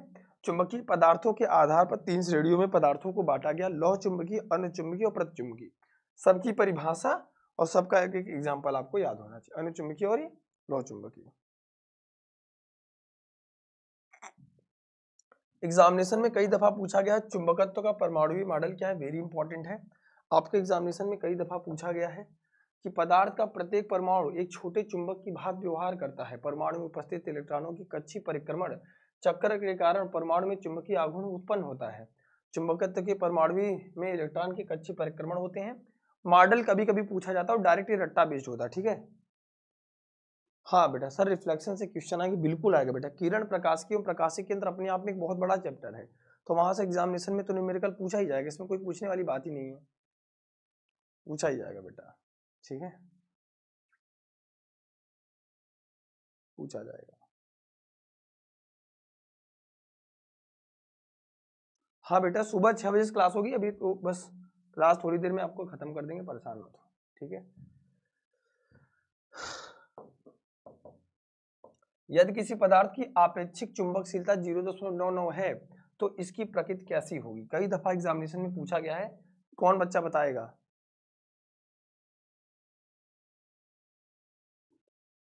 कौन बच्चा बताएगा?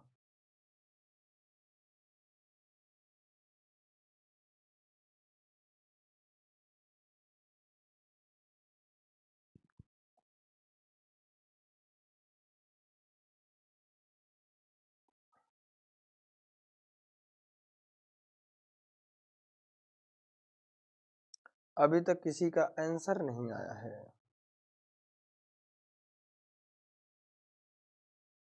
याद रखिएगा, अगर किसी पदार्थ की चुंबकशीलता एक से कम हो, एक से कम तो वो पदार्थ कैसी होगी बेटा? प्रतिचुंबकी पदार्थ होगी, ठीक है?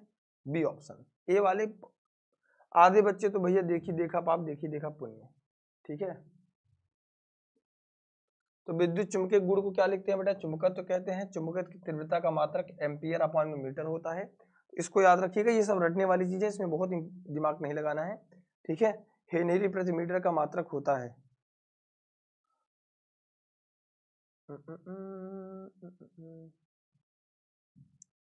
विद्युत चुंबकीय प्रेरण से संबंधित आपके एग्जामिनेशन में दो चीज़ें पूछी जाती हैं, एक तो स्व प्रेरण और एक तो मेरे भाई अन्यून प्रेरण। क्या अन्यून प्रेरण? स्व प्रेरण और अन्यून प्रेरण से सवाल आपके एग्जामिनेशन पूछा जाता है। इसके पहले स्व प्रेरण आप जाने, चुंबकीय फ्लक्स किसे कहते हैं? चुंबक जैसे हमने आपसे बताया था कि वैद्युत बल रेखाओं की संख्या के माप को वैद्युत फ्लक्स कहते हैं। ऐसे सर आपको दिल धन्यवाद देखो चुंबकीय फ्लक्स को क्या कहते हैं? वैद्युत बल रेखाओं की संख्या को वैद्युत फ्लक्स कहते हैं। इसी प्रकार चुंबकीय बल रेखाओं की संख्या की माप को चुंबकीय चुंबकीय फ्लक्स कहते हैं। ठीक है? याद रखिएगा। वैद्युत चुंबकीय प्रेरण क्या होता है? वैद्युत का मतलब होता है मेरे भाई आवेश। चुंबकीय का मतलब होता है चुंबक और प्रेरण का मतलब होता है प्रेरित करना। ठीक है?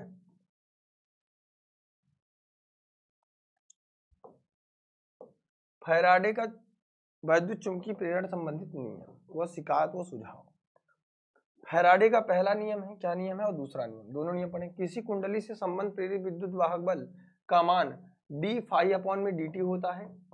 दोनों का नियम समझ लीजिए। दूसरा नियम लेंज का नियम है और बहुत इंपॉर्टेंट है। ये ऊर्जा संरक्षण के सिद्धांत पर आधारित है। दूसरा नियम। क्या होता कि जब किसी कुंडली में संबंध प्रेरित विद्युत वाहक बल का मान चुंबकीय फ्लक्स के परिवर्तन की ऋणात्मक दर की क्या होता है बेटा? समानुपाती होता है। ये फैराडे का पहला नियम है। याद रखिएगा। सर जी, घर से तीन किलोमीटर दूर है, लाइब्रेरी में बैठा हूँ, भूख लगी अरे बाप रे! हाँ बेटा, ये मोस्ट इंपॉर्टेंट क्वेश्चन है। ठीक है, इसको याद रखिएगा। ये मोस्ट इंपॉर्टेंट क्वेश्चन है आपके एग्ज़ाम के पॉइंट ऑफ़ व्यू से। यहाँ तक सबको क्लियर है बेटा?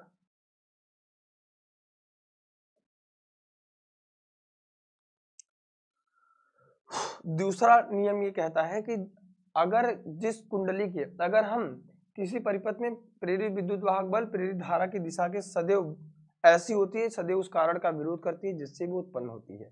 आपको बहुत बेसिक भाषा में समझा दूँ तो अगर हम किसी चुंबक के फ्लक्स के मान में परिवर्तित करते हैं तो उसके प्रेरित विद्युत वाहक बल में परिवर्तन होता है, वो सदैव उस कारण का विरोध करती है, जहाँ से वो उत्पन्न होती है। इसे लेंज का नियम भी कहते हैं।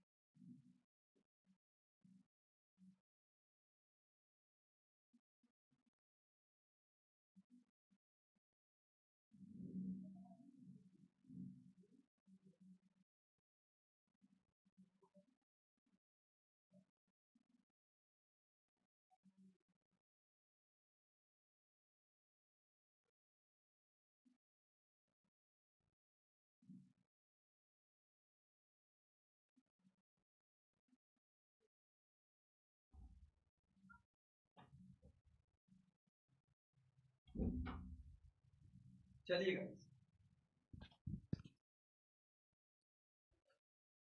तो। आरजे सर, आप दोनों लोग, आरजे सर? आप दोनों लोग अल्ट्रा प्रोमैक्स हो ये क्या है भैया? फ्लेमिंग का दाएँ हाथ का नियम सीधे थियरी में आता है। ये एग्जामिनेशन की पॉइंट ऑफ़ व्यू से इंपॉर्टेंट है। और ये थियरी में ही आता है। इस बात को याद रखिएगा, ठीक है? यदि हम अंगूठा को इस प्रकार फैलाएँ कि पास वाली दो उंगलियाँ ऐसे फैला लो, हम क्या करें? दाएँ हाथ, दहिना हाथ ले लो, ऐसे फैला लो, ऐसे रख लो, ठीक है? और इसकी डेफिनेशन आराम से याद कर लो, ठीक है? अब आपको स्वप्रेरण और अन्योम प्रेरण दो चीज़ों को पढ़ना है। स्वप्रेरण किसे कहते हैं? जब किसी कुंडली के मान में स्वतः परिवर्तन हो जाए, कोई हमारे पास कुंडली है कुंडली है, और इसमें हम धारा के मान में परिवर्तन कर दें तो इसमें स्वतः स्वतः क्या हो जाए बेटा? प्रेरित विद्युत वाहक बल पैदा हो जाए। प्रेरित विद्युत वाहक बल पैदा हो जाए। तो हम इसे कहते हैं। स्वतः प्रेरित विद्युत वाहक बल पैदा हो जाए और इस घटना को हम क्या कहते हैं बेटा? स्वप्रेरण कहते हैं। यानी कि कहने का मतलब फिर से समझ लीजिए, मैं आराम से समझा देता हूँ आपको। कहने का मतलब है कि अगर हम किसी कुंडली में परिवर्तन करते हैं तो उसमें स्वतः प्रेरित विद्युत वाहक बल उत्पन्न हो जाता है। किसकी वजह से? इसके फ्लक्स के मान में परिवर्तन की वजह से ऐसा होता है। अन्योन प्रेरण क्या होता है? अन्योन प्रेरण की घटना अगर आपको समझनी है तो मेरे भाई, इसमें क्या होता है? दो कुंडली होता है और ट्रांसफार्मर भी इसी प्रक्रिया पर आधारित है। हमारे पास दो क्वाइल है और ये बहुत इंपॉर्टेंट है। अंतर के सवाल यहाँ पूछे जा सकते हैं। हमारे पास कुंडली है, इसमें धारा के मान में परिवर्तन कर दिया।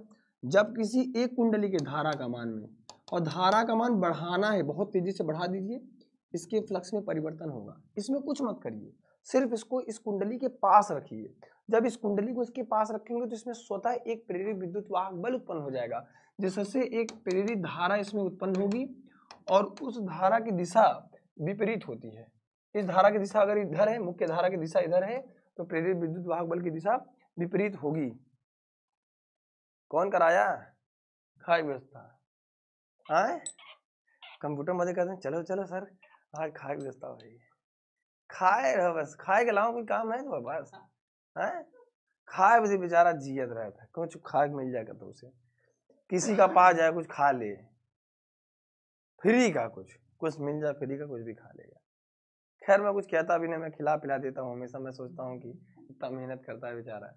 अभी भी खा ही रहा है मेरे हिस्से का भी रखा है वो भी खा रहा है। अभी कोई काम कह दो तो काम नहीं काम मत कहिए सर बाकी खिला पिला दीजिए। काम कह दो तो अरे सर वो मेरे पास ना, वो बहुत काम है सर।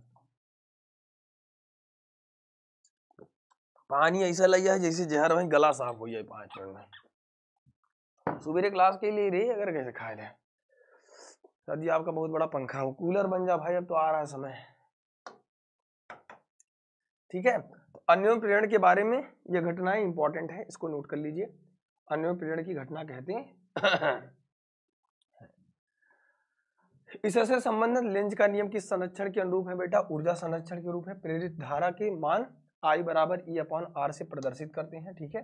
परिपथ में प्रेरित आवेश का मान होता है यन अपॉन में आर इंटू डी फाइव होता है, ठीक है? इसको नोट कर लीजिए गाइज़ चलिए, फिर आता है बेटा, ये सब तो एक नंबर के सवाल हैं, जहाँ से अभी जो हम थ्योरी आपको पढ़ा रहे थे, उससे रिलेटेड सवाल एग्जामिनेशन में छोटे छोटे ऐसे पूछे जाते हैं, ठीक है? किसी भौतिक राशि का मात्र जैसे ओम सेकंड है तो कैसे गुणांक है बेटा? स्वप्रेरण गुणांक है, ठीक है? अब प्रत्यावर्ती धारा क्या प्रत... प्रत्यावर्ती धारा में आपको क्या कम करना है? प्रत्यावर्ती धारा सिर्फ़ और सिर्फ़ एक है बेटा, वो न्यूमेरिकल का टॉपिक है, ठीक है?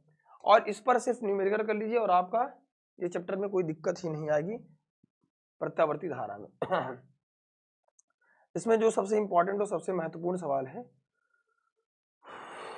इसमें जो लॉन्ग आंसर में आता है, एक न्यूमेरिकल हो गया और प्रेरित विद्युत वाहक बल में विभिन्न प्रकार के प्रत्यावर्ती परिपथ।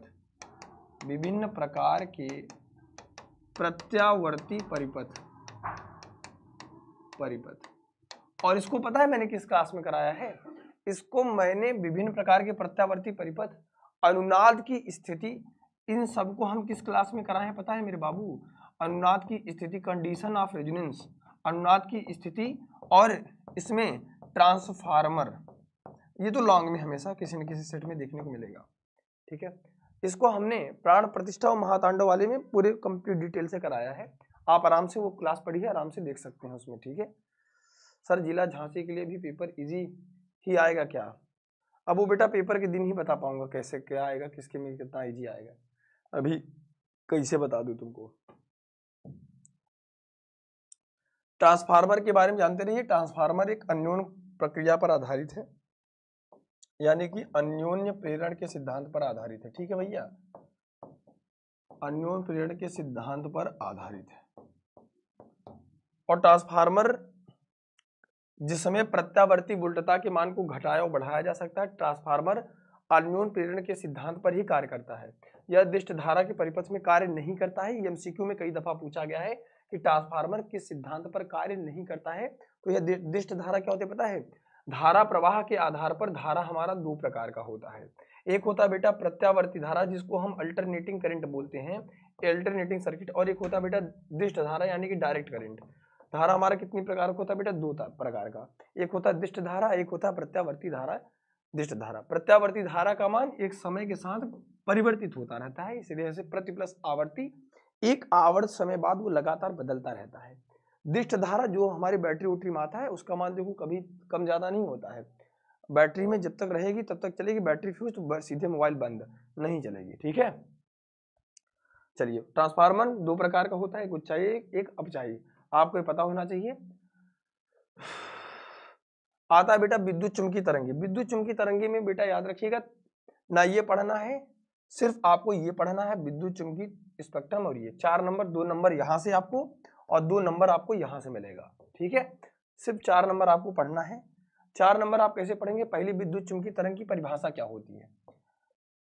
जब हम एक समान वैद्युत क्षेत्र और चुंबकीय क्षेत्र को लंबवत कंपन कराते हैं तो उससे उत्पन्न होने वाली, जैसे ये है, एक समान वैद्युत क्षेत्र और एक समान है चुंबकीय क्षेत्र। जब हम इसको लंबवत कंपन कराते हैं तो जैसे हमारी छाती है छाती के ठीक लंबवत उत्पन्न होने वाली तरंगों को हम वैद्युत चुंबकीय तरंगे कहते हैं, ठीक है? तो याद रखिएगा और विद्युत चुंबकीय तरंगों के अभिलक्षण यानी कि गुण, ये पूछा जाता है और स्पेक्ट्रम पूछा जाता है, जैसे गामा किरण। अब जैसे कोई किरण होगी गामा तो इसकी आपको एक आवृत्ति पता होनी चाहिए और इसका एक गुण। एग्जामिनेशन में लिखने को आता है कि गामा किरण के गुण को लिखिए किन्हीं दो गुणों को लिखिए, ऐसे आता है। तो स्पेक्ट्रम कैसे डिसाइड करेंगे? एक ट्रिक याद रखेंगे तो आपको पता चल जाएगा कौन आवृत्ति के बढ़ते क्रम में है, कौन घटते क्रम में है, ठीक है? ये आपको पता चल जाएगा।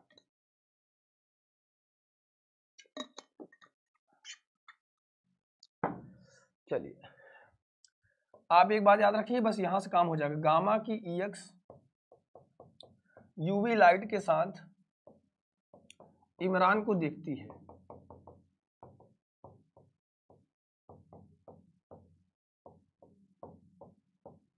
ठीक है?